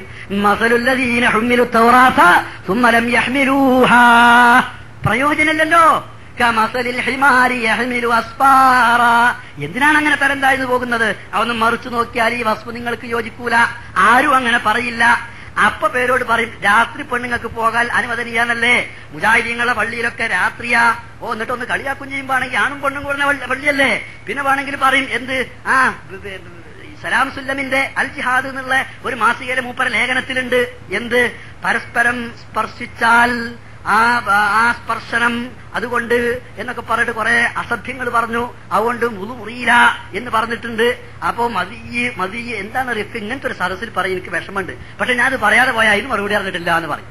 അതുകൊണ്ട് മാത്രം പറഞ്ഞു നിങ്ങൾ തെറ്റിദ്ധരിക്കരുത്. ഇപ്പൊ മതി വന്നാൽ അത് ഇതിന്റെ കൂട്ടത്തിൽ എണ്ണാത്തത് കൊണ്ട് അപ്പൊ എന്താ പെണ്ണിനെ കണ്ടാലാണ് വികാരം കൊണ്ട് ഇജാതി എന്തെങ്കിലുമൊക്കെ സംഭവിക്കുക? എന്തായിരിക്കും പടച്ചോനെ ബല വിചാരം? ഞാൻ അങ്ങനെ ആലോചിക്കുന്നത് ഒരു പെണ്ണിനെ കാണുമ്പത്തിന് ഇങ്ങനെയാണെങ്കിൽ അതാ ഞാൻ നേരത്തെ പറഞ്ഞ് പൂങ്കോയിന്റെ സ്ഥിതി ഞമ്മക്ക് പാടില്ലല്ലോ. അത് മനുഷ്യന്മാർക്ക് പറ്റൂല. അങ്ങനെ ഉണ്ടെങ്കിൽ വല്ല ലൈംഗിക ചികിത്സ നടത്തുന്ന ഡോക്ടർമാരെ സമീപിച്ചുകൊണ്ട് ചികിത്സ തേടല്ലാതെ മുജാഹിദീങ്ങളെ അതിന്റെ പേരിൽ ആക്ഷേപിച്ചിട്ട് കാര്യമല്ല ഞങ്ങൾ ആ രോഗമുള്ള ആളുകളല്ല. അലീബിൻ അബി താലിബ് അള്ളാഹു അൻഹു അദ്ദേഹത്തിന് അസുഖമായി. ആ അസുഖത്തിന്റെ കാര്യമാണ് ഹദീസിൽ വന്നത്. കുന്തു റജുലം. ഞാൻ ധാരാളമായി മതി വരുന്ന അഥവാ എന്താണ് പറയേണ്ടല്ലോ പറഞ്ഞാ തിരിയലോ? വികാരം കൊണ്ട് സാധാരണ ആളുകൾക്ക് വികാരം കൊണ്ട് ലൈംഗിക ബന്ധത്തിന് മുമ്പ് ഉണ്ടാവാറുള്ള ഒരു ഏർപ്പാടാണത്. ആ സാധനം അദ്ദേഹത്തിന് ഇങ്ങനെ രോഗം എന്നുള്ള നിലക്കുണ്ട് അതേതുപോലെ സ്ത്രീകൾക്ക് ആർത്തവുണ്ടാകുന്ന സ്ത്രീകൾക്ക് രോഗം എന്നുള്ളവർക്ക് രക്തം ഇങ്ങനെ വന്നുകൊണ്ടിരിക്കും. അതല്ലാത്ത കാലങ്ങളിലും. അതൊരു രോഗമാണ്. അതിന് ചികിത്സിക്കണം എന്നാണ് റസൂലുള്ള പഠിപ്പിച്ചിട്ടുള്ളത്. ബുഹാരിന്റെ ഹദീസിലുണ്ട്. അതുപോലെ പുരുഷന്മാർക്ക് സാധാരണ സമയത്ത് വരുന്ന ശുക്ലമല്ല. അല്ലാത്ത നിലയ്ക്ക് രോഗം എന്നുള്ള നിലയ്ക്ക് വരാം. അലീബിൻ അബി താലിബ് അദ്ദേഹം റസൂലിന് ജനബിക്ക് ഇങ്ങനെ ഒരു പ്രശ്നമുണ്ട്. നേരിട്ട് ചോദിക്കല്ല മടി. കാരണം മരുമകനാണല്ലോ. അപ്പൊ അന്നേരക്ക് ഇങ്ങനെ ഒരു ചോദിപ്പിച്ചു. അങ്ങനെ ചോദിച്ചപ്പോ നബിനോട് ഈ നിലയ്ക്ക് ഇങ്ങനെ ഈ കാര്യത്തെക്കുറിച്ച് കുന്തു റജുലൻ മദ്ദ. ഞാൻ ഇങ്ങനത്തെ അസുഖമുള്ള ഒരാളാണ് എന്ന് പറഞ്ഞോട് അലീബിൻ അബി താലിബ് ചോദിക്കാം അങ്ങനെ ചോദിച്ച സന്ദർഭത്തിൽ ആ അലീന്റെ ആ പ്രശ്നത്തിന് പ്രതിവിധി നിശ്ചയിച്ച് അങ്ങനെയാണെങ്കിൽ നിസ്കരിക്കുന്ന സമയത്ത് ഉതുണ്ടാക്കി നിസ്കരിക്കണം എന്ന്. ഇതാണ് റസൂലുള്ള പറഞ്ഞത്. അപ്പൊ ഇതെന്താ പുതുമുറുന്ന കാര്യങ്ങളുടെ കൂട്ടത്തിൽ മുജാഹിദീങ്ങളെ പാഠപുസ്തകത്തിൽ ഇല്ലാത്തതെന്നറിയോ? മുജാഹിദീങ്ങൾക്ക് ആണും പെണ്ണും വരുന്നതല്ലേ പള്ളിയിൽ. അപ്പൊ ഓൽക്ക് ഇടക്കിടക്കൊക്കെ ഇങ്ങനെ ഉണ്ടാകും. അപ്പൊ അതുകൊണ്ടാണ് ഇത് എഴുതാത്തത്. ഒരു മോലിയൊരു മറുപടി പ്രസംഗത്തിൽ പറയാണിത് പിന്നെ മോലിയരിന്ന് ഞാൻ വിളിച്ചാൽ നിന്റെ പ്രതിപക്ഷ മര്യാദ കുറച്ചൊന്നും അല്ലാന്ന് എനിക്കെന്നെ തോന്നിപ്പോലുണ്ട് ചിലപ്പോ. കാരണം അതെങ്ങനെ പറയണ ഒരാളെ സ്ത്രീ എന്താ അറിയോ? അങ്ങനെ ഉണ്ടാകലുണ്ട് ചിലർക്ക് പെണ്ണുങ്ങളെ കാണുമ്പത്തിന് എങ്കിൽ കാരണം അവനാന്റെ അനുഭവം വെച്ചാലോ പല കാര്യം പറയാം അതാ ഞാൻ പറഞ്ഞു എനിക്ക് അയാളോട് പ്രതിഷേധമില്ല ഞാൻ അയാളോട് എനിക്കൊരു പ്രതിഷേധമല്ല എന്തിനാ അങ്ങനെ നമ്മൾ ആളുകളോട് വിഷമം വിചാരിക്കുന്നത്? ആ രൂപത്തിലല്ല കൂട്ടരെ സാധാരണ സംഭവിക്കുന്ന കാര്യങ്ങളെ കൂട്ടത്തിൽപ്പെട്ടതാണ് ഇത്. മൂത്രിക്കുക എന്നത് കാഷ്ടിക്കുക എന്നത് അതുപോലെ മറ്റേ കീഴ്വായു അതൊക്കെ ബുദ്ധിമുറിയുന്ന കാര്യങ്ങളുടെ കൂട്ടത്തിലെണ്ണി രോഗം എന്ന് പറയുന്നത് സാധാരണ ഉണ്ടാകണമല്ല രോഗം ഉണ്ടാകുമ്പോൾ അതിന്റെ പ്രതിവിധി എന്താണ് ഹദീസിൽ വേറെ പറഞ്ഞു. ആ കാര്യം വിശദീകരിക്കുന്ന നേരത്തെ പറഞ്ഞു. അതല്ലാതെ മുജാഹിദിങ്ങളെ പള്ളിയിൽ ഇങ്ങനെയെന്നുള്ളതല്ല. അപ്പൊ ആ കുറെ ആരോപണം ഇയാൾ പറഞ്ഞൊക്കെ ഞാൻ ഇടയ്ക്ക് ഇങ്ങനെ പറഞ്ഞു പോയിട്ടില്ലെങ്കിൽ എന്താ അതിനൊന്നും സെലഫിക്ക് മറുപടി ഇല്ല മറുപടി ഇല്ലാത്തതുകൊണ്ടല്ല പറഞ്ഞ് വഷളത്തരാന്നുള്ള നിലയ്ക്ക് ചിലതൊക്കെ അങ്ങനെ അവഗണിച്ച് വിടുകയാണ്. പിന്നെ നിങ്ങൾ ആചാതി പറഞ്ഞാൽ പ്രത്യേകിച്ച് മറുപടി അർഹിക്കുന്നതും അല്ലല്ലോ. അപ്പൊ ഞാൻ പറഞ്ഞെന്താ ഇതിന് ഇയാൾ പറയും ഞങ്ങൾ ജുമാക്ക് പോകുന്നതിനും ജമാഅത്തുകളിൽ പങ്കെടുക്കുന്ന പറഞ്ഞാൽ ജുമാ രാത്രി ഉണ്ടാവില്ലല്ലോ. ഈ മുജാഹിദീങ്ങളെ ഇവിടുത്തെ പള്ളിയിലെങ്ങാനും രാത്രിയാണ് ജുമാ? ആണും പെണ്ണും കൂടുന്ന പള്ളിയല്ലേ എന്നിട്ട് ഇയാൾ പറയോ? അതിനും മറുപടി ഞാനല്ല. ഇബിൻ ഹജർ ഫത്തുൽ ബാരിയിൽ തന്നെ പറഞ്ഞു എന്താണെന്നറിയോ? അദ്ദേഹം പറയുന്നത് ജവാസുഹു രാത്രിയിൽ പെണ്ണുങ്ങൾക്ക് പോകൽ അനുവദനീയമാണെന്ന് ഈ ഹരീസ് കൊണ്ട് മനസ്സിലാക്കാമെങ്കിൽ പകലിലും അവർക്ക് പോകൽ അനുവദനീയമാണ് എന്ന് ഏറ്റവും അർഹമായ നിരക്ക് ഈ ഹദീസിൽ നിന്ന് മനസ്സിലാക്കാം. അവിടെ ബുദ്ധി പ്രയോഗിക്കേണ്ടത്. എന്താണെന്നറിയോ? കാരണം അന്നല്ലയിലെ മതിന്നത്തൊരു ദീപത്തി അക്തറമിനഹാർ സംശയത്തിനുള്ള സാധ്യത പകലിനേക്കാൾ കൂടുതൽ രാത്രിയിലാണല്ലോ. പെണ്ണിങ്ങനെ പള്ളിക്ക് പോകുമ്പോത്തിന് ഇവർ പറഞ്ഞമാതിരി പള്ളിയിൽ ഉണ്ടാവും എന്നുള്ള പേടിയുള്ളവർക്ക് രാത്രി പോയാലാണല്ലോ അത് ഇരുട്ടുണ്ടാകലും ആൾ കാണാതിരിക്കലും വല്ല അപകടങ്ങളൊക്കെ സംഭവിക്കാനുള്ള സാധ്യത. അതല്ലാതെ പിന്നെ ഈ ജാതി കോഴികളെ ഏർപ്പാട് സാധാരണ മനുഷ്യന്മാർക്കില്ലല്ലോ. ഞങ്ങളൊക്കെ സാധാരണ മനുഷ്യന്മാരാണ്. അതുകൊണ്ട് അങ്ങനെ പോകുമ്പോ പകൽ സമയത്ത് ഏതായിരുന്നാലും അത്തരം സാധ്യതകളില്ല. ആ സാധ്യതകളില്ല എന്ന കാര്യം ഉറപ്പാണ്. അതുകൊണ്ട് രാത്രി പോകാം എന്ന് ഹദീസിൽ നിന്ന് മനസ്സിലാക്കുന്നുവെങ്കിൽ അതിനേക്കാൾ കൂടുതൽ അത്യുത്തമമായി പകലിലും പെണ്ണുങ്ങൾക്ക് പോകാമെന്ന് മനസ്സിലാക്കാം. ഹിജാബിന്റെ ആയത്തിന്റെ മുമ്പ് മാത്രമല്ല ഹിജാബിന്റെ ആയത്തിന്റെ ശേഷവും ഈ ഹദീസിന്റെ ഹുക്കുമ ബാക്കിയാണ് എന്നതുകൊണ്ടാണല്ലോ ഇബിൻ ഹജർ ഇങ്ങനെ തന്നെ പറഞ്ഞത്. അല്ലാതെ അദ്ദേഹം പറഞ്ഞോ ഇത് ഹിജാബിന്റെ ആയത്തിന്റെ മുമ്പാണ് എന്ന്? ഇല്ല. ഇതേപോലെ തന്നെ ആവു അൽമനാറിൽ പണ്ട് ഉമർ മൗലവി ഒരു ലേഖനം എഴുതിയിട്ടുണ്ട്. ആ ലേഖനത്തിൽ സ്ത്രീകൾക്ക് നാണക്കേടുണ്ടാകും. രാത്രി സമയങ്ങൾ പള്ളികളിൽ അവർ ഇരിക്കുന്ന സന്ദർഭങ്ങളിൽ പെട്ടെന്ന് ആർത്തവമുണ്ടായാൽ അത് പ്രയാസമാവുകയില്ലേ എന്ന് അൽമനാറിൽ ഉമർ മൗലവി പണ്ട് എഴുതിയിട്ടുണ്ട്. അത് വായിച്ച് ഉമർ മൗലവിനെ പോരാ.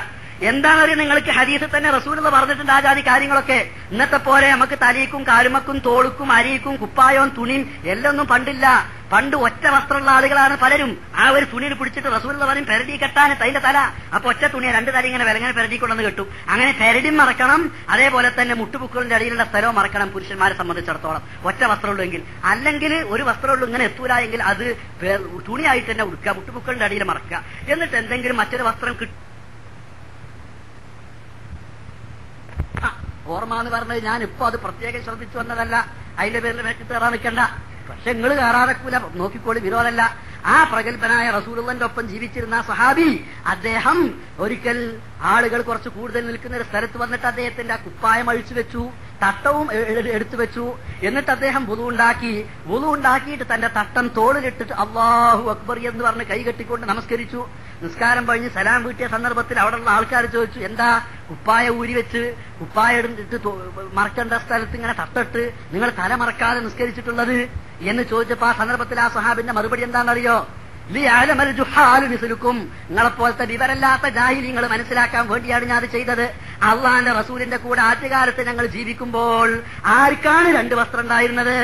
ആ ഒരു വസ്ത്രം മാത്രമുള്ള ആളുകളോട് ആ വസ്ത്രം നീളമുള്ളതാണെങ്കിൽ പെരടിയിൽ കൂടി കെട്ടി പെരടി മറച്ചുകൊണ്ട് മുട്ടുപൊക്കളിന്റെ അവിടെ പ്രത്യേകം മറച്ചുകൊണ്ട് നമസ്കരിക്കണമെന്നാണ് റസൂലത പഠിപ്പിച്ചിരുന്നത്. ഇങ്ങനെ തട്ടിട്ട് നിങ്ങൾ തല മറക്കാതെ നിസ്കരിച്ചിട്ടുള്ളത് എന്ന് ചോദിച്ചപ്പോ ആ സന്ദർഭത്തിൽ ആ സഹാബിന്റെ മറുപടി എന്താണെന്നറിയോ? നിങ്ങളെപ്പോലത്തെ വിവരല്ലാത്ത ജാഹിലിങ്ങൾ മനസ്സിലാക്കാൻ വേണ്ടിയാണ് ഞാൻ അത് ചെയ്തത്. അള്ളാന്റെ റസൂലിന്റെ കൂടെ ആദ്യകാലത്ത് ഞങ്ങൾ ജീവിക്കുമ്പോൾ ആർക്കാണ് രണ്ട് വസ്ത്രം ഉണ്ടായിരുന്നത്? ആ ഒരു വസ്ത്രം മാത്രമുള്ള ആളുകളോട് ആ വസ്ത്രം നീളമുള്ളതാണെങ്കിൽ പെരടിയിൽ കൂടി കെട്ടി പെരടി മറച്ചുകൊണ്ട് മുട്ടുമുക്കളിന്റെ അവിടെ പ്രത്യേകം മറച്ചുകൊണ്ട് നമസ്കരിക്കണമെന്നാണ് റസൂലത പഠിപ്പിച്ചിരുന്നത്. അങ്ങനെ നിസ്കരിക്കുമ്പോ പേരോട് കളിയാക്കിയിട്ട് കാര്യമില്ല. ഓ മുജാഹിദ് പള്ളിയിലൊക്കെ അങ്ങനെ മുജാഹിദ് പള്ളിയിൽ അങ്ങനെയല്ല. ഞങ്ങൾക്ക് അത്ര വലിയ ദാരിദ്ര്യമൊന്നും ഉപ്പല്ലാത്ത കാലാണ്. കാരണം എന്താ പറയുക ഞങ്ങൾക്ക് ഇങ്ങനെ ചൂഷണമൊന്നും ഇല്ലെങ്കിൽ തന്നെ ജോലിയുണ്ട്. സ്കൂളിലെ മാസ്റ്റർമാരാണല്ലോ ഞങ്ങൾ അല്ലെങ്കിൽ ഞങ്ങൾക്ക് അതല്ലാത്ത അധ്വാനമുണ്ട്. അതല്ലാതെ വെറുതെ മൗലൂദ് ഓതിയിട്ട് മാത്രം കിട്ടുന്ന കാര്യം കൊണ്ട് ജീവിക്കാൻ വിചാരിക്കുന്ന ആളുകളല്ല. കൂലിപ്പണിക്ക് പോയിട്ടെങ്കിലും ഞങ്ങൾ വസ്ത്രം ഇതൊക്കെ വാങ്ങി മാന്യമായിട്ടാണ് പള്ളിയിലൊക്കെ പോയി നിസ്കരിക്കുന്നത് അള്ളാന്റെ റസൂലിന്റെ കാലത്ത് പട്ടിണിയും പരിവട്ടവും തീരാത്ത കാലത്ത് വസ്ത്രത്തിന് ക്ഷാമമുള്ള ആ കാലഘട്ടത്തിൽ സഹാബികൾ പെരടിയിൽ ഇങ്ങനെ വസ്ത്രം ഒറ്റ വസ്ത്രമുള്ളത് പിടിച്ചു കെട്ടിക്കൊണ്ട് നമസ്കരിക്കുമ്പോൾ ആ സന്ദർഭത്തിൽ റസൂലത പ്രത്യേകം നൽകിയിരുന്ന നിർദ്ദേശം എന്താണെന്നറിയാമോ? സഹിഹായ ഹദീസിലുള്ളതാണ്. ബുഹാരി റിപ്പോർട്ട് ചെയ്തിട്ടുള്ളതാണ്. അൻ സഹിബിൻ സാദിൻ കാലക്കാന റിജാലുൻ യുസല്ലൂന മാന്നബി സല്ലല്ലാഹു അലൈഹി വസല്ലം ആഖിരി ഉസ്രിഹിം അലാ അനാഖിഹിം കഹയ്അത്തി സുബിയാൻ. പെരടിയിൽ തുണി കെട്ടിക്കൊണ്ടാണ് റസൂലുള്ളന്റെ കൂടെ പുരുഷന്മാർ നമസ്കരിക്കാറുണ്ടായിരുന്നത്. വകാലലിന്നിസായി ആ സന്ദർഭത്തിൽ പെണ്ണുങ്ങളോട് നബി പറഞ്ഞു ലാ തെറുപഴന റൂസകുന്ന പെണ്ണുങ്ങളെ നിങ്ങൾ നിങ്ങളുടെ തല പൊക്കരുത്. സുജൂദിലുള്ള പുരുഷന്മാർ അവർ സുജൂത് കഴിഞ്ഞ് ഇരിക്കുന്നത് വരെ പിന്നിലുള്ള പെണ്ണുങ്ങളുടെ തല പൊക്കരുത്. പൊക്കിയാൽ ഞാൻ നേരത്തെ പറഞ്ഞ മാതിരി നമ്മളവിടെ ഈ മറ്റേതുണ്ടല്ലോ ശ്വരാക്കന്മാരെ നേർച്ചക്ക് ചോറ് വിളമ്പുമ്പോ ആ വിളമ്പിക്കൊടുക്കണോന് ആ ചോറ് കിട്ടാൻ വേണ്ടിയിട്ടാണെങ്കിലും പെണ്ണുങ്ങളെ നോക്കിയാ കാണുന്ന രൂപത്തിൽ എന്ത് കണ്ടുപോകും? ഒരു പക്ഷേ മുമ്പിൽ നിസ്കരിക്കുന്ന പുരുഷന്റെ ഔറത്തെങ്കിലും വെളിവായെങ്കിലോ അങ്ങനെ വെളിവായാലും ബാത്തിലാകോ? ആകോല്ലേ ആകൂല എന്ന് ഞാൻ ബാധിച്ചു എന്ന് പറയണ്ട.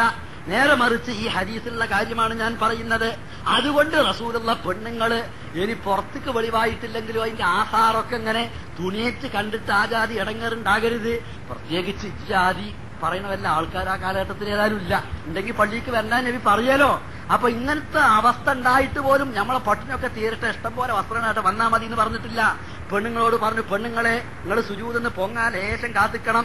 ആണുങ്ങൾ ഇരുന്നതിന്റെ ശേഷം പൊങ്ങിയാ മതി. ആ സന്ദർഭത്തിൽ പോലും സുഹൃത്തുക്കളെ പെണ്ണുങ്ങൾ പള്ളിക്ക് വരുന്നത് റസൂറുള്ള വിരോധിച്ചിട്ടില്ല. ഞങ്ങളെ പള്ളിയിൽ പെണ്ണുങ്ങൾ മിക്കവാറും ഒരു ഭാഗത്ത് റൂമിലായിരിക്കും. ആണും പെണ്ണും തമ്മിൽ കാണൂല. നബിന്റെ കാലത്ത് ഇന്നത്തെ പോലെ ബിൽഡിംഗ് സൗകര്യമല്ല. ഒരൊറ്റ ഹാളാണ് മണൽ വിരിച്ച സ്ഥലമാണ് ഈത്തപ്പനന്റെ ഓലയാണ് മുകളിലും സൈഡിലും ഒക്കെ ഉള്ളത്. മുന്നിൽ ആണുങ്ങളും പിന്നിൽ പെണ്ണുങ്ങളുമാണ്. ആ പിന്നിലുള്ള പെണ്ണുങ്ങൾ ആണുങ്ങൾ സുജൂതിലേക്ക് സുജൂതിൽ ഇരിക്കുമ്പോൾ തന്നെ അവരും ജാതി പറയുന്ന വല്ല ആൾക്കാർ ആ കാലഘട്ടത്തിൽ ഏതായാലും ഇല്ല.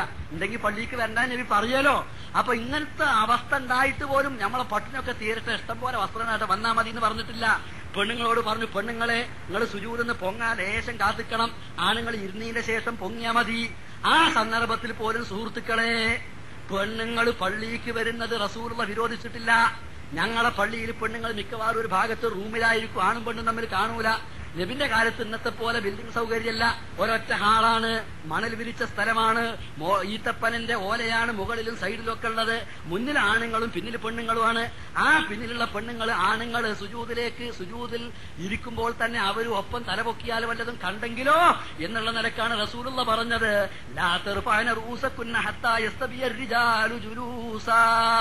പുരുഷന്മാര് ശരിക്ക് നിവർന്നിരിക്കുന്നത് വരെ നിങ്ങൾ തലപൊക്കരുത്. അപ്പൊ പേരോട് വന്നാ പറയും ആ ഔറത്ത് കാണിനുള്ള സലഫിന്റെ വകയാണ്. എന്ന് പറഞ്ഞ ലേശം കളിയാക്കും. കളിങ്ങളാക്കും എനിക്ക് വിരോധമല്ല. എന്റെ വകയല്ല. നിങ്ങളെ ഷാഫി പണ്ഡിതനായ ഹാഫിദ് ബിൻ ഹജർ ഫത്തുൽ ബാരിയിൽ പറഞ്ഞത് എന്താണെന്നറിയോ അത് വായിച്ചു നോക്കണം. ഫത്തുൽ ബാരി കൊണ്ടു നടന്നാ പോരാ. മാത്രമല്ല അബൂദാബൂദ് ഉദ്ധരിച്ച ഹദീസിൽ ഇങ്ങനെ തന്നെ കാണാം.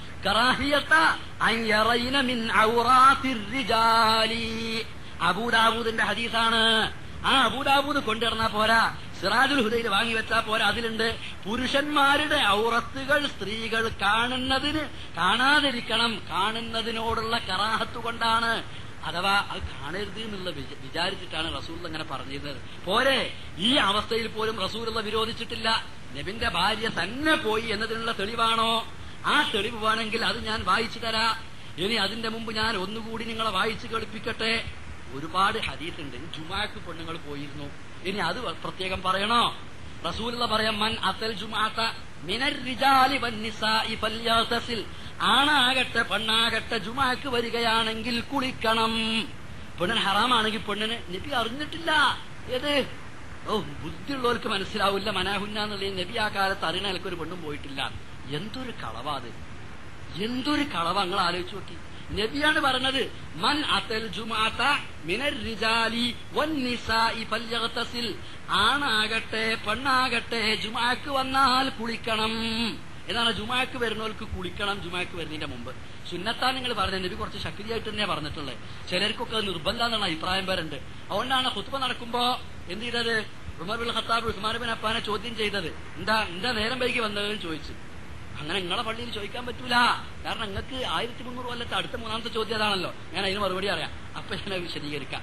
അങ്ങനെ ചോദിച്ചു. അപ്പൊ ഞാൻ ഞാൻ ബാങ്ക് കേട്ടു. പണിയിലായിരുന്നു. അപ്പൊ ബാങ്ക് കേട്ടു. ബാങ്ക് കേട്ടപ്പോ ഞാൻ പാഞ്ഞു ഒന്ന് ഉതുണ്ടാക്കിയാണ് നേരെ പോന്നതാണ്. അല്ലാതെ ഞാൻ കരുതി കുട്ടി വൈകിയതല്ല എന്ന് പറഞ്ഞു.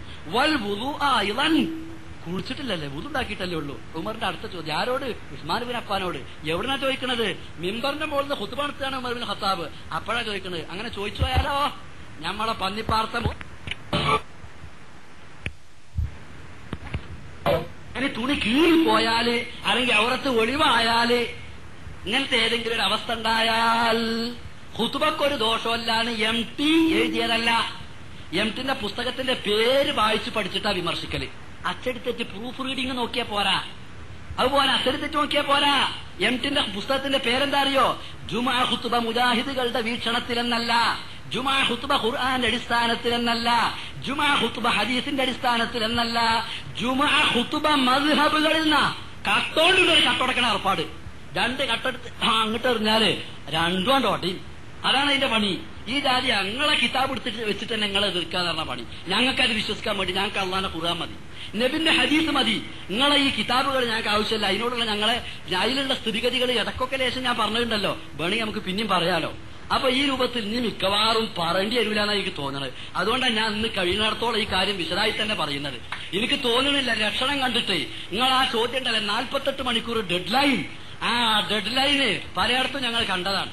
അതുകൊണ്ട് എനിക്ക് മനസ്സിലായി. എന്നിങ്ങനെ കേൾക്കും നമ്മളെ മഹർഷി മഹർഷി ഹിമാലയത്തിലേക്ക് എവിടേക്ക് എന്തിനു പോയി? തപസ്സിന് പോയിരിക്കുന്നു. എന്ന് കേട്ട മാതിരി അങ്ങോട്ട് പോയി. വേറെ വല്ല കുട്ടികളെയും കൊണ്ട് വന്നിട്ട് ഇവിടുന്ന് വല്ലതും പറഞ്ഞാൽ അതിന് അതിനേക്കാൾ ചെറിയ കുട്ടികൾ ആരെങ്കിലും ഉണ്ടാകുമോ എന്ന് നമുക്ക് നോക്കുക. അല്ലെങ്കിൽ അത് ഞങ്ങൾ അവഗണിക്കും. ഇവിടെ നമ്മൾ തുടങ്ങി വെച്ചിട്ടുള്ളത് എന്താണെന്ന് ഞങ്ങൾ നിങ്ങൾ തന്നെ സെലഫി എവിടെയെങ്കിലും എനിക്ക് മറുപടി അറിയാവുന്ന ഒരിക്കലേ വരുള്ളൂ. പിന്നെ വരൂല. മൂപ്പര വിചാരം മൂപ്പര ഏകാംഗ നാടകമാണ് അതിന് രണ്ട് രണ്ട് രംഗമില്ല അപ്പൊ ആ ഏകാംഗം മൂന്ന് രംഗാക്കിയാണ് അതുപോലെയാണ് ഇപ്പോ ബാക്കിയുള്ളവരും ഒക്കെ ഒരൊറ്റ പ്രാവശ്യ പ്രസംഗത്തിന് വരുള്ളൂ എന്നാണ്.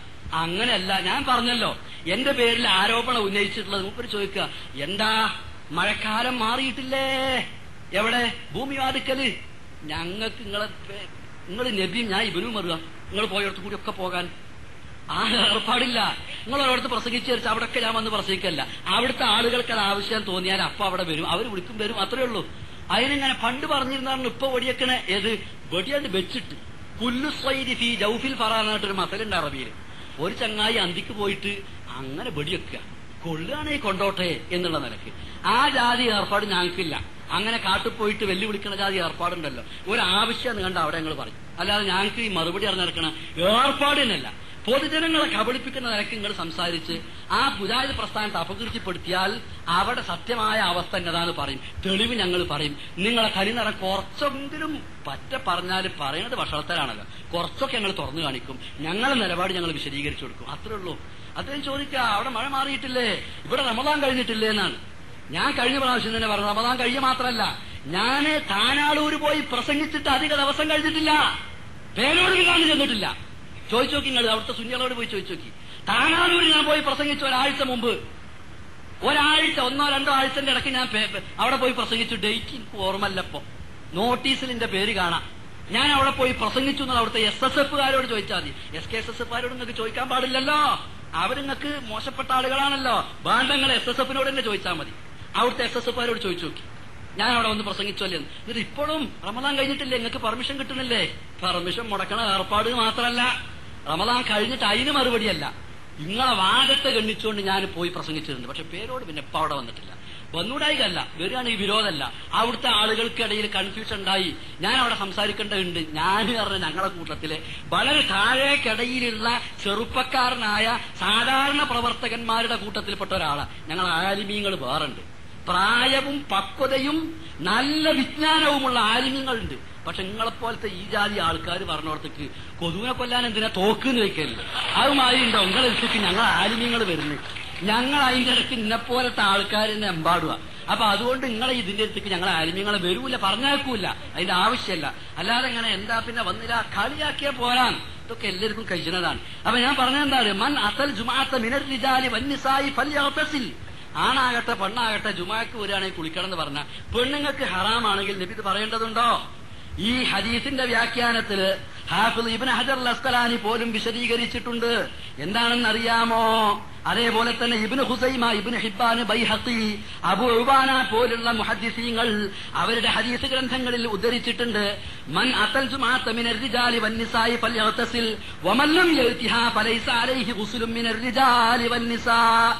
ജുമാക്ക് വരാത്ത പെണ്ണിന് കുളി നിർബന്ധമില്ല. ജുമാക്ക് വരാത്ത പുരുഷൻ വെള്ളിയാഴ്ച കുളിക്കൽ നിർബന്ധമില്ല.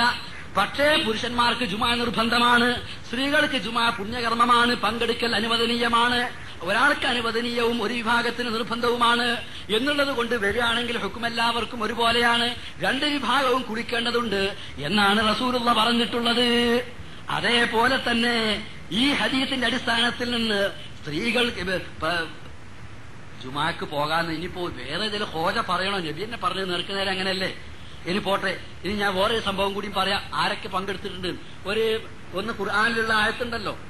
ഏത്? സൂറത്തുൽ ജുമായിൽ. ആമനൂ ആമന നല്ല ഓതി ആളെ കഥേ. നമ്മൾ മഫൂലിന് റഫു എടുത്ത് വായിച്ചത് കേട്ടെ. മിന്ന് ജാറ് മജറൂർ. മിന്ന് ജാറാണ്. അതിന്റെ കൂടെ ബെർണിനാണ് മജറൂർ എന്ന് പറയാ. മിന പാതിലത്തി എന്ന് പറഞ്ഞ പാതിലത്ത് ആ ജറു ജറ് ചെയ്യപ്പെട്ടത്. അതിന് മജറൂർ. ആ മിന്നുകൊണ്ടാണ് ജറ് ചെയ്യപ്പെട്ടത്. മിന്ന് ജാറ്. അങ്ങനെ മിനപ്പാതിലത്തിന് ഒന്നായിട്ട് പറഞ്ഞാലാണ് എന്ത് പറയാ? ജാറ് മജറൂർ എന്ന് പറയൽ. അത് ആദ്യം എടുത്ത് പറയാണ്. ഏത്? ഇന്നക്ക് ഇസ്മു ഉണ്ടാകലുണ്ട് ഖബറും ഉണ്ടാകലുണ്ട് അപ്പൊ ജാറ് മജറൂർ ഖബർ മുഖദ്ദം. ഇതൊക്കെ ഞങ്ങൾ കുറച്ചൊക്കെ നിങ്ങൾ അത്രല്ലാന്ന് വെച്ചളി. അത് അതിൽ വലിയൊരു പതിലായി കണ്ടിട്ടുമില്ല. കാരണം അബു ഖുലഫാവ് നിങ്ങൾ ആരും അൽഫി ഓതിയിട്ടില്ല. ഇബിന് മാലിക് എഴുതിയതല്ലേ? മുഹമ്മദ് നബി കൊണ്ടുവന്നതല്ലല്ലോ അൽഫിയ. ഖുർആാനിലുണ്ടോ അൽഫിയ? ആയിരം ബൈത്ത്. വല്ല ഹദീസിലുണ്ടോ? ഇല്ല. ഈ മുഹദ്ദിസീങ്ങളെ ഇവരൊക്കെ കാലത്തുണ്ടോ? ആരുടെ അൽഫി ഓതിയത് അപ്പോൾ ഞാൻ അൽഫിനെ വിമർശിച്ചു നഹബിനെ വിമർശിച്ചു എന്നല്ല. നിങ്ങൾ ഇന്റെ പേരിൽ അത് ഉദ്ധരിച്ചെന്തിനാണെന്നറിയോ ഞാൻ എനിക്ക് വിവാഹത്ത് തെറ്റാതെ വായിക്കാൻ അറിയില്ല എന്നല്ലേ. അതിന് ഞാൻ പറഞ്ഞു കയ്യന്നല്ല മുക്കയ്യനെ പറയലുള്ളൂ. നിങ്ങളോട് പറയുമ്പോ അതും പോരാൻ. അത്ര തെറ്റുകളല്ല ഉണ്ടായത്. അപ്പൊ എന്താകട്ടെ ഞാനിവിടെ പറഞ്ഞു വന്നത് യാ യുഹല്ലദീന ആമ- ആമനു. അവിടെ ആമന ആമന ആമനു മുതക്കറാണ് എന്ന് പറഞ്ഞിട്ട് മൂപ്പർക്ക് ഒരു അവിടെ മറ്റേ തെർക്കി ഒപ്പിക്കുന്ന ഒരു ഏർപ്പാട്. തെർക്കി ഒപ്പിച്ചതല്ല. അവരിങ്ങനെ പാല അവൻ ഒരു പുരുഷൻ ചെയ്തു. വരാൻ മുതക്കർ വായിബ് എന്നാണ് ഞങ്ങൾ പറയൽ. അത് ഇസുബാസ് കുസു എന്തൊക്കെയാണ് അറിയും? ഇങ്ങനെ ഓരോന്ന് ഓരോന്ന് ഇങ്ങനെ പറയലെന്നെ. ഈ ജാതി ഇങ്ങനെ എണ്ണി പറഞ്ഞതുകൊണ്ട് ഒരു കാര്യമില്ല. അൽഫ്യ മാത്രം ഓതിയാ പൊതുവാൻ തിരിയില്ല. അൽഫ്യ ഓതിയോണ്ട് ഹദീസ് തിരിയില്ല. അതീത ശരിയാവൂല. അതിന് ഖുർആാനും ഹദീസും തന്നെ പഠിക്കണം. അൽഫി ഓതിയതുകൊണ്ട് മാത്രം. ഇപ്പൊ അങ്ങനെയാണല്ലോ വിചാരം. അൽഫി ഓതിയ വലിയ പത്തുൽ മൊയിൻ ഓതിയ ഇടത്തരായി. മുതഫരീദ് ഓതിയാലോ? വല്ല മരിച്ചോടത്തൊക്കെ ഓതാൻ പോകാവുന്ന അവസ്ഥയായി എന്നാണ്. അതൊക്കെ ഒരു ഉപജീവനത്തിൽ അല്ലാതെ പടച്ചോന്റെ അടുത്ത് പറ്റില്ല കേട്ടോ. ആ നിലയ്ക്ക് നിങ്ങൾ മനസ്സിലാക്കണ്ട. അപ്പൊ എന്താ അറിയോ? യുഹല്ലദീന ആമനു. എന്ന ആയത്തുകൊണ്ടല്ല ജുമാ നിർബന്ധാക്കിയത്. അത് ജുമാ നിർബന്ധമായി കൽപ്പിച്ചുകൊണ്ട് വന്ന ആയത്തല്ല. നേരെ മറിച്ച് ഇതാനൂതിയ ലിസ്വലാത്തിമി യൗമിൽ ജുമാത്തി ഫസ്ഔ ഇലാ ദിക്രില്ലാ വദറുൽ ബൈഅ ജാലിക്കും എന്നൊക്കെ പറഞ്ഞിട്ട് സ്വലാ എന്താ പറയാ? ആ ആ ആയത്ത് സൂറത്തു ജുമയിൽ വന്നു. അവിടെ ഞാൻ ചുരുക്കി പറയട്ടെ. വാ തറക്കൂക്ക കായ്മ നബി ഖുത്ബ അങ്ങനെ നടത്തിക്കൊണ്ടിരിക്കുന്ന സന്ദർഭം. ആ നടത്തിക്കൊണ്ടിരിക്കുന്ന സന്ദർഭത്തിൽ അവർ താങ്കളെ ഉപേക്ഷിച്ചു കൊണ്ടുപോയി എന്നാണ് ഖുർആൻ പറഞ്ഞത്. നബി മിമ്പറിന് മുകളിൽ ഹുത്തുബ നടത്തുക. ആ സന്ദർഭത്തിൽ പള്ളിയിലിരിക്കുന്ന സഹാബികൾ ഇസ്ലാമിന്റെ ആദ്യകാലത്ത് നടന്ന ഒരു സംഭവമാണ്.